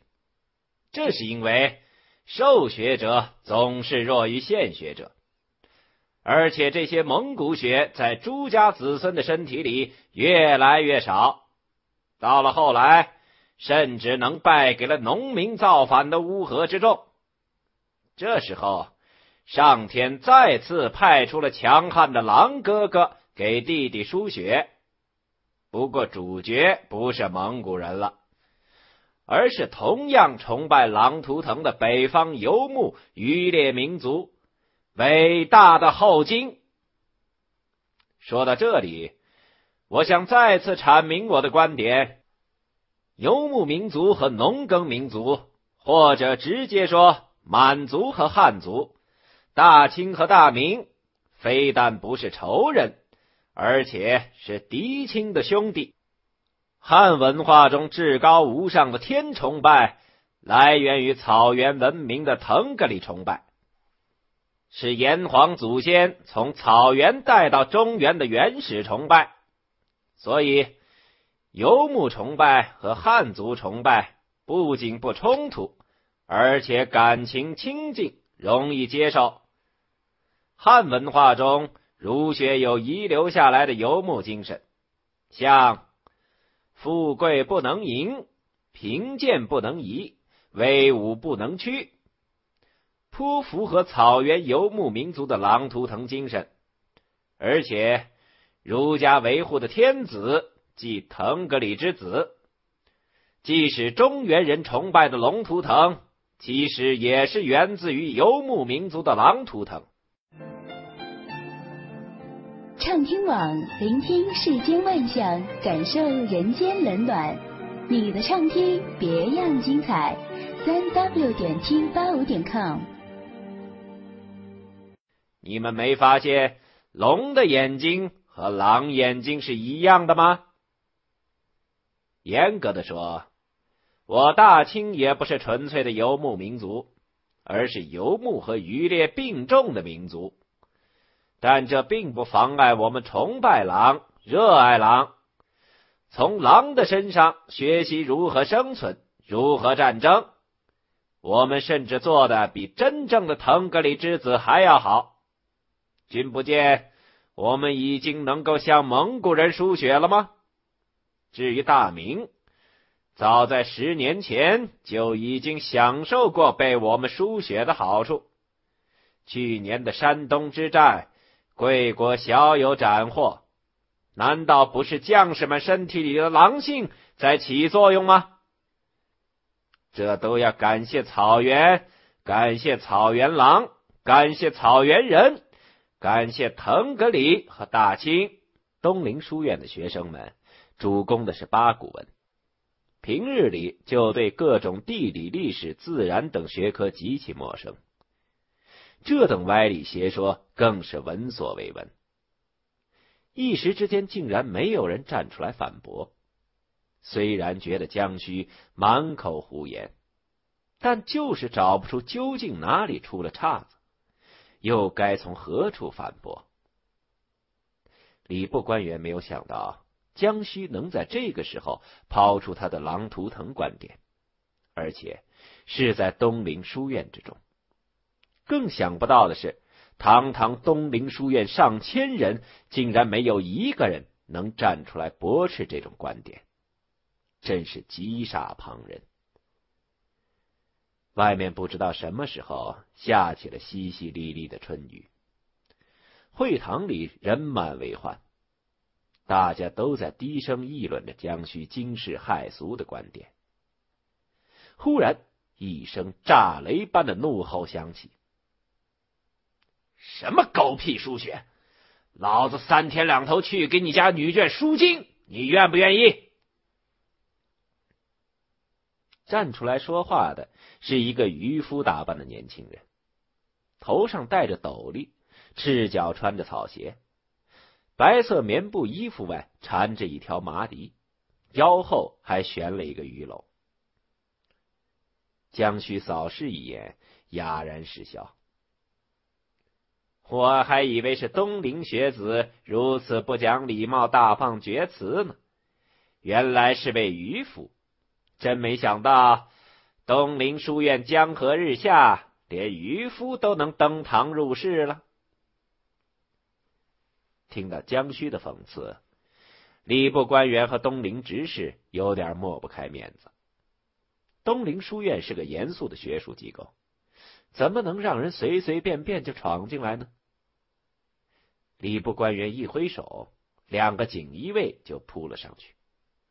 众学子见有人出头，刚想听听这人的见解呢，没成想官兵竟然要将此人赶出去，一个个的都不依了，一边围堵着锦衣卫，一边起哄：“那汉子，继续骂，骂的痛快！”渔夫自然不是真正的渔夫，而是没换下渔夫行头的镇武侯爷。他从湖里出来。正准备进宫找皇帝小舅子絮叨絮叨呢，没成想在路上看见一位老熟人，这才一路尾随下来。说是熟人，其实也不是，原来是五阿哥玄奇，长得很像港台明星古巨基，而古巨基一直是刘子光最讨厌的明星，一看见那张故作潇洒的娃娃脸。就让人不由自主的涌起一股想拿鞋底抽人的冲动。镇武侯是堂堂的侯爷，五阿哥也不是可以随意欺负的寻常小民，所以要寻找一个合适的机会。刘子光带了几个侍卫一路跟了过来，一直尾随进东陵书院，正好听见江须的一阵歪理邪说。于是刘子光按耐不住站出来驳斥这种荒谬的观点。他也不去管那个长得古巨基脸的五阿哥了。现在的第一任务是驳倒江须，替汉人证明。那两个锦衣卫都是百户身份，武功高强的很。如果真想抓捕刘子光，再多的学生也拦不住。可是这两人却发现那个渔夫身旁几个不起眼的便装汉子，正是南厂的千户。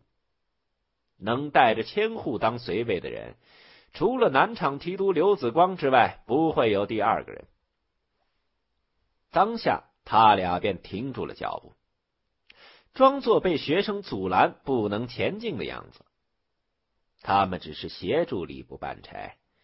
又不是直接归礼部管辖，自然不会去触镇武侯的眉头。承蒙大家看得起，那我就上台和这位大师辩论一番。刘子光是何等人，自然丝毫不触这种人多眼杂的场合。他从容的从学生们中间走过。来到讲台前，纵身一跳就上了讲台，动作潇洒利落，当即引起一片叫好声，江须定睛一看，也大吃一惊。这人的精神劲儿是装不出来的。有人穿上龙袍，也不像太子；有人穿着乞丐服，也气宇昂轩。刘子光就属于后者。长期以来的杀伐决断，让他举手投足之间都有一种比拟天下的英雄气概。以江须的眼力，不会看不出来。敢问这位小哥，高姓大名？有何功名在身？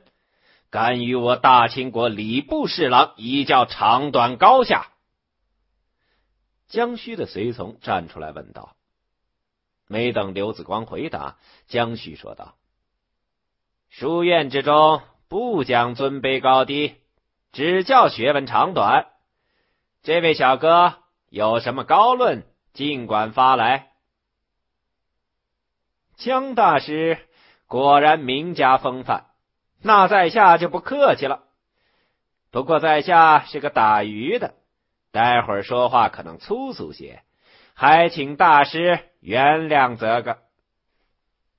江须行道：“你要真是个打鱼的，那我就是杀猪的了。”东林书院毕竟是南明最知名的学府，有个别喜欢打扮另类的狂生也是很有可能的。当下。他摆出一派虚怀若谷的超人模样，微笑着：“但讲无妨。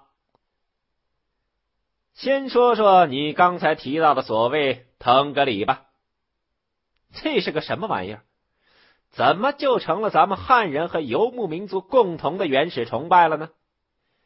当五千年前我们汉人的夏商周时代时，你们所谓的草原文化。”还影子都没有呢，何谈来源于草原文明？这样说，还不如说你爹是你养的呢。还龙图腾源自于狼图腾，你也太能掰了。你家的龙和狼长得一样啊？你知道龙是怎么来的吗？我告诉你吧，龙起源于远古的原始图腾崇拜。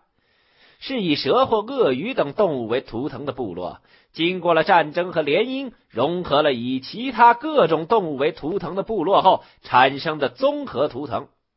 龙，角似鹿，头似驴，额似蛇，腹似肾，鳞似鲤，爪似鹰，掌似虎，耳似牛。它既能在空中飞舞，又能于水中畅游。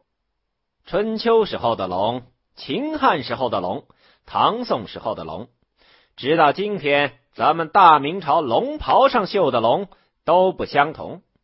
这说明，龙是一种渐进的文化，一种炎黄子孙延续的民族象征，已经摆脱了原始民族图腾的意义。而你所说的狼图腾，还是最低级、最原始的动物崇拜。根本和龙图腾不是一个层面上的东西，你还好意思拿狼图腾往我们龙身上靠，真是一点儿也不害臊。刘子光这番话通俗易懂，言之凿凿，既讲清楚了两个民族图腾的差别，又阐述了龙的来历，让那些只知道死读八股文的学生们眼界大开。顿时一片掌声响起。刘子光伸手四下压了压，接着说道：“还有，江大师所说的游牧民族是狼，是哥哥；农耕民族是羊，是弟弟。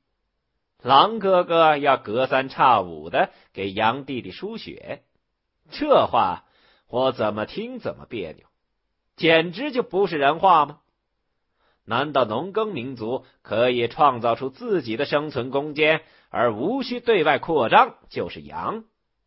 游牧民族因为无法创造出足以养活自己的文明，他们为了生存，只能去掠夺和破坏农耕民族创造的文明成果，这样就能称之为狼。你们所谓的输血，就是掠夺完了农耕民族的文明成果，然后驮着抢来的财宝回到草原，给人类留下一片废墟，如此而已。居然被你美化成如此伟大的行为，有这么无耻的行径吗？草原民族是兄，华夏民族是弟，用什么来划分的？划分的标准只有一个，那就是看谁创造了更先进的文明。如果以武力作为划分的标准，那么你旁边那个留着猪尾巴发型的车轴汉子就可以做你叔叔了，因为你肯定打不过他。有这个道理吗？江须冷笑着点点头，刚要反驳。却被兴头正浓的刘子光一把按回了座位。现在他说的正爽，哪容江须插嘴？在冷兵器时代，游牧民族在军事上比农耕民族更占优势，也不是什么秘密。华夏民族打不过游牧民族，也不是绝对的。游牧民族也经常被华夏民族打败，这本属于军事范畴，跟文明。没有什么必然的联系。况且，游牧民族只有文化而没有文明。如果说所谓的腾格里之父是慈爱的话，怎么这些民族到了中原就只会野蛮的杀人？一杀就是几千万，血流成河，尸堆如山，鸡犬不留，人烟罕见。世界上有这样的慈爱吗？刚才你说的，女真征服北宋，清鲁二帝，国库珍宝被掠空，后宫几千佳丽被掠往北国荒原，是因为缺少脊梁、刚强的民族性格。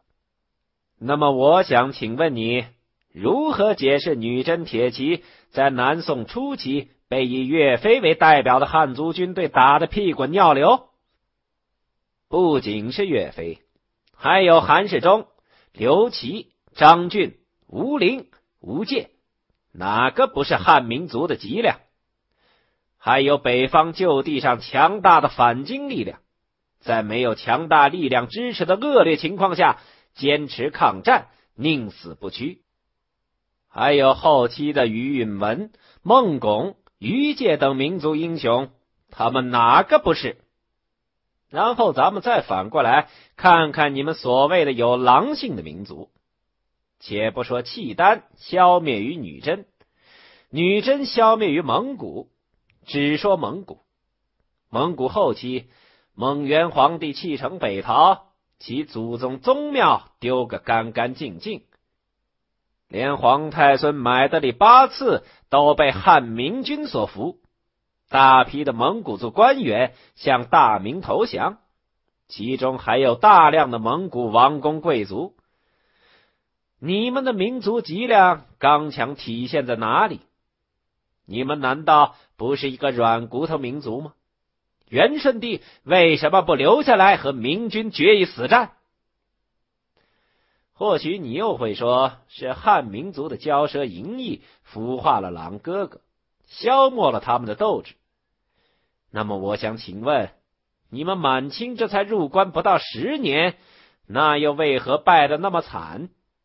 你们顺治皇帝被我们大明的名将刘侯爷吓得回京后就死了，你们的瑞王爷也在逃亡过程中被活捉，你们的二十万南征大军像丧家之犬一样灰溜溜的败退到黄河以北，这又是为什么呢？我忘了，你总是有理由的。你们会说，你们输血给了镇武侯，他才能如此勇武的打得你们屁滚尿流，打得你们千里遥远的跑来南京乞降。好，台下爆发出一阵喝彩。书生们从来没有听过如此大快人心的博士。刚才的阴郁心情一扫而光，不约而同的为这位不知名的渔夫鼓起掌来。刘子光望着台下一张张年轻的面孔，不禁心潮澎湃。这些年轻人还没有被科举制度和八股文毁掉。如果教育得当的话，未尝不是民族振兴的力量。他顿了顿，等掌声悉数下来，接着说：“一个民族伟大与否，要看这个民族为人类的文明发展做出了多大的贡献。一是科学技术，二是先进的思想文化。至于战斗力如何，那只能代表野蛮的程度。”虽然游牧民族用武力征服中原，但是他们没有创造文明的能力，以及是以落后的文化来统治中原的。所以，游牧民族为了巩固在中原的统治，就必须以汉治汉。汉族在游牧民族王朝的人口比例是占绝对多数的。如果不以以汉治汉，必然得不到汉民族的认同。史实俱在，容不得你有半点否认。无论是北魏，还是蒙元，还是满清，你们无论如何瞧不起汉族，怎样对汉族进行屠杀，但是军事巩固其政权之后，必然要汉化的。不汉化，不吸引汉族知识分子参与政权，就不能让其统治下的汉民族对异族政权有认同感。一个没有文明的民族，通过武力征服了另一个有着高级文明的民族，一方面是对高级文明的发展起到了极大的破坏作用，一方面又必须依赖高级文明来统治高级文明的地区，这是历史的必然。请继续收听《铁器时代》第二百三十四集。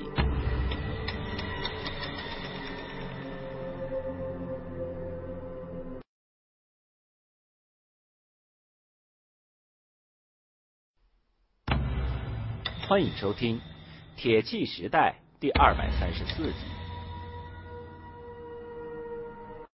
刘子光接着说：“正是你口中这个所谓不争气的弟弟，发明了纸张、印刷术、火药、指南针、钟表、炼铁、冶铁、水排、浑天仪、地动仪、楼车、陶瓷、针灸、铜人、石镜位纸质。”赤道坐标系、雕版印刷术、珠算、纸币、钱庄，还有许多许多。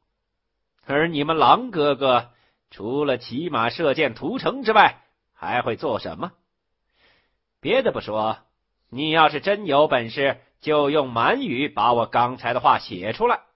你能吗？你不能。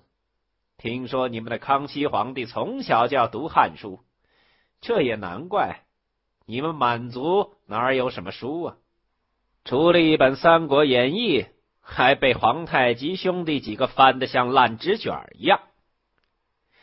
说了这么多，其实就是一个道理：一个不会创造文明的民族，肯定要被人类文明发展潮流所淘汰，这是历史的必然。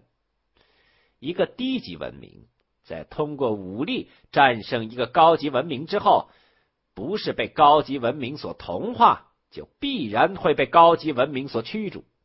随着文明的日益先进，野蛮民族必将彻底退出历史舞台。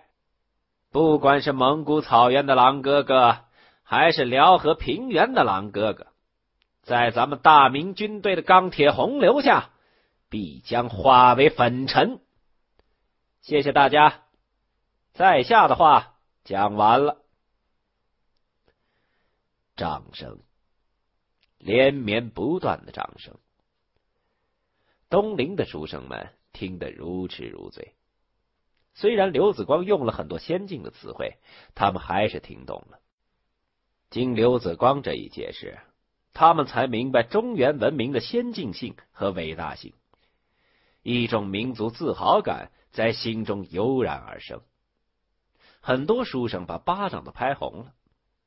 没有人注意到，江须已经悄悄的下台，拉着五阿哥灰溜溜的从后门走了。别人忘了，刘子光可没忘。刚才江旭说过，有人能驳倒他，就会在东陵书院的牌匾下面刻三个响头的话。他得意洋洋的接受着学生们的致敬，频频挥手之间，回头看见，正看见江须的身影消失在后门，赶忙大喊：“书生们，将他拦住！”书生们一拥而上，将江须一干人等围了起来。刘子光跳下讲台，走过去质问：“江大师，怎么这么快就急着要走？”你不磕头了？江须道：“适才有紧急公务，这才不告而别，以免影响了阁下的演讲，还请阁下留下姓名，改日咱们再聚首。今天这个辩论到此为止吧。”那不行，要么你上台接着和我说，要么到牌匾下面去磕三个响头，要不然。就算我放你，这些学生也不会放你走的。刘子光才不买账。江须的论点论据都是极不合理和幼稚的，不管他怎么狡辩，都不是刘子光的对手。而刘子光恰恰就喜欢痛打落水狗，这个当口当然不会轻易的把江须放走。今天本来想出个风头，没想到居然搞得下不来台。江须有些气恼了，摆出大清朝礼部侍郎的派头，对陪同的明朝官员道：“我等可是来商谈国事的，如果被这些学生损伤了，你可吃罪不起。本官倒也罢了，这里还有一位尊贵的贝勒爷呢。”万一两国因此再起刀兵，你能承担吗？礼部官员胆子比较小，听江须这么一说，也害怕了，招呼锦衣卫保护满清客人。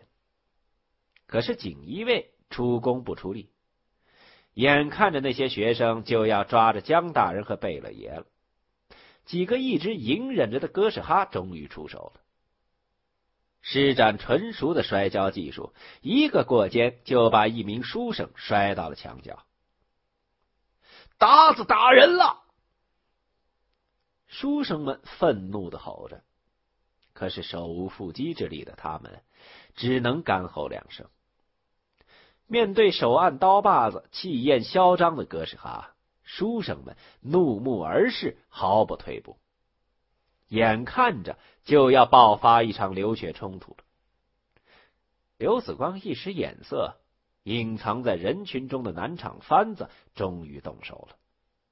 这几个番子都是后期招募的武林高手，精通内家拳，或许战场之上用处不大，但贴身近战时威力无比，三下两下。就将几个哥什哈的胳膊腿给卸了，丢在墙角里，任凭愤怒的学生殴打。而江须则被众人揪到东陵书院的牌匾下面，强制的磕了三个响头，额头都磕中了，场面非常混乱。东陵执事乐得亲人受辱，根本不加干涉。只有陪同的礼部官员急得乱蹦，也无济于事。刘子光在人群中搜索着那位长着古巨基脸型的阿哥，可怎么也找不到了。原来五阿哥见势不妙，已经抢先划脚溜了。事情闹得差不多的时候，东林执事这才出面制止。让人请了跌打郎中来给遍体鳞伤的姜侍郎和哥什哈们看病，然后找到刘子光，一鞠长躬道：“先生世外高人，谈吐世间少有，可否请教先生高姓大名，师承何处？如果先生首肯，还请到书院任职。”刘子光道：“我只是一个打鱼的而已，念过几本旧书，些许学问不足挂齿，又怎么能登上东陵书院的大雅之堂呢？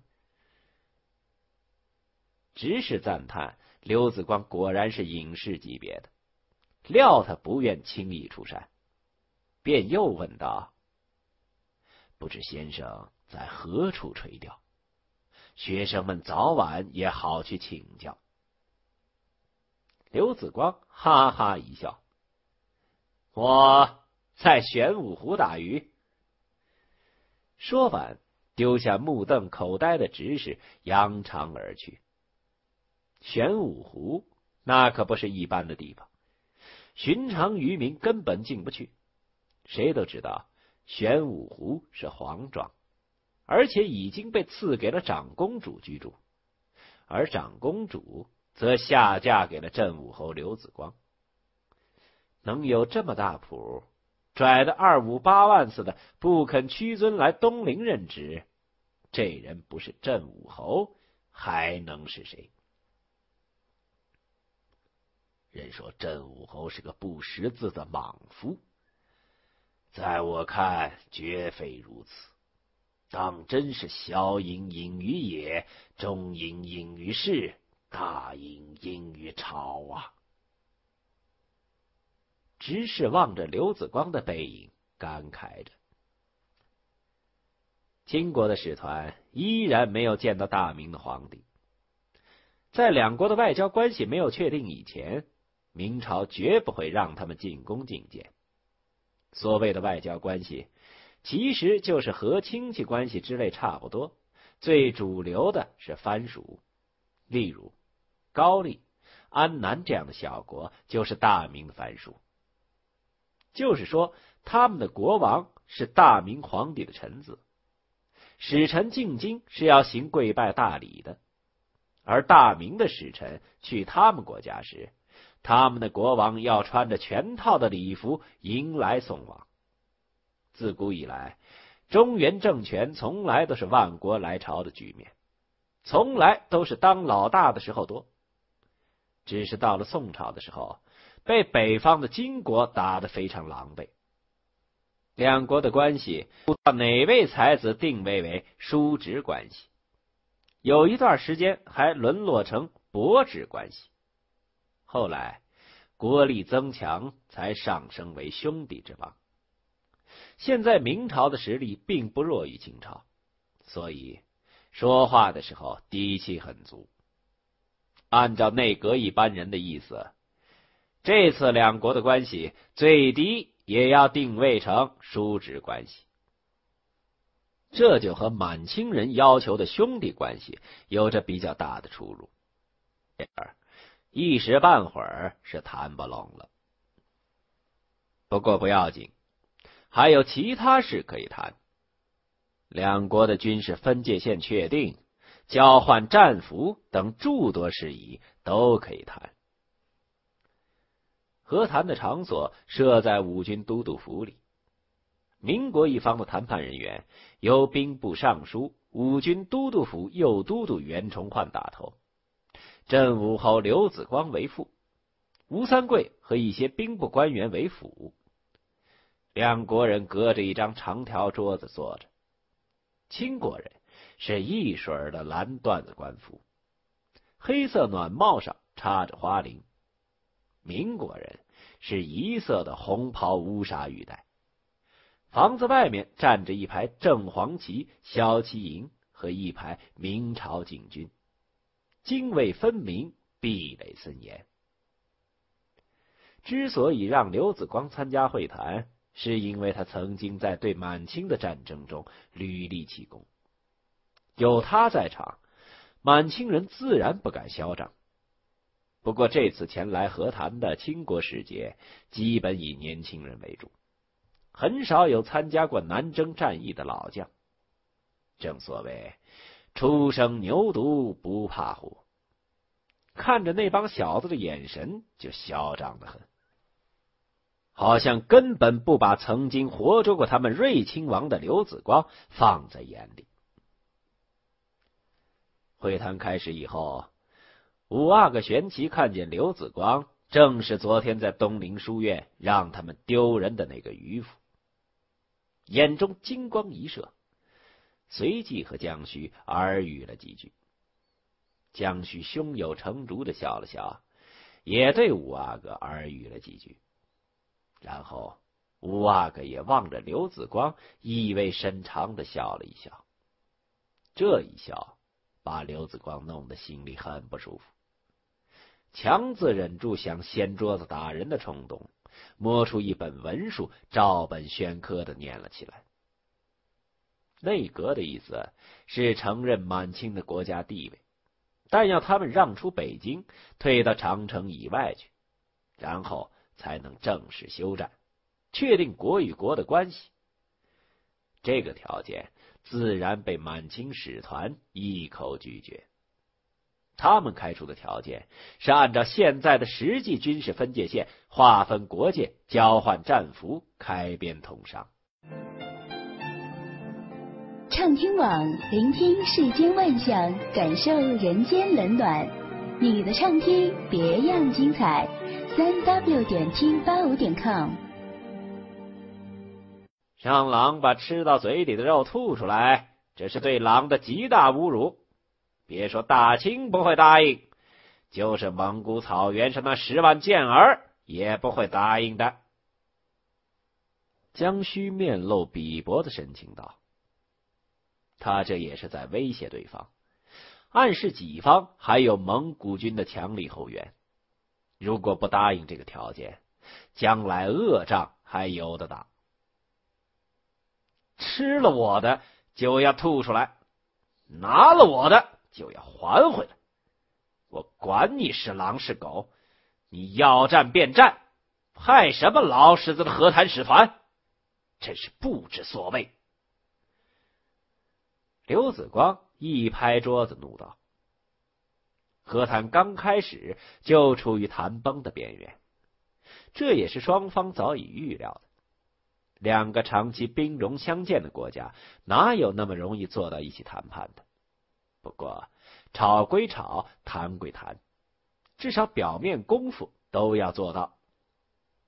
刘少宝，莫要动气，一切从长计议。”袁崇焕咪说：“袁大人也是个强硬的主战派。去年山东战场上一半的功劳都被刘子光捞去，袁崇焕一直心存芥蒂，就想在收复河北京师的战争中建功立业，名存千古的。所以，他根本不制止刘子光的不礼貌行为，只是跟着和稀泥。”你要战便战，反正一场战争下来，倒霉的总是你们汉人的百姓。我大清皇帝也是一片慈悲心肠，不想世间再凭空多些孤儿寡母，这才派遣我们前来和谈。你以为咱们满人真的怕了你们吗？五阿哥玄奇也一拍桌子，毫不示弱的和刘子光对视。现在是在五军都督府里，警卫森严的正规外交场合，不像昨天在东陵书院那么失控，所以玄奇的胆子也大了些，居然敢和刘子光叫板。不怕，不怕！你们巴巴的跑南京来做什么？还说什么慈悲心肠？昨天还说自己是狼。今天怎么这狼改吃斋了？真是天大的笑话！刘子光冷笑一声，把身子缩到宽大的太师椅当中，旁若无人的从桌上的烟盒里抽出一支精品中华，身后自有侍卫帮着把烟点着。他就这样在谈判桌上喷云吐雾。把对面的人气得一个个脸色发青。狼的牙齿磨秃了也是狼，羊长出锋利的犄角依然是羊。现在的民国就是会用犄角的羊，但是不管羊怎么厉害，都不会是狼的对手。本贝勒不才，愿和贵国最厉害的杨勇士讨教几招，还望赐教。五阿哥玄奇不知道哪根筋搭错了，居然公然向刘子光挑战。刘子光哑然失笑，真是想来什么就来什么。想打这个盗版古巨基，他就主动把脸凑上来了。当下笑道：“这可是你说的，要不要立个生死文书啊？”贝勒爷，您万金之躯，怎可轻易出场？奴才愿意替您接刘侯爷的招数。一个暖帽上插了一根蓝铃的倾国武士跳出来嚷着：“尔康，这里没你事，赶紧退下！”五阿哥厉声喝道。不过，那名叫尔康的家伙还是挺身而出，挡在了玄奇的面前。高大魁梧的身材如同一面铁墙。棱角分明的面庞如刀砍斧削，端的是一条好汉。你什么人？有什么资格和侯爷过招？不等刘子光说话，他身后的侍卫早就跳出来质问了：“我乃大清巴图鲁，御赐黄马褂，三届满汉八旗布库系总冠军。”进攻五品兰陵侍卫施尔康，不知道有没有资格？施尔康话还没说完，就被侍卫打断了。你当然没有资格！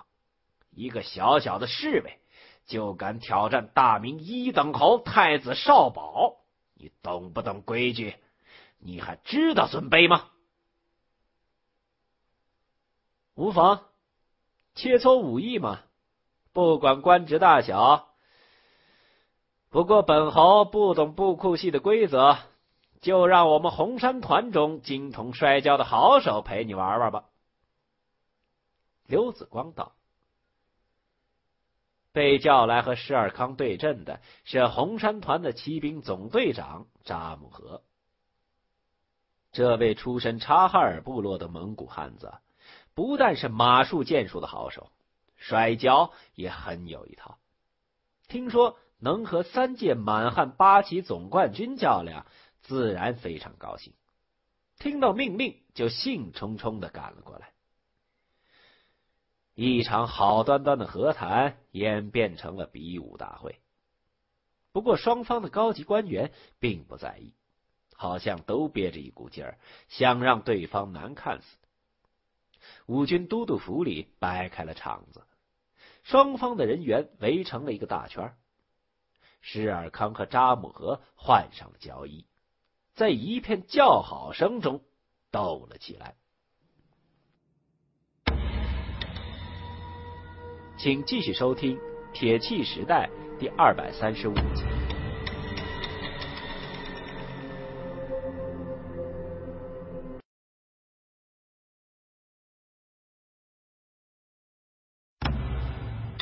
欢迎收听《铁器时代》第二百三十五集。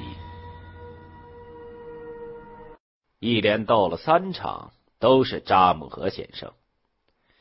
最终，施尔康潇洒的承认失败，并给胜利者恭恭敬敬的磕了一个头。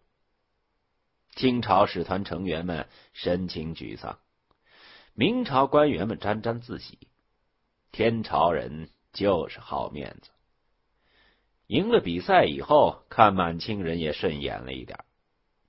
转眼到了中午，都督府里摆了酒饭供众人食用。吃饭的时候，扎木合凑近刘子光说：“老四，那个满人的武功端是厉害，我能感觉到他在关键时候留了手，要不然我也不能三盘都赢。”满蒙汉八旗总冠军的名头可不是盖的，你得小心耍花样哦。刘子光顿时心生警惕，满人的狡猾和无所不用其极，他是领教过的。使团故意示弱，肯定有什么阴谋。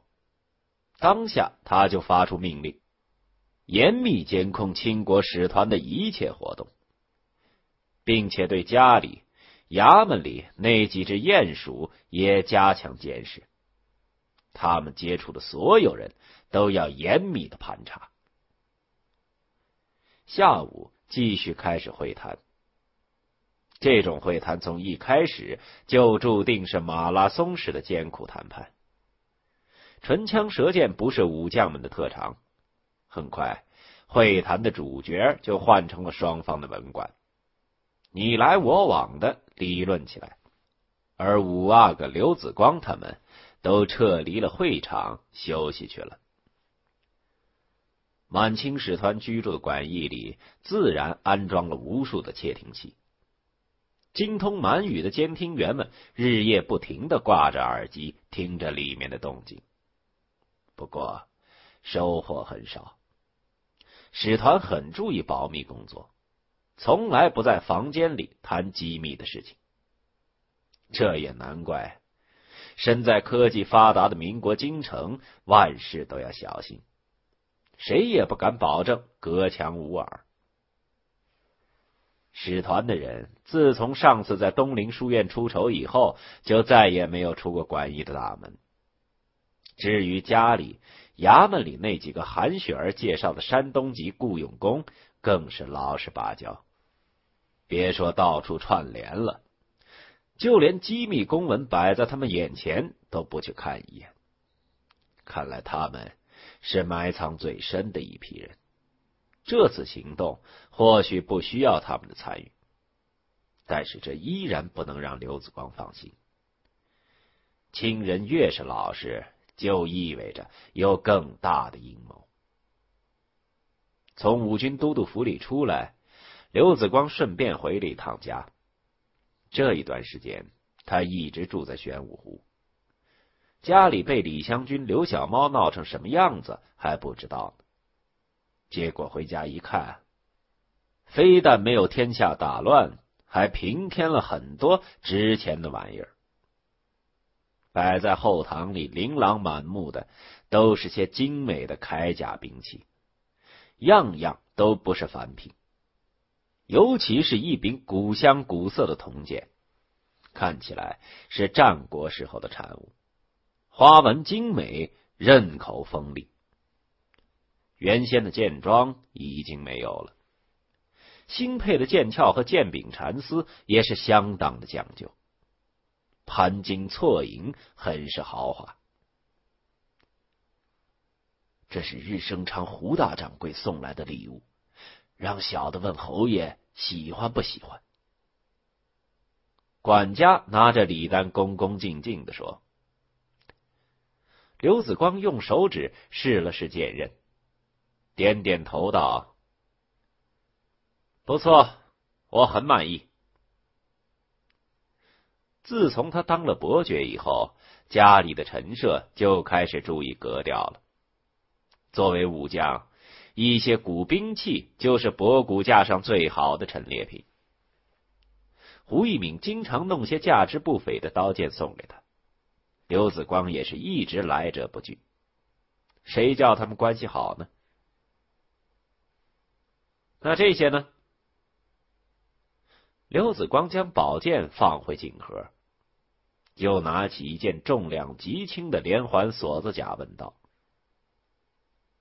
回侯爷，这是淮南矿的梅家送来的燕翎宝甲，据说世间仅此一件，不但刀枪重量也只有寻常盔甲的三成不到，断的是件难得的宝物。”还有这把日本名将打造的倭刀，是醉仙楼陈静南送来的，说是替他们家小主子送给侯爷把玩的。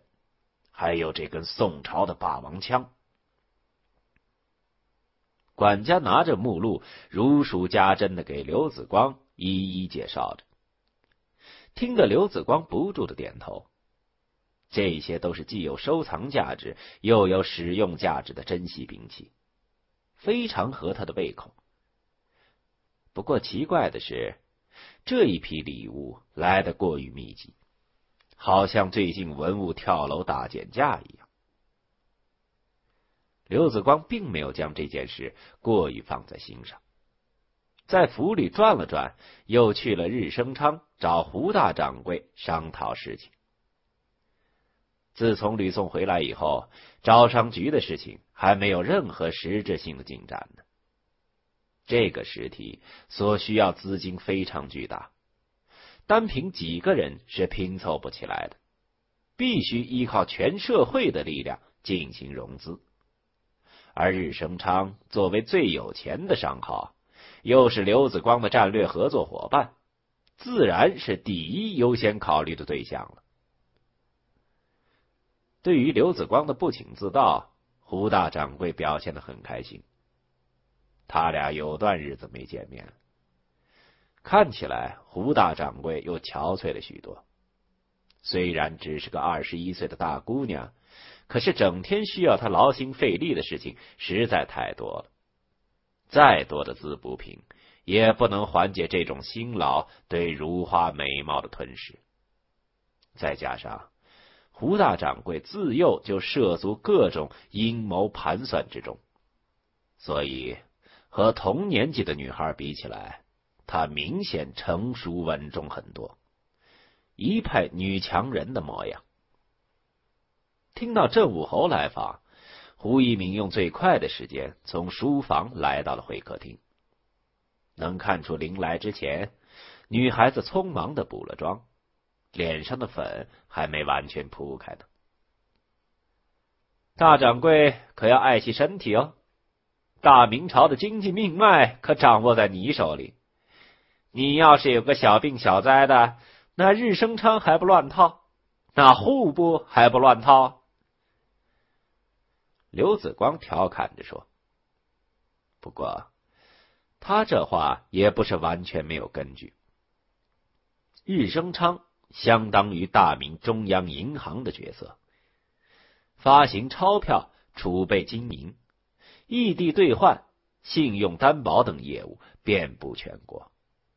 而这么庞大的金融业务，全靠胡家和朝廷的良好关系以及他们强大的实力。”但日升昌毕竟是一个私人钱庄，如果他的经营者出了状况，那在大明金融界的影响不亚于一场八级地震。侯爷说笑了，小女子只是个钱庄里拨算盘的，哪有那么大本事呀？对了，侯爷一向是无事不登三宝殿，今日登门拜访，所谓哪庄呢？胡大小姐微笑着应付道：“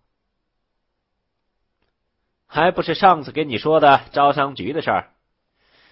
这件事情牵扯的方面太多太杂，招商局要有船队、有军队、有商队、有港口码头、有海外无主的地方要建造城池，移民过去垦荒。人多了就需要管理者，要在局下面设立暗查司，审理民事案件。”还要设立布政司管理百姓，将来规模大了，甚至还要设立府县一级的衙门。招商局的主要目的是赚钱，海外的市场实在是太大了。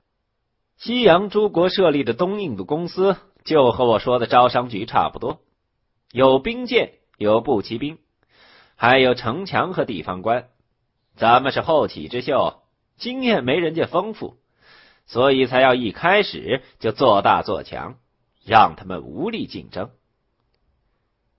刘子光娓娓道来：“上次他已经将一个粗略的意向书交给了胡一鸣，不知道这段时间胡大掌柜有没有认真考虑过？说来说去，就是官商加屯田，这么大的项目，没有朝廷的参与是不可能完成的。”即使以你我的实力也不行。要知道，这牵扯的太广了，简直就是海外另立新国。皇上不会答应，内阁也不会答应的。正因为如此，招商局才要吸引更多的人入股。皇上、后妃、亲王、公侯可以入股，大臣、地方士绅、其他商号也可以入股。古今可以是现银，也可以是实物。比如皇上可以直接下旨将广州的港口赐给招商局使用，作价三十万两。古今还可以是劳务，比如某个船队提供给招商局十艘千料大船，配备足够的水手，也可以作价的。这一切都得从长计议，不是一年半载就能完成的。如果事情办成了，那就是千秋功业，中原从此富裕太平，再也不会受饥荒之苦，因为咱们有足够的殖民地可以提供粮食。你要知道，南阳的土地可是神奇的很，种粮食一年三熟，瓜果蔬菜撒了种子就不用管，绝对是块宝地呀。说到这儿，刘子光顿了顿。端起香茗品了一口，继续道：“大掌柜最担心的问题也容易解决。昨日本侯进宫面圣，已将这事儿告诉皇上了。皇上说了，只要能赚钱，怎么干都行。”胡一敏听完，微微一笑：“我就知道你一定有办法。”所以，具体的章程已经让师爷给你列出来了，你好好看看，觉得行，咱们就干。说着，让侍女用朱漆盘子捧过来一本线状书。刘子光拿过来一看，不禁赞叹日升昌的效率和高水准。按照刘子光提出的初步设想。人家已经整理出了具体的招商局募集资金的章程以及红利分配的方案。十几个师爷足足忙了十几天，才拿出这么一个方案。招商局的成立是一件很大的事儿，因为涉及的资金、人员、物资过于繁杂，所以规矩定的也很细致。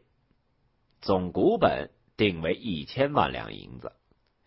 每一万两作为一个基本单位，也就是说，一万两银子就能买到零点一股招商局的股份。如果低于一万两，就不能交易了。这也限制了原始股东们的准入门槛，并不是什么人都能当招商局的股东的。股东要求必须是身家清白的官员士绅，而且不能是外国人。就这样苛刻的规定之下，恐怕招商局的股份发售还是要排起长龙的。毕竟这是个发财的路子。根据日升昌专门的宣传人员编辑过的招股书，将招商局的前景描写的花一般。股东每年的红利至少能翻三番，这样的好事哪儿找去？到时候有钱的财主官员们一定会抢破头，所以招股书里还规定了认购时候的具体事宜。股东们申购之前需要先排队领号，然后每十个人一组竞拍一股招商局的股票，以此防止股票被个别人大量囤积。至于人力物力的干股。则由招商局筹备会委托日升昌进行验资，根据实际的数额进行核算。当然不是说拿什么都能来入股的。您老人家弄一千头牛过来，这人招商局也不稀罕的。筹备阶段需要的只有码头、船只、有经验的人员等。这一项实物资产占总股本的三成，其他的。都用现银来结算。畅听网，聆听世间万象，感受人间冷暖。你的畅听别样精彩。三 w 点听八五点 com。除了募集股份，招商局还准备发行债券。债券和股票不同之处在于它的稳定性，但缺点也是稳定性。每年按照固定的利率支付利息，招商局的生意好坏和他们没有关系。招商局最大的股东毫无疑问是皇上，然后才能轮到刘子光这个级别的权臣。其他的各部大臣、各省督府和各地的富商，如果想要申购股份，都得走刘子光或者日升昌的路子。因为招商局的股票和债券销售工作都是通过日升昌进行的，而招商局的创始人就是刘子光本人，这两个关系都是绕不开的。招商局的创始人是刘子光。但董事长的位子肯定是当今皇上，执行具体事务的局最高长官由董事会选出，任期三年，可以连任。这个位置的人选肯定是多方争夺的焦点。不出意外的话，应该是由刘子光或者其手下的干将担任。有日升昌的协助，募集工作肯定能超额完成。估计溢价发行的股票和债券加在一起，肯定能超过三千万两。从民间抽取这么大一笔庞大的资金，对于任何人、任何国家来说都是一件大事。即使见多了大场面的胡一鸣也很关注。大量的现银集中起来，势必在短时间内造成社会流动资金的缺乏。从而引起物价的波动和民心的混乱，所以招股工作必须秘密进行，吸取那些常年不流通的银子，而且银子到手之后就要赶紧投入运营，招募人马、购买船只，总之要尽快把银子花出去，这才能稳定社会。对于胡大掌柜的高深见解。刘子光很是佩服，表示招股工作交给日升昌，自己非常放心。需要多少比例的佣金，大家都好商量。胡一鸣也不客套，开出溢价发行额五成归自己的价码。刘子光眉头都没皱，就答应了。有钱大家赚吗？等招商局开办起来，大批的船只开往南美、澳洲、非洲，就会有更多的物资和金银流到大明来。各地丰庶的殖民地将为大明提供充足的营养。早晚有一天，大明能够成为一天到晚旗帜飘扬在阳光下的日不落帝国。这一切。都依赖于招商局的成立和吕宋的密切合作，而这两件事都是自己一手造就的。来到这个世界之后，刘子光首先改变了自己的命运，然后改变了一帮奴隶兄弟的命运。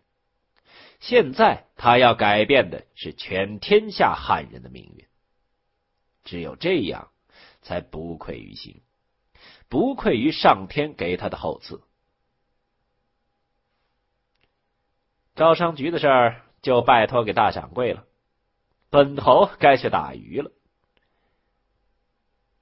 谈完了正事儿，刘子光拱手告别。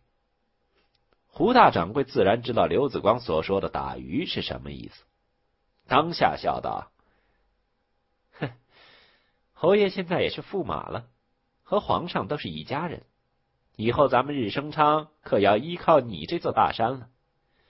不过侯爷也不能冷落了荣妹妹哦，我这里正好有几幅苏东坡手写的词，你拿回去给荣妹欣赏吧。哦，苏轼的手书那可值大钱了，还有你送我的战国铜剑，看起来也价值不菲。大掌柜总是送些贵重的礼物，弄得我们都不知道怎么回礼了。这样吧，回头我让手下送你五十条长火铳，武装武装你们钱庄押运队吧。刘子光毫不客气的将卷轴夹在胳肢窝里说：“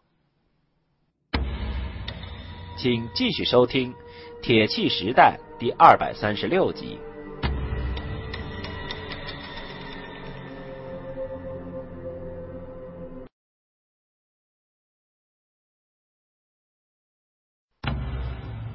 欢迎收听铁器时代第二百三十六集。哼些许意思不成敬意我就喜欢收集这些玩意儿。自己喜欢买，更喜欢拿来送人。我经手的可都是真品，绝无赝品。放在家里，既能欣赏，又能保值。你们以后要买古玩、玉器、字画什么的，可以叫我去帮帮看。看到刘子光频频点头，胡一鸣又得意的说：“最近一段时间，我的斩获可不少，铜鼎、玉器、兵器、字画都收了不少，而且都是低价。有空你叫荣妹到我这儿来看看，保准她流连忘返。怎么会有这么多的低价古玩涌过来，而且都是货真价实的真品？”不瞒你说，光我那里收到的古盔甲兵器就有一堆。刘子光纳闷的说：“是这样的，北边民不聊生，有些人就干起了摸金校尉的勾当。这一批涌到江南的文物里面，有一半多是陪葬品，还有一部分是梁上君子的杰作，再有就是人家的传家之宝，活不下去才低价贱卖的。”要知道，乱世的文物是卖不上价的，咱们这可是占了大便宜了。胡一鸣娓娓道来，解了刘子光心中的疑惑。原来如此啊！那胡大掌柜，你要多买点，这些都是咱们汉人的文化遗产，买下来就等于抢救性的保护，这种行为本侯支持。盗墓的营生虽然见不得光，可是这些珍贵的文物，与其烂在墓里，还不如发掘出来供人们收藏欣赏呢。北面满清统治的地域，居然沦落到倒卖陪葬品和家传宝的局面了，这也从一个侧面说明了满清的根基已经不稳了。正事儿谈完。刘子光抱着苏东坡的真迹，坐在回玄武湖的轿子里，顺手打开，欣赏着古人的墨宝。想着想着，觉得还是有点不对劲儿。这么多文物涌到江南，定然会引发一场收藏热潮。那么说，至少会有巨量的银子流到北方去。这样一来。就等于增强了满清的国力。这件事儿还是有蹊跷，必须下大力气追查。轿子走到大市场钱庄云集的地方，忽然听到外面有人吵吵嚷嚷。按照刘子光现在的品级，本不应该管这些市井小事了。可是人群中传来一句话，让他动了怒。你们武城兵马司算什么东西？就是南昌的番子来了，爷们儿也不怕。这一句嚣张的话语是个粗壮的汉子喊出来的，声音高亢有力，中气十足。看来自己那帮手下遇到扎手的角色了。武城兵马司是刘子光的嫡系，这支部队相当于京城武警总队。负责巡逻、捕盗、维持治安的工作。虽然是个肥差，但也不是一般人能干得来的。京城有权有势的人实在太多了，什么都一查到底，不知道会得罪多少大佬。睁一只眼闭一只眼，又怕京城治安恶化。都指挥使李岩的乌纱帽戴的不安稳。所以刘子光一直让他们小心从事，看人下碟子。小小不然也就算了，名分极大直接转交给南厂处理，争取长久的保住这个重要衙门的话语权。可是这次遇到的麻烦可真不小，敢和武城兵马司叫板也就罢了，还把南厂拿出来说事儿，就显得过于狂妄。当下，刘子光冷哼一声：“对轿旁的侍卫道：“过去瞧瞧。”现如今，刘子光在京城里行走，已经不用八抬大轿全副仪仗了。他嫌那个太招摇，而且速度也慢，所以都是普通的四抬轿子或者骑马。侍卫带的也不多，十来个而已。大内侍卫和南厂番子各占一半。光这副独特的阵仗，就可以在京城横着走了。机灵点的人一看就知道是镇武侯的大驾。果然，等刘子光的轿子抬过去之后，一帮正在推推搡搡的人群都停下了。刘子光钻出轿子，抬眼望去，原来是一帮穿着官靴的汉子，正和五城兵马司的官兵们对峙，中间夹了一个穿团花香云纱袍子的小老头。地点是一处日升昌票号的门口。刚才谁说南厂番子来了也不怕的？站出来让本侯瞧瞧！那帮刚才还神气活现的汉子顿时泄了气，恭恭敬敬的回道：“哎呀，侯爷，小子们一时口快说错了话，只是这帮军汉实在无礼。”偏听票号老板的一面之词，硬要锁我们回去，这才起了争执。哼，有话好好说嘛！你们是哪个衙门的？为何要在这票号门口滋事？回侯爷，小的们都是羽林右卫的百户，到钱庄来兑些散碎银子时，没成想。票号掌柜说：“咱们的银票是假的，这可出了奇了。明明是正儿八经的日升昌银票，怎么就成假的呢？这老家伙不但要没收银票，还喊来了兵马司的兄弟要拿我们。怎么说，我们也是堂堂的羽林卫呀，哪能说拿就拿？”那带头的羽林卫百户声音越说越低。到后来，已经不敢抬头看郑武侯了。要知道，按照他们的评级，五城兵马司是有资格捉拿他们的，并不存在什么违制的问题。刘子光倒不在意这些琐碎的事情，让他震惊的是，银票居然有假的，这可是天大的事儿。到处充斥的假银票，可以轻松毁掉日升昌乃至大明朝的经济体系，造成的损害不可估量。把银票拿来，我看看。票号的掌柜赶忙屁颠儿屁颠儿的跑过来，呈上来五张印刷精美的银票，面额都是十两。这种面值是流通最广泛的一种。大致相当于一个中等收入的人半个月的薪水。一般数额的商品交易、常规的物资采买，甚至军队军饷的下发，都能用到这种面值的银票。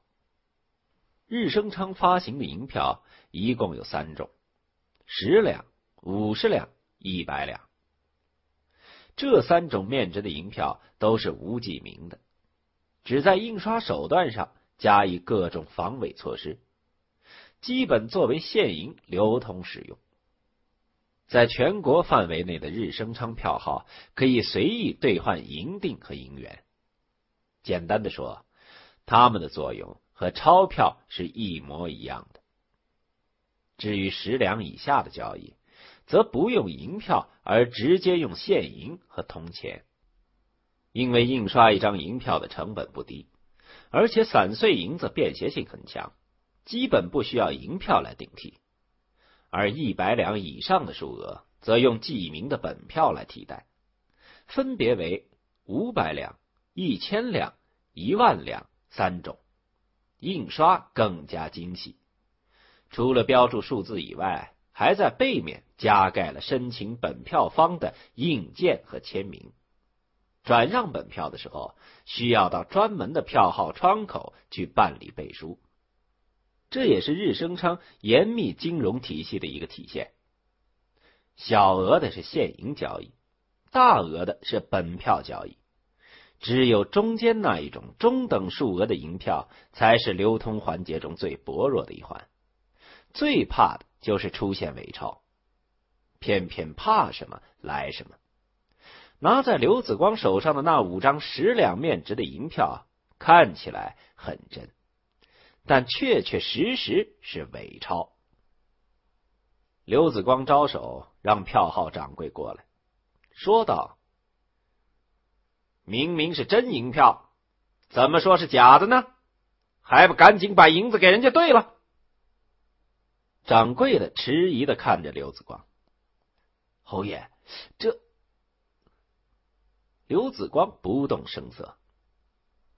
掌柜的到底是日升昌培训出来的干练之才，当即改口道：“呃，是是，小的这就给他们几位爷兑银子。”几个羽林卫的百户拿到了白花花的现银，千恩万谢的给镇武侯磕了头才离去。当然，磕头是因为侯爷没有治他们乱说话、当街闹事的罪名，而不是替他们讨回了应得的银子。因为在他们看来，这几张银票明明就是真的。几个百户拿着银子去秦淮河潇洒了。十两银票在达官贵人眼里不算什么大数字，可在寻常百姓、低级军官眼里还是蛮值钱的，以至于他们消费前总喜欢到票号把银票兑成散碎的银锭和铜板。这些花销起来才顺手合算。刘子光拿着五张假银票，眉头紧锁。他走下轿，进了票号的后堂，把掌柜的叫来，开门见山的问道：“这样的假银票还有多少？”回侯爷，最近一段时间收了四五百两这样的假票，刚开始伙计还没注意。后来账房二次清查的时候，才发现这批假票做的太精细了，一般人根本看不出来。哦，胡大掌柜知道这件事吗？大掌柜已经知道了，很是关注。他交代我们一定要将持有假票的人身份搞清楚，必要的时候可以知会巡逻的兵马司兄弟。所以今天才闹这么一出，让侯爷分心了，小的真是该死。好了，这事儿本侯自有分寸。从明天开始，南厂会派番子票号里值守，有拿假票的，你们就暗示一下，我们自会处理。安排完了票号的事儿，刘子光的心情更加沉重了。伪钞的源头。可能是谋取利益的犯罪集团，也可能是怀有更大野心的敌国。无论是哪一种，都非常可怕。因为此刻他手里捏着的假银票做的确实太像真的了，甚至连钞纸的厚薄手感都一样。唯一区别的是，某些部位的花纹和原版的稍有差距，但却是同样的精细。谁要能印刷出这样的伪钞，无异于掌握了金山。大量的伪钞横行面世，不但会造成银子的损失，更可怕的是会造成雪崩一样的连锁反应，导致民众对日升昌的其他金融产品的怀疑。这也是刚才刘子光不动声色让票号掌柜把银子兑给那几个家伙的原因。现在。不是打草惊蛇的时候，南厂番子已经去跟踪他们几个了。从使用者入手是一方面，从日升昌内部审查也是一个方面。没有内贼是不可能掌握银票所用的纸张的秘密的。刘子光感觉冥冥之中一张大网朝自己撒了过来，未必是真刀真枪的暗杀。但却比真刀真枪还可怕。最近的事情发生的太蹊跷，而且这些事情都直指大明朝的金融体系，一般人都不知道金融风暴的可怕性，但刘子光可明白的很。一旦作为大明央行的日升昌发生信用危机，这场风波甚至比满清的十万大军入侵还要可怕。这种经济战争不是南厂的管辖范围，日升昌也不是朝廷的衙门，所以不会有太多的人关注。选择这个点对民国进行打击。这个计划的始作俑者一定是个高手，让孙刚派干员彻查此事，牵扯到任何级别的官员，绝不姑息。这是刘子光让手下带给南厂大党头的话。具体的侦缉工作，刘子光不会指手画脚。一方面是因为他不想越级指挥，另一个方面是他确实没有那个时间。畅听网，聆听世间万象，感受人间冷暖。你的畅听别样精彩，三 w 点听八五点 com。作为大明帝国的宫廷禁卫大臣和反间谍机关的头目，刘子光的日程应该排得很满才对。可事实上，太阳偏西的时候，他就回家了。再不处理任何公务，在玄武湖那个美丽的小岛上，和爱妻曾成共进晚膳，共赏日落，然后卿卿我我，直到次日清晨，才再次以打鱼的名义出岛办公。事实上，肩膀上责任重大的人都很难将工作和生活区分开，刘子光也不例外。虽然没人打扰他。可是今天的事情让他实在没心情玩乐，饭桌上不免有些打蔫。相公，我今天给你打了半斤白酒，红烧了一条大鱼，还宰了只鸭子，给你弄了这么多好菜，你知道为什么吗？曾诚一边拿着陶制的小酒壶给刘子光倒酒，一边细声慢语的说：“为什么？”今天你生日？不是，那是咱家的鸭子又下双黄蛋了。什么呀？再乱说，人家不理你了。那我真猜不出，你赶紧说吧。刘子光有些心不在焉，脑子里总想着伪钞的事情，端起酒杯向唇边送去。嗯，我有了。曾成用蚊子一般细小的声音说道：“一双小手捏着衣角，小脸绯红，煞是好看。”叮当一声，酒杯落地。刘子光目瞪口呆：“我我要当爹了！”老实说，刘子光还没有做好当爹的准备。虽然他的年龄在这个世界上已经算不上青葱少年了，和他一般二十五六岁的男子早就结婚生子了，孩子大的都有十岁了，他现在才当上准爸爸，算是很晚了。但刘子光依然有些慌乱，抑制不住的兴奋涌上心头，转眼又是一阵悲怆。远隔万里时空的父母不知道怎么样了。年迈的他们，如果知道快要做爷爷奶奶了，还不知道高兴成啥样。什么时候知道的？要不要请郎中过来看看？刘子光关切的坐在曾成的身边，伸手去摸曾成的肚子，却被他满脸通红的推开。早呢。瞎摸什么？哦，也是，咱们成婚也不过一个多月，没想到你这肚子这么争气。不行，明儿我把咱们的小猪卖了，换钱买点好吃的。别，小猪还在长膘，现在卖了怪可惜的。再说现在还早呢，再过一个月找郎中看也不迟。这哪行啊？明儿我就进城找几个郎中来看，小猪不卖也行，我多打些鱼卖就行了。刘子光按耐不住心头的高兴，看来今晚是要失眠了。次日，刘子光一大早就进宫，向皇太妃和皇上报告了这个消息，把他们高兴的什么似的，派了太医去给公主把脉，而且开始立即张罗稳婆、奶妈这些人员。通知完宫里，刘子光又回府上宣布了这一喜讯。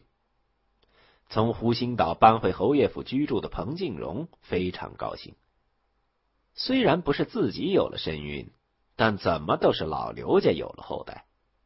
身为刘子光的夫人，这点觉悟还是有的。只有彭静薇有些郁闷，人家连孩子都有了，可自己还得喊姐夫呢。不知道哪天才能从小姨子上升到夫人的高度。家里特殊一员刘小猫瞪着一双杏核眼。蹲在梁头上看着大家手舞足蹈说孩子什么的，打了个无聊的哈欠，懒洋洋的睡觉去了。这些事情显然对他来说太高深了些。请继续收听《铁器时代》第二百三十七集。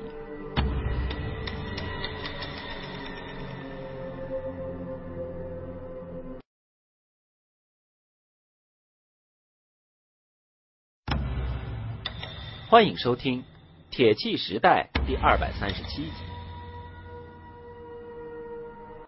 快有孩子了，咱们家得开源节流，赚点奶粉钱。刘子光说：“你还真以为你是个渔夫了？家里的银子够你养活上千个孩子的。”彭静荣说：“再厚的家底子，也有坐吃山空的一天。”不光是公主的孩子，还有你们的孩子，将来都要给他们留点钱才行。现在朝廷要成立招商局了，内部招股已经开始，一万两银子起，你们有私房钱可以拿出来，这绝对是一本万利的好买卖。有了一张股票在手，今后的吃喝都不用愁了。要是以铁厂的名义入股也可以，还能用铁器冲抵股金呢。刘子光向几位娘子和准娘子解释着：“嗯，以前听你提过的，我这儿有五六万两银子私房钱，你都拿去买股票吧。以铁厂的名义入股是个大事，回头要和其他人商量一下。我估摸着五六十万两还是能拿得出来的。”彭静荣是个明白人，自然知道招商局是个赚钱的行当。又是自家老公操办的事儿，哪有不支持的道理？还有我，还有我，我也有三万多两银子零花钱、压岁钱呢。彭静薇也跟着瞎起哄，他一溜烟跑回了自己的闺房，转眼就抱着个钱箱子回来了，拿出一大沓银票给刘子光看。姐夫，这些都是我支持你的，回头分红利的时候可要多分我一点哦。什么支持姐夫的？这是姐夫照顾你的，别人到处打通关节都买不到半股呢。那我不管，反正银子都给你了，到时候你分我什么都行，哪怕从南洋带回来的鱼虾海鸟也行。彭静薇和姐姐不同，她图的不是丰厚的回报，而是纯粹图个热闹。谁也没有注意到。梁头上的刘小猫已经醒了，耳朵支棱着听下面的人说什么股票分红的事情，一双杏核眼盯着彭静薇手中花花绿绿的银票，若有所思起来。昨天那几个使用伪钞的羽林卫官军离开之后，便被南厂贩子秘密逮捕了。经过一番审问。得知银票是一个经常往军营里送猪肉米，在赌博的时候输给他们的，番子们连夜出动，将那名商人抓来拷问。追究伪钞的来源。可是任凭他们怎么拷打，商人就是想不起这几张银票的来路了。因为做买卖的人交际广泛，银钱来往很多，十两面值又不是什么大数，让人根本无从回忆。番子们当然不会轻易放过这条线索，将这名商人所有的往来客户都统计了出来，还有他经常去的酒楼、妓院、赌场都列出单子，挨个查访。银票是流转的东西，尤其十两面值的这种，更是市面上使用最多的，想查到源头实在太难了。正当番子们一筹莫展的时候，一个新的线索出现了。这天中午，一个人拿着十两银票到日升昌兑换碎银，被逮个正着。这人不是军官，而是寻常百姓。他手中的伪钞来历非常清楚，正是刚才从赌场赢回来的。这人光顾的赌场。是京城相当有名的所在，也是刘子光曾经横行过的地方。乱世佳人连锁店的小乱画坊。现在的小乱虽然不如当初那么金贵了，可依然是闻名遐迩的销金窟。每天进进出出的赌本总有一二十万两，客人更是三教九流，样样都有。如果这里是伪钞的源头，那可就影响太广泛了。每天不知有多少假银票流转到民间。经过再次提审，先前那个商人也证实自己确实经常光顾小乱，每次玩的彩头都不是很大，百十两的样子。那几张伪钞很可能就是从小乱的金银筹码兑换处拿来的。有两个证人的证言，就足以确定嫌疑对象。南厂番子们立即调动人马赶赴小乱，没想到在小乱的驻泊地却遭到了武装对抗。一帮膀大腰圆的汉子护着画舫，严禁任何人靠近。番子们仗着自己的身份，并没有过于兴师动众，只动用了一个二十人的小队。面对百名好手的阻拦，他们一时间也没了对策。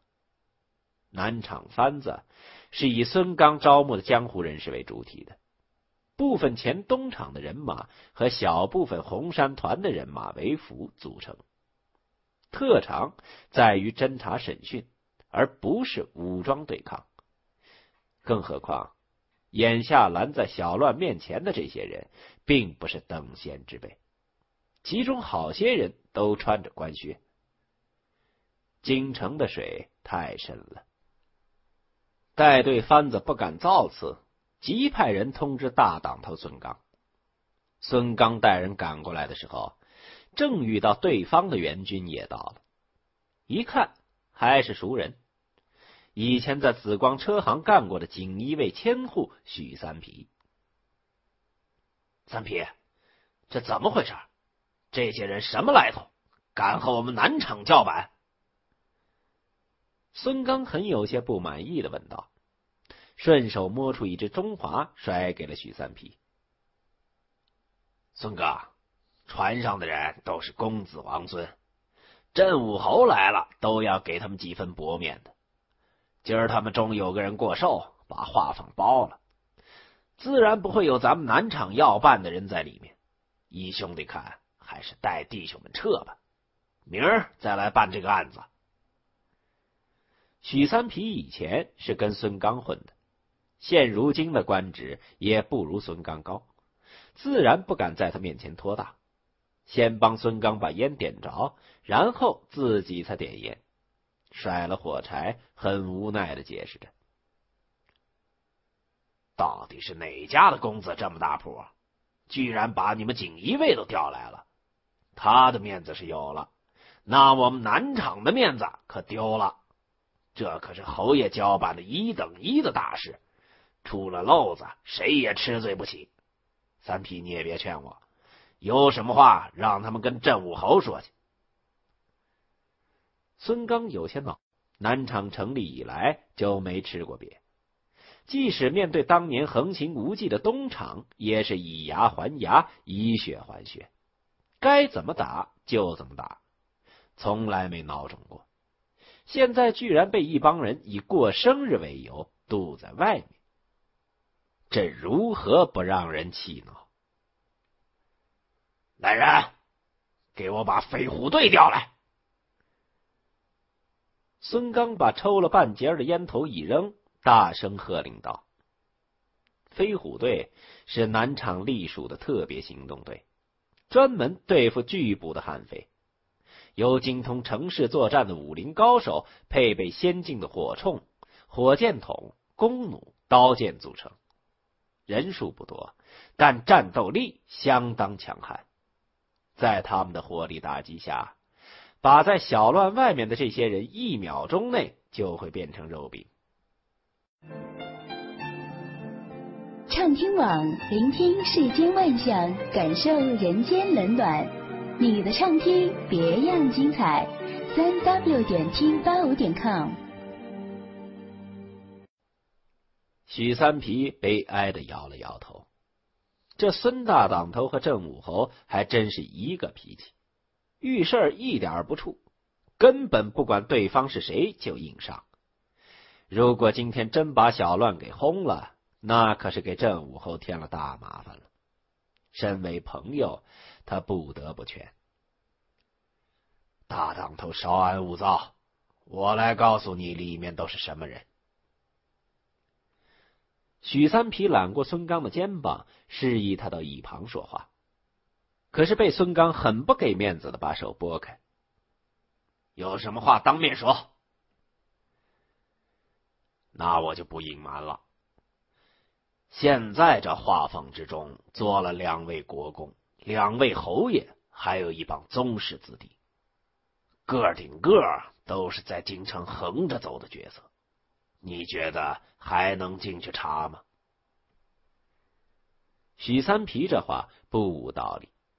虽然南厂权力很大，但是根据最新修订的大明律，厂卫系统在任何情况下不得对二品以上的大员进行侦查活动。这是东林当政以后实施的一项很得人心的政策，从一定程度上化解了明朝特务政治的顽疾。大臣们不用再担心半夜里被厂卫毫无原因的捕去了，厂卫。也因此将精力从无谓的内耗中解脱出来，去对付更加严峻的敌国特务行动。伯爵以上就是超品，远比二品高。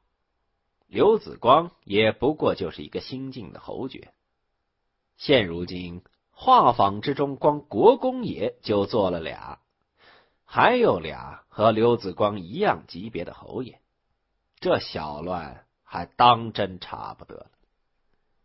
可是厂督大人交代过，此案关系重大，无论牵扯到什么人，都要一查到底。孙刚一市井泼皮出身，对于什么公啊侯啊的，天生缺乏尊敬和畏惧。你说谁谁是天下第一高手，他可能害怕；你要说谁谁的官大，那纯粹是自找难堪。在孙大党头心目中，除了皇帝老子，官最大的就是他们家侯爷。闪开！谁拦我，我灭谁！许三皮无奈，只得下令锦衣卫后退。南厂的飞虎队端着喇叭口火铳，慢慢压了上来。但是那群打手不为所动，依旧傲慢的挡在码头上。孙刚狞笑了一下，将右手举了起来。只要他的手挥下去，那么这群打手将在瞬间变成一堆喷血的尸体。就在这千钧一发的时刻，忽听的一声暴喝：“住手！谁再敢往前一步，你们的兄弟就人头落地！”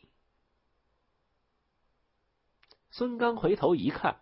顿时大惊失色，原来外围的南厂番子不知什么时候已经被人家全部活捉了，一个个钢刀架在脖子上被推了过来。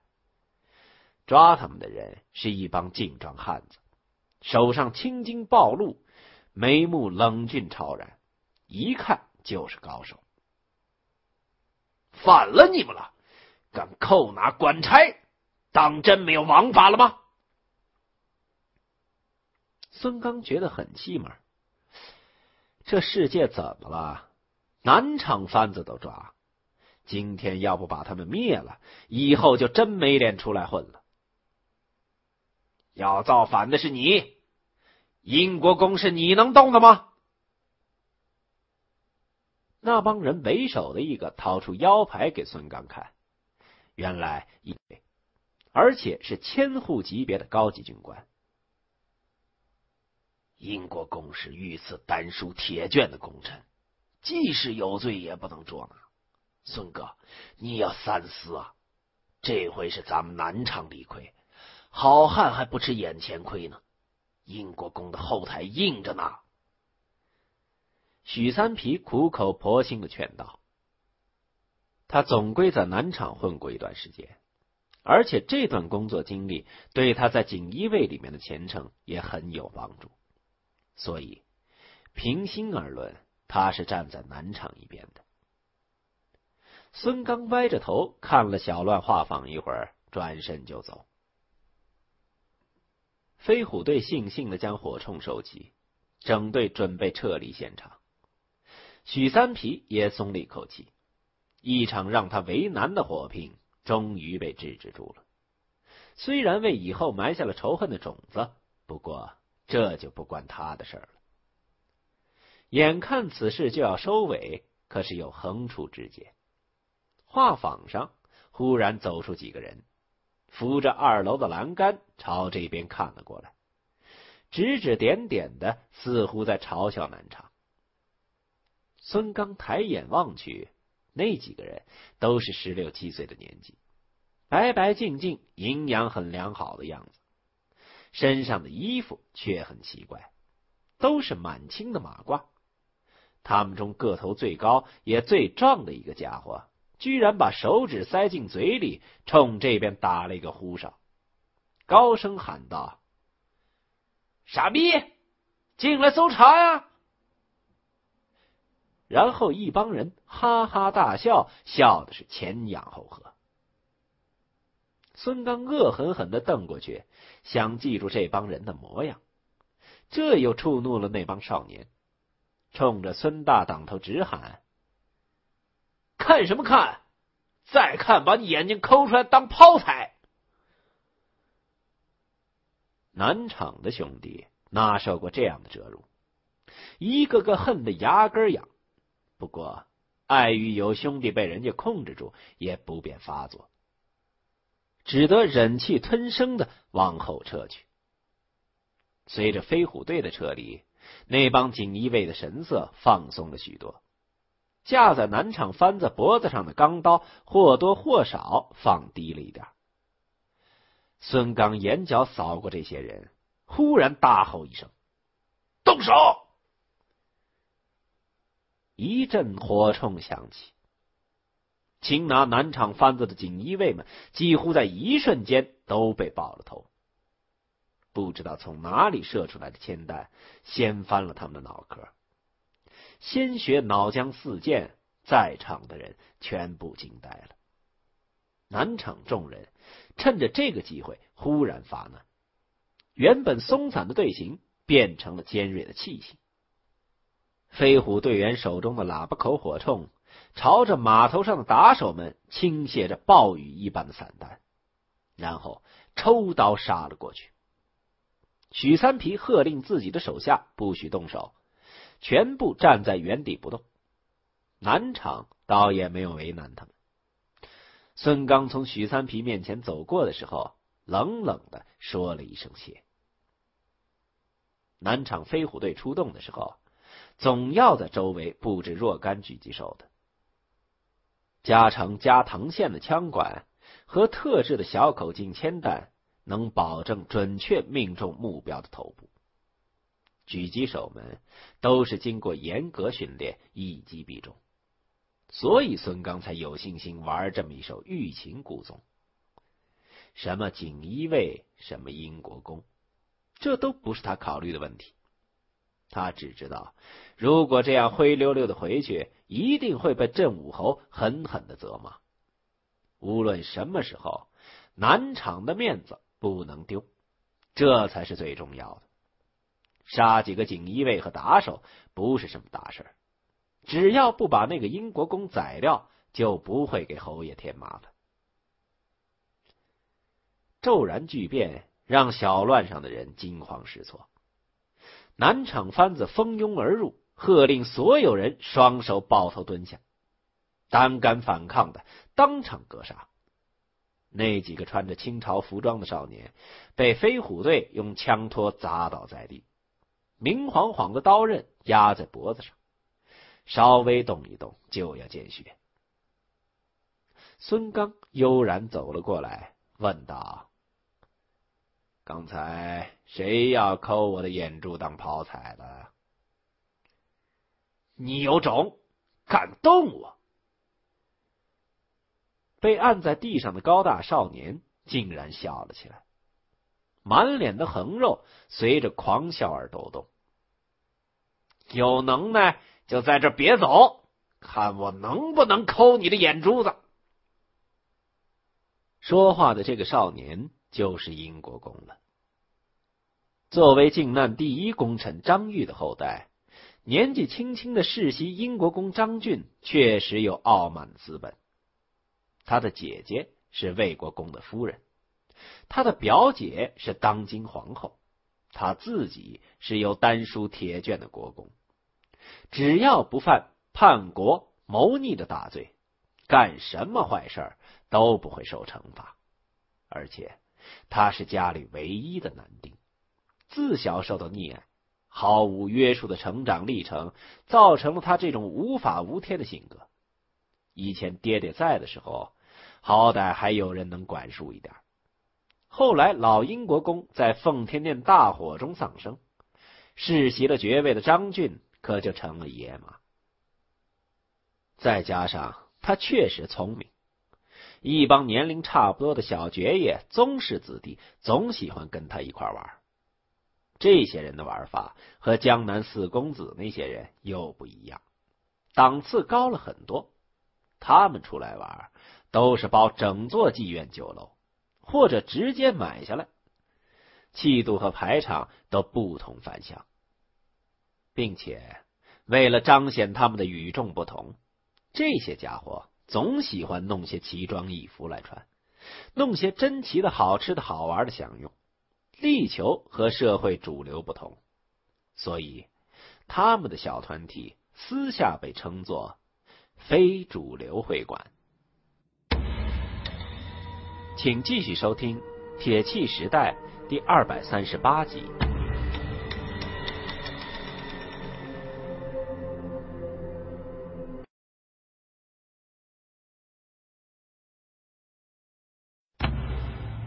欢迎收听《铁器时代》第二百三十八集。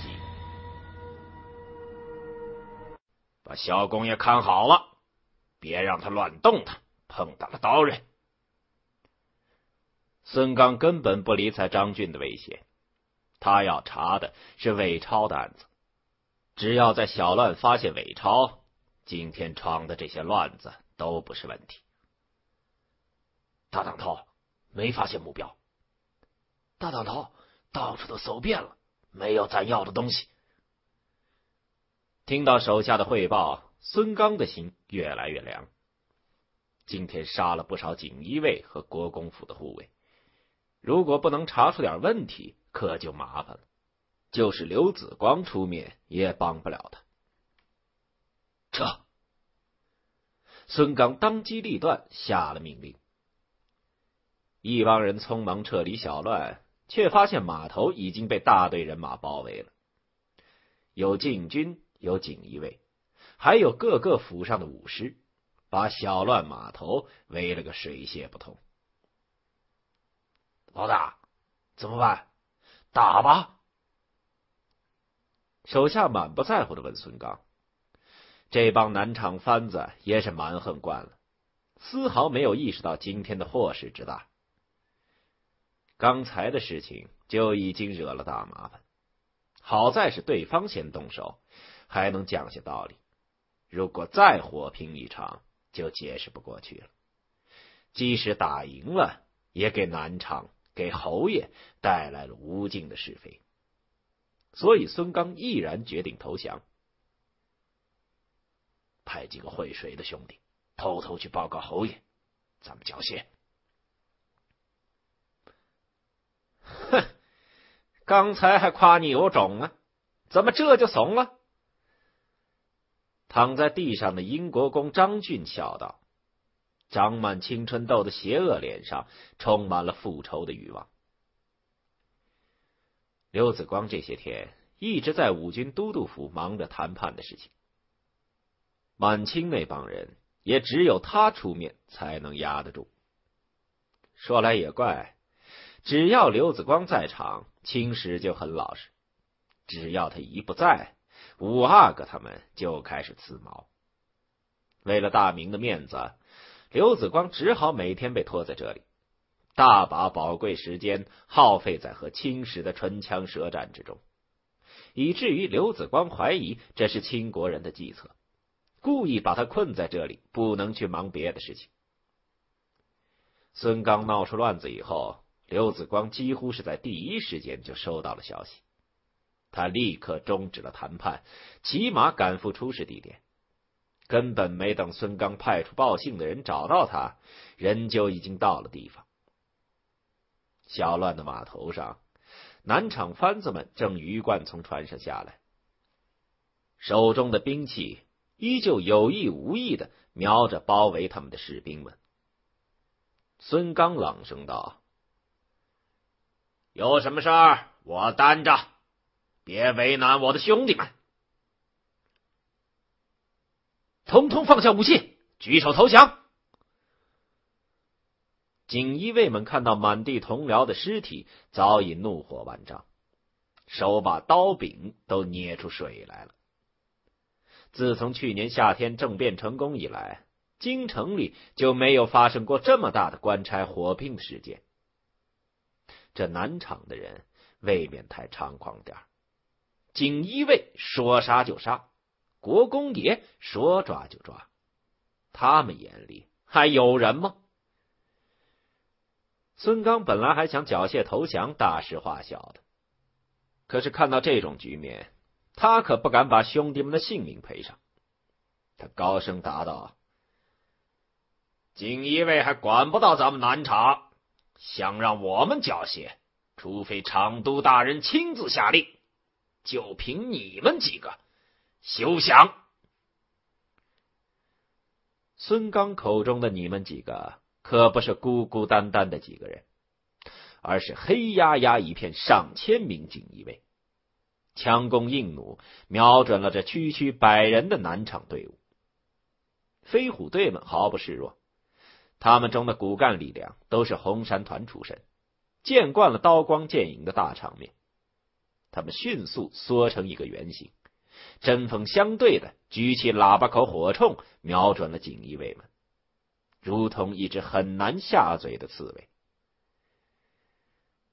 南厂和锦衣卫都是京城里有权有势的执法机关，南厂是最近跃起的新贵，人数虽然不多，但是精干彪悍，装备先进，朝廷上的话语权也大。而锦衣卫历史悠久，枝叶庞大，人员众多，也不是好欺负的。他们的对峙立刻震动了京城，不知道多少人正赶了过来。刘子光是第一个赶到现场的，他一身的盘龙绣金大红箭袖，骑着红马，远远的奔过来，如同一团烈火。到了近前。翻身下马，缰绳往后一扔，分开众人就往里走。包围圈的外围都是些寻常的锦衣卫，他们看见刘子光的蟒袍，不敢阻拦，纷纷让开一条道路，把他放了进去。刘子光手扶刀柄，大咧咧走进来，看也不看遍布周围的强弓硬弩，眉头略皱，喝问道：“这里谁管事儿？”小爷我管事儿，你又是哪根葱？一个穿着克隆版满族服装的少年站出来说道：“他的发型也很独特，脑袋后面系了好几个小辫子，身形略壮，眼神肆无忌惮，似乎根本不认识大名鼎鼎的郑武侯。这里的锦衣卫谁说了算？”刘子光根本不理睬那少年，抬高了声音问道：“卑职锦衣卫千户裘武见过郑武侯，回禀侯爷，这里说话算数的是国公爷。”一个面色黝黑、不苟言笑的汉子站出来答话，态度不卑不亢，说着，将眼神投向了刚才那个说话的壮士少年。那少年就是英国公张俊，他对刚才刘子光的怠慢很是气恼，此刻挺起了胸膛，抱着膀子，用一股少年人特有的张狂劲儿瞧着刘子光。他身后的六七个少年也抱着膀子，斜眼看着刘子光，气焰非常嚣张。刘子光还不清楚这里发生了什么事儿。但有人胆敢和南厂作对，这让他很不舒坦。眼前这个奇装异服的少年很面生，这小子居然能调动这么多的锦衣卫来，不知道有什么来头。你是国公，哪个府的？刘子光上下打量着张俊，眼神中带着明显的不屑。好像浏览着一本极其幼稚的小人书。这是世袭一等英国公张小爷，你是哪个衙门的？什么品级？见了国公爷怎么不跪拜？张俊身后一个瘦弱的少年神气活现的说道：“我是刘子光。”刘子光冷冷的报出了自己的名头。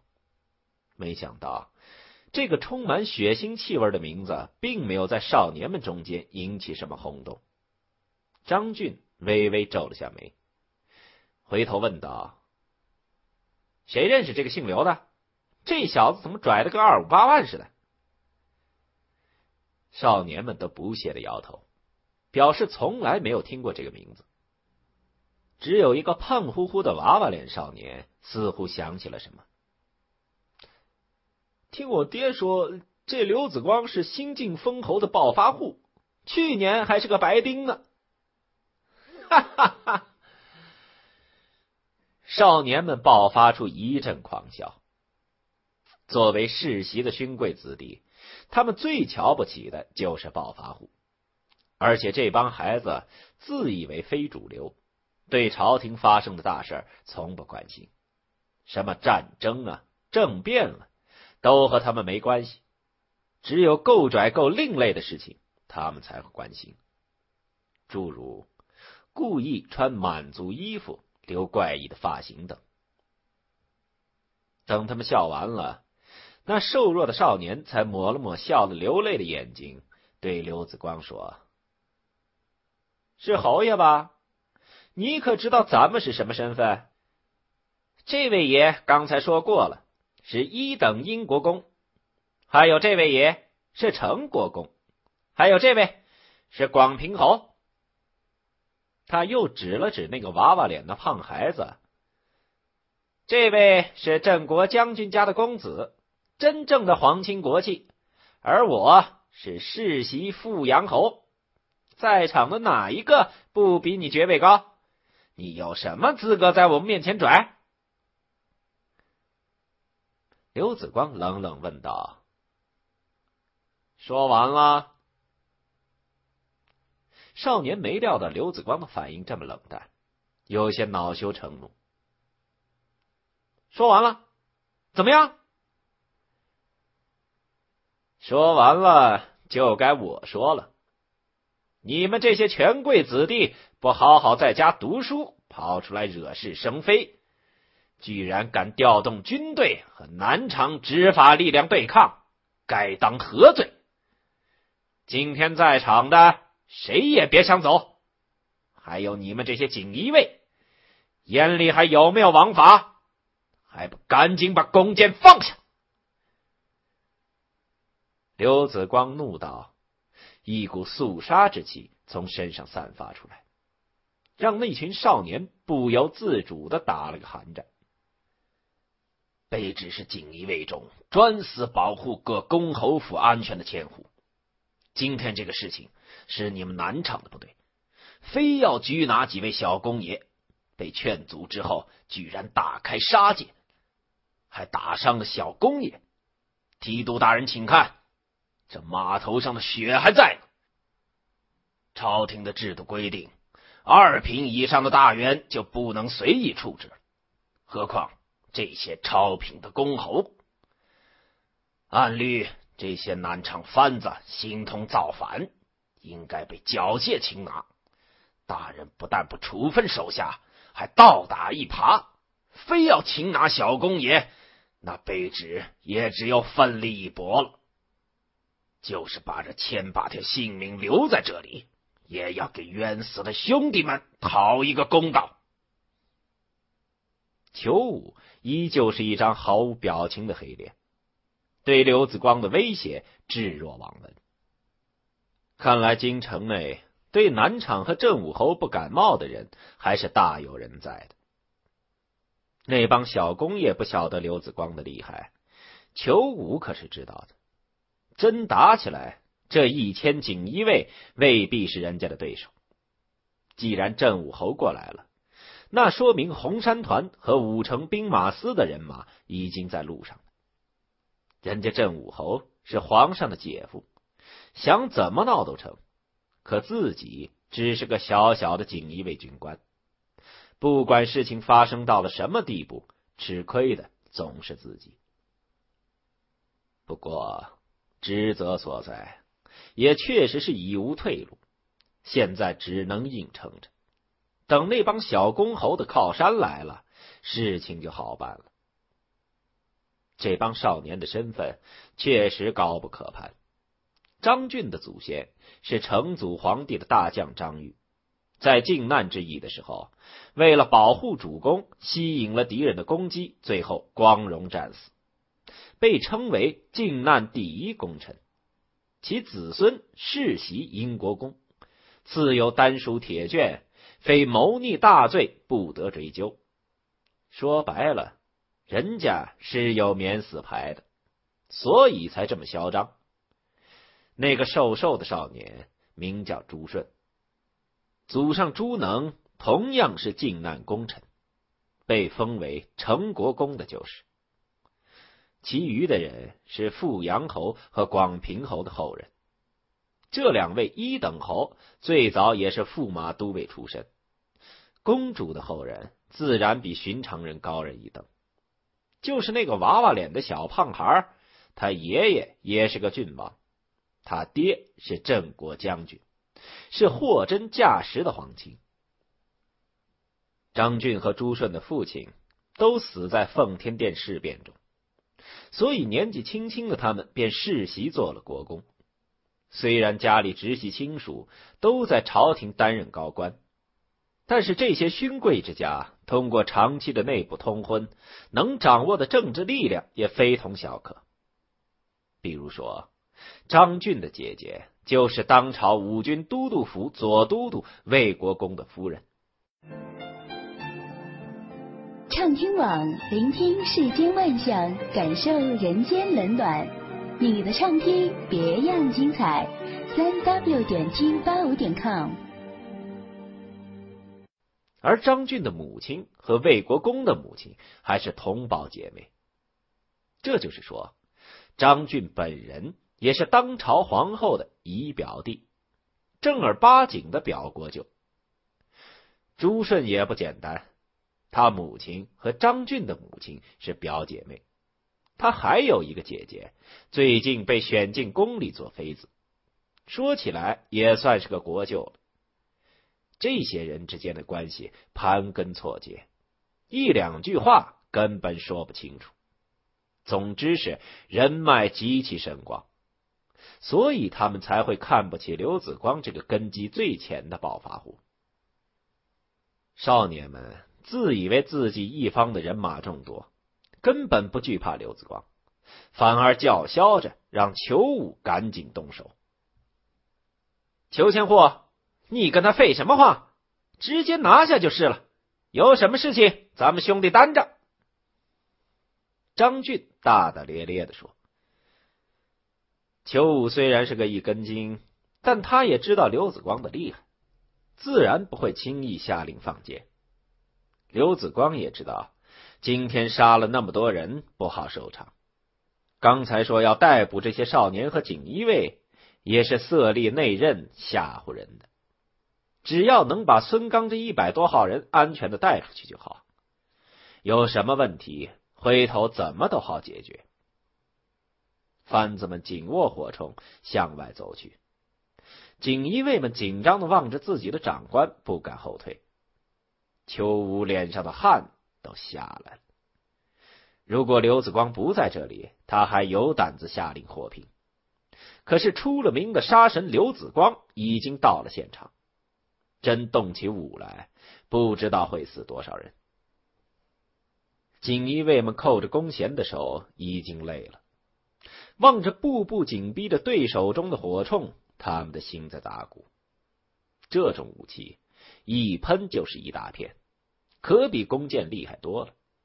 可是锦衣卫们同样也是铁骨铮铮的汉子，看着同僚的尸体就躺在附近，他们哪有后退的道理？眼看着双方越靠越近，一场厮杀。在所难免。千钧一发之际，忽见远处一群战马奔来，骑士都是禁军肤色。前头一人高喊道：“全都住手！大都督驾到！”大明朝有好多的都督、提督，但是大都督只有一个，那就是魏国公兼国舅爷徐增寿。这位昔日郁郁不得志的孝陵卫指挥使，现在已经是堂堂的五军都督府左都督了，相当于全大明的兵马总指挥，兵部尚书也在他之下，地位相当的高。徐增寿是世袭的魏国公，祖上是著名的徐达，那可是跟着太祖皇帝打天下的老人了。这个国公的含金量。一点都不比什么英国公、成国公来的差，而且魏国公也是从龙有功的大臣。朱由校当上货真价实的皇帝，有他一份大功。魏国公既不是东林党的人，也不是刘子光派系的，他代表的是广大贵族的利益。京城里这些公侯王爵、宗室子弟都把他当做最大的靠山。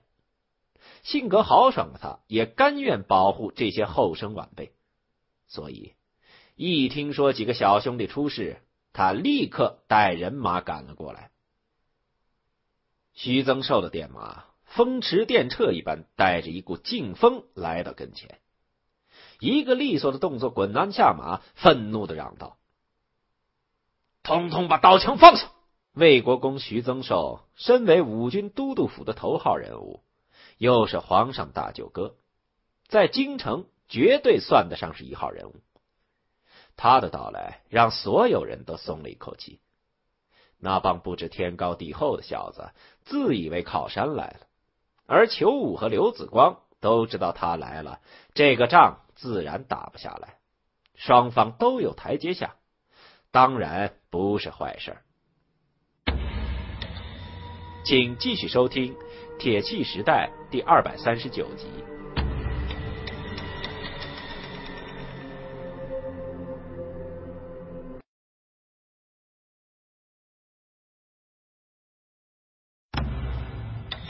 欢迎收听《铁器时代》第二百三十九集。徐公爷是大都督，掌管天下兵马。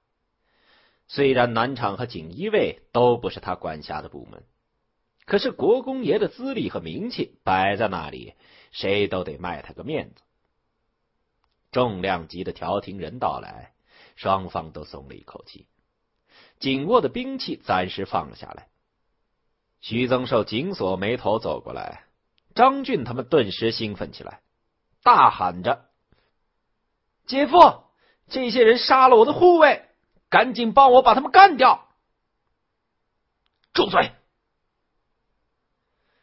徐增寿回头怒骂了一句，转而对刘子光抱拳道：“小孩子不懂事，朕武侯未见怪，今儿个不妨先放他们回去。”日后兄弟一定严加管教。姐夫，你是不是喝多了？明明是咱们人多，怎么让他放过我们？我们放过他才是。张俊很不解的问：“住嘴！”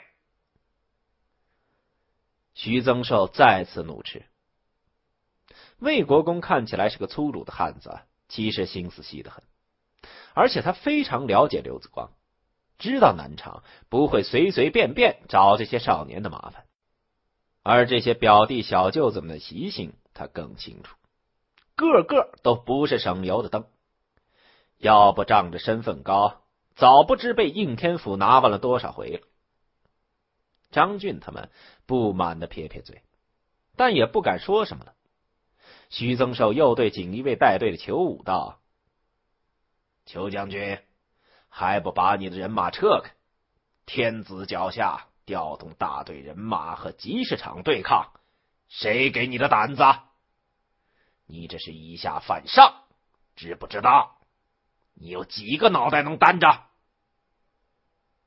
一连串的发问将裘武问得无言以对，指着满地的尸体辩解着：“大都督。”兄弟们无缘无故折损了这么多，好了，有什么问题，本宫会和齐大人交涉。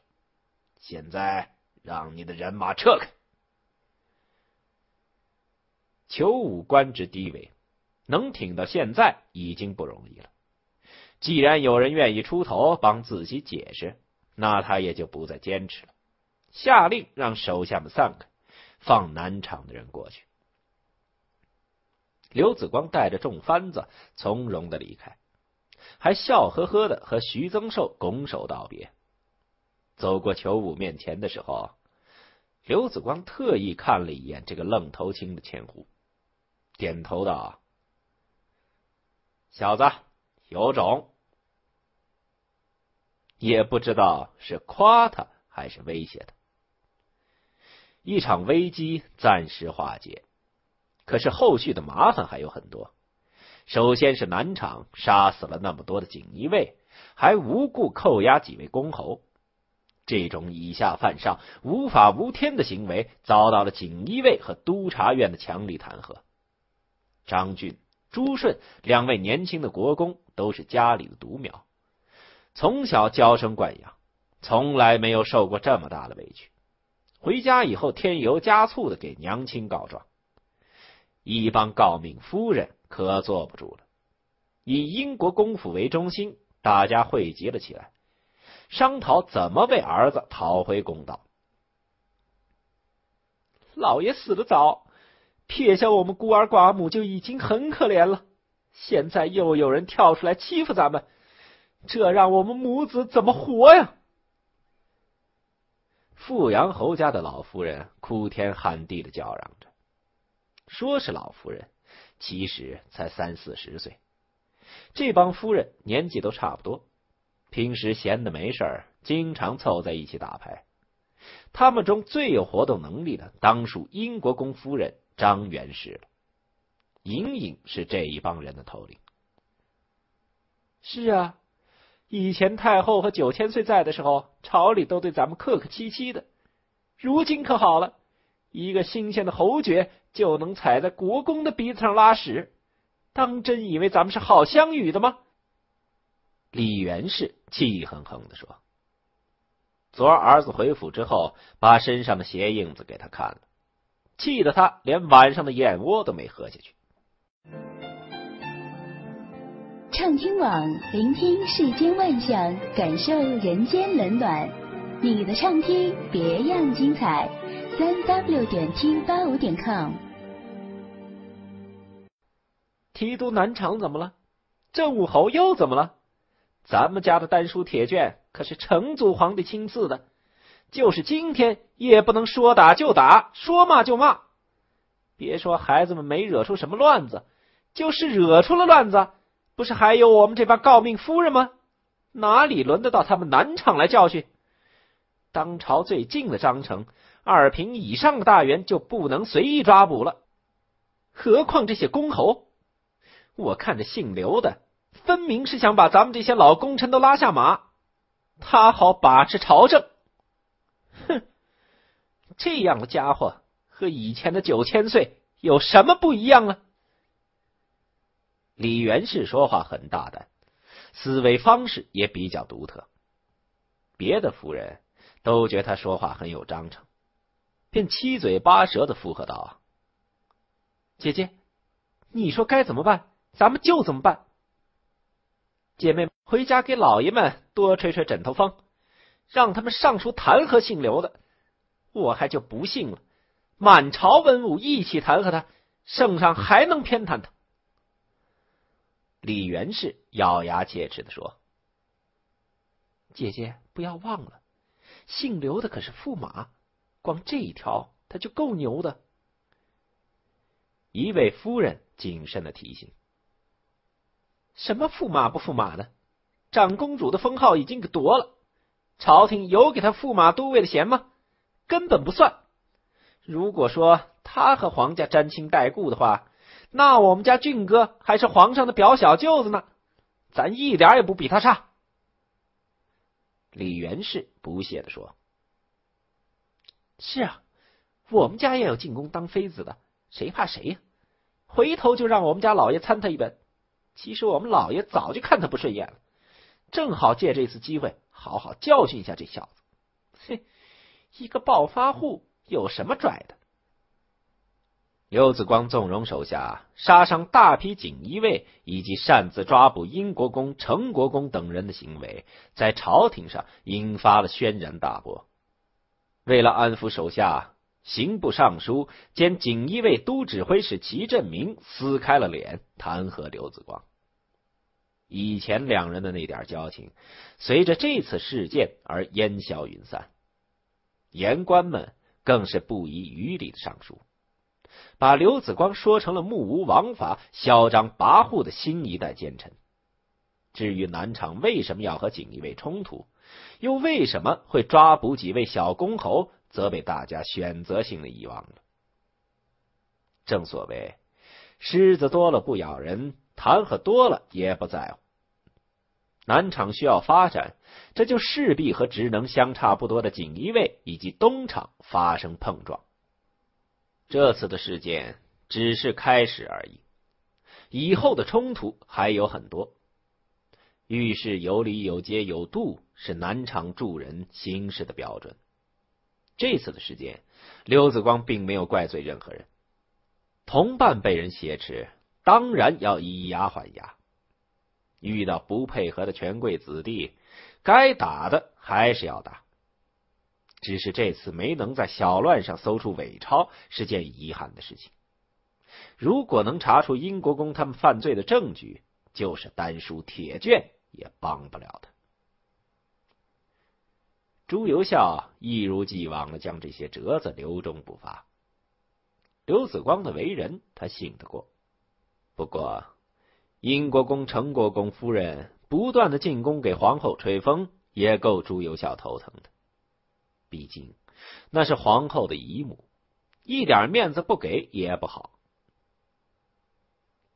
刘青，朕听皇后说了，他那个表弟就是个十足的纨绔子弟，该教训的还是要教训。不过英国公家就这么一根独苗，要是没犯什么大罪过，该放还是要放一放。既然皇上都说话了。刘子光也不好再坚持什么，更何况这件事情本来自己就没吃亏，只是伪钞的事情不得不稍微停顿一下。招商局的筹备工作在紧锣密鼓的进行之中。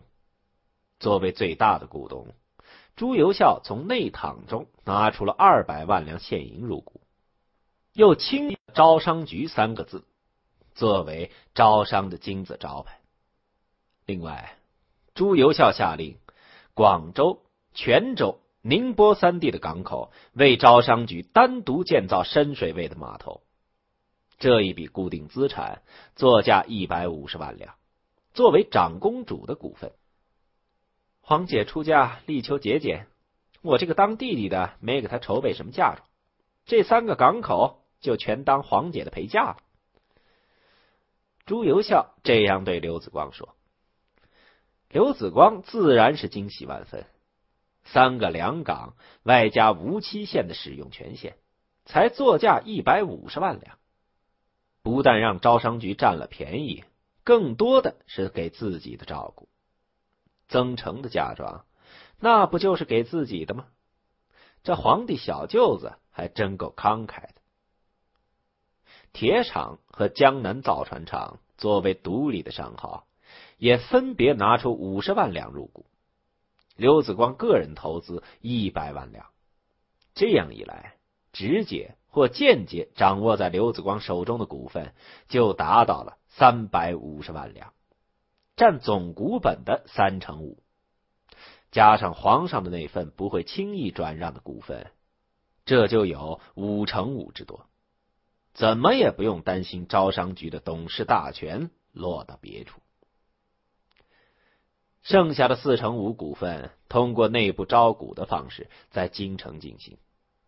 彭敬荣他们又拿出了几万几万的私房银票来买些散碎的股票。就是李香君小妹妹都能拿出刘子光给的千把两银子来凑个热闹，只有刘小猫没钱买股票，眼巴巴的趴在梁头上，看着大家兴奋的拿着银票数来数去，杏核眼里充满了迷惑。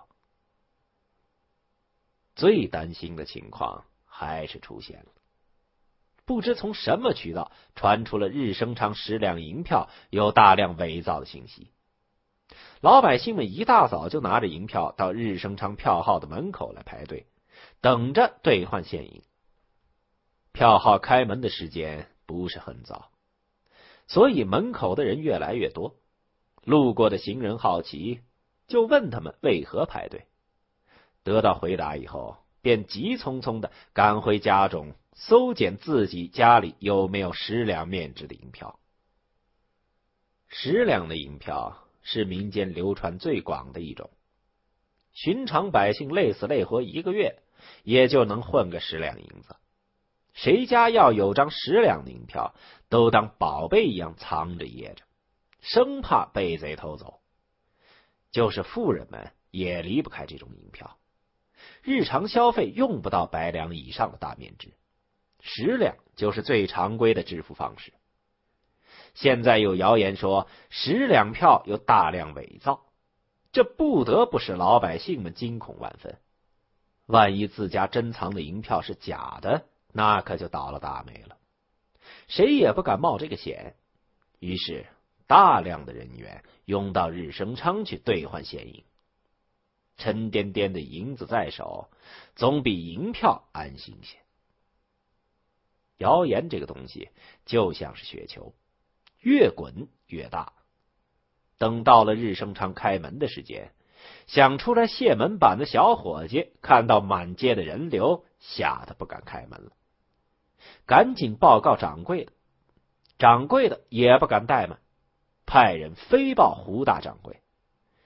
票号自然是不敢再开张，因为一开张就会被汹涌的人流击垮。到时候，损失可就不可估量了。票号不开门，反而更加刺激了满心不安的百姓们。他们更怀疑手中的银票是假的。满心惶恐和不安的百姓们，并不去想是谁伪造了这些假票，而是抱怨票号为什么不开门。愤怒的情绪下，一些百姓开始砸票号砸门，高声叫喊着让里面的人开门。大规模的群体性事件自然引起了武城兵马司的注意。李岩早就下过命令，票号属于重点保护对象。可是闻讯赶来的百十名巡逻士兵，面对满街的人山人海的百姓，只是杯水车薪而已。而且，百姓的队伍还在壮大。日升昌在京城的三家分号，无一例外受到了冲击。关键时刻。胡大掌柜毅然下令开门兑银子。为了平息谣言，所有的银票不管真假一律兑换。武城兵马司的人负责维护治安，插队起哄的一律揪出来押走。同时，从京城的银库调拨大批现银运到票号里应付兑换。看到最前面的人领到了雪白的细丝银锭，后面的人潮稍微平静了一些。可这并不能缓解他们的忧虑，只有白花花、沉甸甸的银子拿在手里，才能真正放心。随着人流的缓缓移动，大批银票被收回，相应的银子被发放出去。可是京城的银库存银，因为前一段时间的大额兑换，导致库存不多，仅有的几十万两，眼看着就要发放殆尽了。票号的伙计们急得满头大汗，尽量拖延兑换银子的时间，等着掌柜的拿出对策。前段时间，由于京城涌入了大批的北方文物。而这些倒斗的家伙只收现银，不要银票，所以很多欲购买文物的达官贵人们都兑付了手上的大额本票。京城的银库由此空了一半。合肥那边的总库还没来得及运银子过来，就爆发了这场挤兑事件，这是大家始料未及的。胡一敏坐镇京城的日升昌。面色平静如水，一派大家风范。伙计们看到大掌柜如此镇静，紧张的心情不由得平息了下来。其实，胡大掌柜心里也很紧张。这次的事件如果处理不当，势必影响日升昌的信誉。没了信誉，还开什么票号？现在局面已经失控。再怎么辟谣，也缓解不了民众的恐慌。能让老百姓们放心的，只有银子，无穷无尽的银子。银库已经见底了，外面排队的人还是不见少。收回的十两面值的银票里面，有接近三成都是伪钞。可是为了不影响日升昌的信誉。他们只好咬着牙把这些伪钞都给收了回来。如果不这样做的话，影响将更加恶劣。那些拿了伪钞的老百姓是无罪的，他们才不管是谁制造了伪钞。只要不给银子，他们就会发疯。大掌柜，小的看见有几个熟面孔来了好几次了，每次。都拿着几百两的假票，根据您的指示，怎么没有轻举妄动？很好，你下去吧。胡大掌柜不动声色的点点头。日升昌不是吃素的，养了那么多高手，就是在这个时候用。挤兑是人为煽动的这一点，毋庸置疑。百姓们中间夹杂了捣乱的坏人，也是肯定的。日升昌的保安人员已经盯住了几个可疑的伪钞持有者，等他们落了单，就擒住拷问，力求尽快将幕后指使者揪出来。南厂和户部的人到了没有？胡大掌柜问道。这种时候。能指望得上的，自然是盟友刘子光和自己的亲叔叔了。这种大规模的事件，肯定有幕后的黑手，需要南厂这样的强力朝廷机关出手。大规模的挤兑，光靠日升昌的力量应付不过来，还需要户部的银库进行支持。回大掌柜，户部的二太爷派人送了信过来，手下呈上一封书信。胡一敏抽出一看，不由得眉头紧锁。这是他的叔叔户部尚书胡雪斋的信，信上说他已经无力调动户部银库了，实权被两个侍郎拿去，还有一堆御史整天盯着他，实在没办法帮忙。这也难怪，胡雪斋本来就不怎么合适当官。出任户部尚书只是政变以后分赃的结果，但东林党已不满意户部财权继续掌握在外人手里，所以一直明里暗里打压，架空胡雪斋，割裂户部和日升昌的关系。请继续收听《铁器时代》第二百四十集。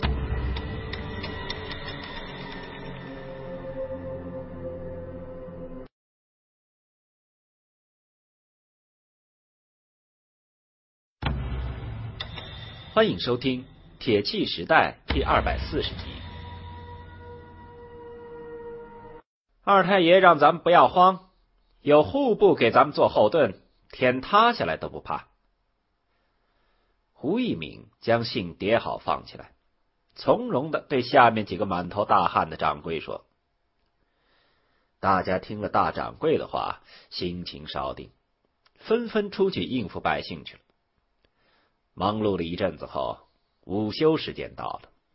票号的伙计正打算上门板的时候，等待了几个时辰，刚排到跟前的老百姓们急了，抓住伙计不让他们关门，非要等自己的银票兑出来才行。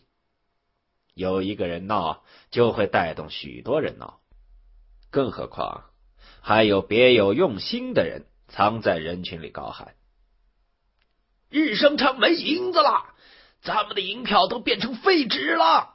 父老乡亲们，快冲进去抢啊！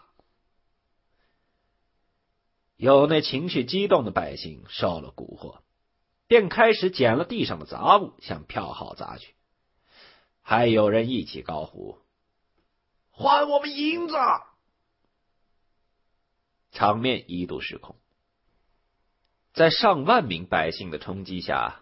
坚固的票号楼房似乎已支撑不了多久。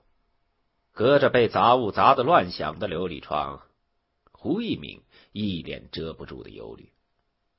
这是个针对日升昌的连环局，自己怎么就没看透呢？维护治安的五城兵马司士兵已经被百姓冲得七零八落，组织不起有效的防线了。眼瞅着百姓们就要冲进票号了，忽听一阵嘹亮和响鞭，一队马车远远的赶了过来。看到迎车到来，老百姓们自发的分开一条道路，以便车辆顺利进入票号。大掌柜，这看起来不像是咱们家的营车呀！有人在胡一敏面前狐疑的说。这确实不是真正的日升昌押营车，而是南厂的战车改装而成。宽阔的铁皮车厢上，盖子大敞着，露出里面山一样的营地。每辆车都装得满满当当，好像运煤一般。营车的橡胶充气轱辘被沉重的负担压得都瘪了，拉车的三河剑马也走得不快。显示出营车里着实有些货色。管他是谁的营车呢，放进来再说。胡一敏眉头一挑道：“其实他已经看到了，为首的马车上坐的正是换了便装的刘子光。”马车到了票号门口，刘子光大喊：“存银子了！掌柜的，快出来接待！”胡一敏没想到刘子光用这种方式来帮自己，真是太及时了。这么多的银子，肯定给那些排队的百姓造成了心理暗示。日升昌的信誉和实力还是可靠的。对外宣布，中午咱们不休了，谁要银子都给，绝不含糊。胡一敏估摸着。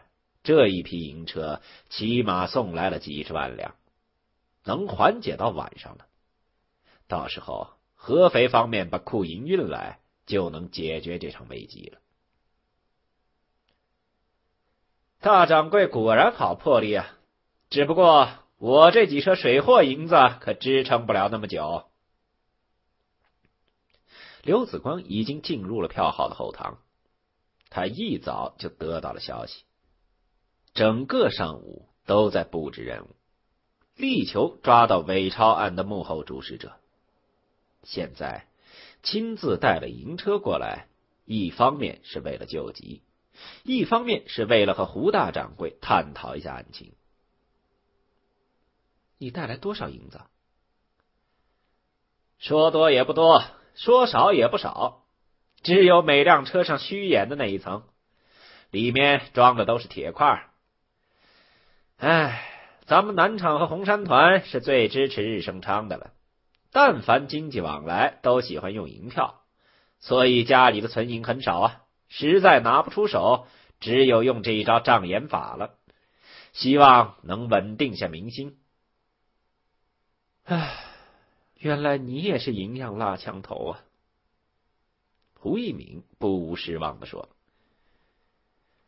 不管怎么说。”几大车银子的到来，给外面的百姓们极大的心理安慰。他们不再担心领不到银子，队伍开始变得有秩序起来。趁这个机会，胡一敏赶紧和刘子光商讨起对策来。库里的银子还能维持半天，其实京城银库的存量还是可以的，只是没料到挤兑的这么厉害，里面又掺杂了大量的伪钞。但是为支付这些伪钞，就多花了十几万两。现在伪钞还在源源不断的涌进来，偏偏还不能不付。只要承认有伪钞的存在，那日升昌的信誉就完了，没有一年半载修复不过来。胡大掌柜说：“尽量多筹集些银子吧，我会派人帮助追查伪钞的源头。”这不是简单的针对你们家票号的行为，而是打击整个大明经济的准军事行动。我会上报给内阁和皇上的，你放心好了。刘子光宽慰着：“哎，内阁是指望不上了，他们眼巴巴的盼着日升昌垮台呢，鸟尽弓藏啊！现在咱们日升昌已经不是可以利用的对象了。”而是影响他们捞钱绊脚石。胡一鸣哀叹了一声：“可不是吗？现在东林党把持了朝政，已经不再需要日升昌的财政支援。日升昌的死活，他们才不管呢。几个多次兑现伪钞的家伙被押到了票号的后堂，由南厂番子提审。根据他们交代。”每次都有个神秘的人把伪钞交给他们，由他们去兑换现银，然后抽两成给他们。这种单线联系的接头方式很难追查到源头。一波未平，一波又起。刚开始的时候，老百姓们只拿着十两的银票兑付，渐渐的演变成更大面额的银票也加入到兑付的行列中。一百两的、五十两的票子出现在票号的柜台上，更大面值的本票也开始零星出现。已经有京城的富商联系票号，要求兑付手中掌握的大批银票。这种行为无异于雪上加霜。本来就不宽裕的现银，根本没有办法支付这么巨量的票据。京城虽然不是江南那样贸易发达。但却是个极大的消费型和积累型城市，大批的银票汇集在这里，并不占用流通市值。日升昌的存银支持市面上流通的银票还马马虎虎，如果支付起京城富商们积攒多年的大额本票来，那可就真是一筹莫展了。无论如何都要撑下去。我已经发信给合肥总库了，紧急调拨一百万两现银过来，敞开了供应。只要把头两天应付下来，就能缓过劲儿来。咱们日升昌可不是轻易能打垮的。我有三个办法：一是开源，二是分流，三是解堵。开源就是加大现银的兑付量，咱们来者不拒。分流就是把那些挤兑的人分出去，比如现在就公开发售招商局的股份，不接受现银，只接受银票。解堵就是一方面威胁那些富商不要来凑热闹，一方面把伪钞的源头堵上。很好，你这倒是提醒了我。百姓们发疯似的挤兑，还不就是怕银票变成废纸吗？我可以提高利息。给年息一成的高息，还怕他们不存钱吗？京城上空出现了两艘庞大的飞艇，在人流密集的区域上空缓缓的飞行着。飞艇上垂下两条宽大的红绸布，上面用大黑字写着：“招商局即日公开发售股份，一千两起售。”为方便核算，只接受日升昌银票以及本票。畅听网，聆听世间万象，感受人间冷暖。你的畅听别样精彩。三 w 点听八五点 com。招商局是个稳赚不赔的皇家产业，被京城的经济学家们誉为当代最赚钱的商号。只要拿住了一股招商局股票，子孙后代不用愁。原先是一万两一股，还要排队领号，限制发售。现在降低了门槛，寻常的殷实之家也能买得起了。而且人家只接受银票，这不由得让在日升昌门口排队的人们心思大动。有不少排在队伍末端的人，眼看今天排不上，心想还不如去招商局发售新股的地方撞撞大运呢。于是，人群三三两两的散去，叫上三轮车，按照飞艇上标注的发售地点赶了过去。那些拿着大额本票的富人们，更是对招商局的股票大感兴趣。他们不再急着兑付现银，而是一方面派出家人去招商局筹备处排队，一方面开始联络熟人朋友，看能不能多买些股票。招商局的门槛降到了一千两，还是有大量的老百姓买不起，而且老百姓家里没有余钱，根本不具备投资的条件。他们还是专注于将手上的银票兑换成现银。不过，票号门口打出的大幅广告不可避免的吸引了他们的注意力。年息一成的存款利率算是很高了，一百两银子存进去，明年就能拿一百一十两。于是，精打细算的中产阶级们开始动起了脑筋。银子放在家里是不会生效的，还不如存在票号里吃利息。存单不比银票，是记名的票据，而且有指印和图章，不怕票号赖账。想到这里，一部分人改变了主意，情愿将手中的银票换成一年期的存单，而不是支取现银的。票号的屋顶上，一个穿着香云纱金钱纹袍子的伙计拿着大喇叭高声喊道：“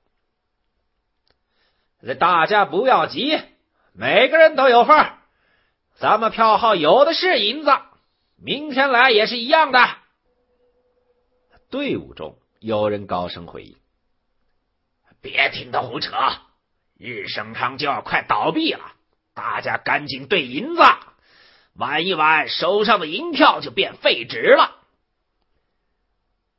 老百姓是愚昧的、盲从的，听到有人蛊惑，心里又开始盘算。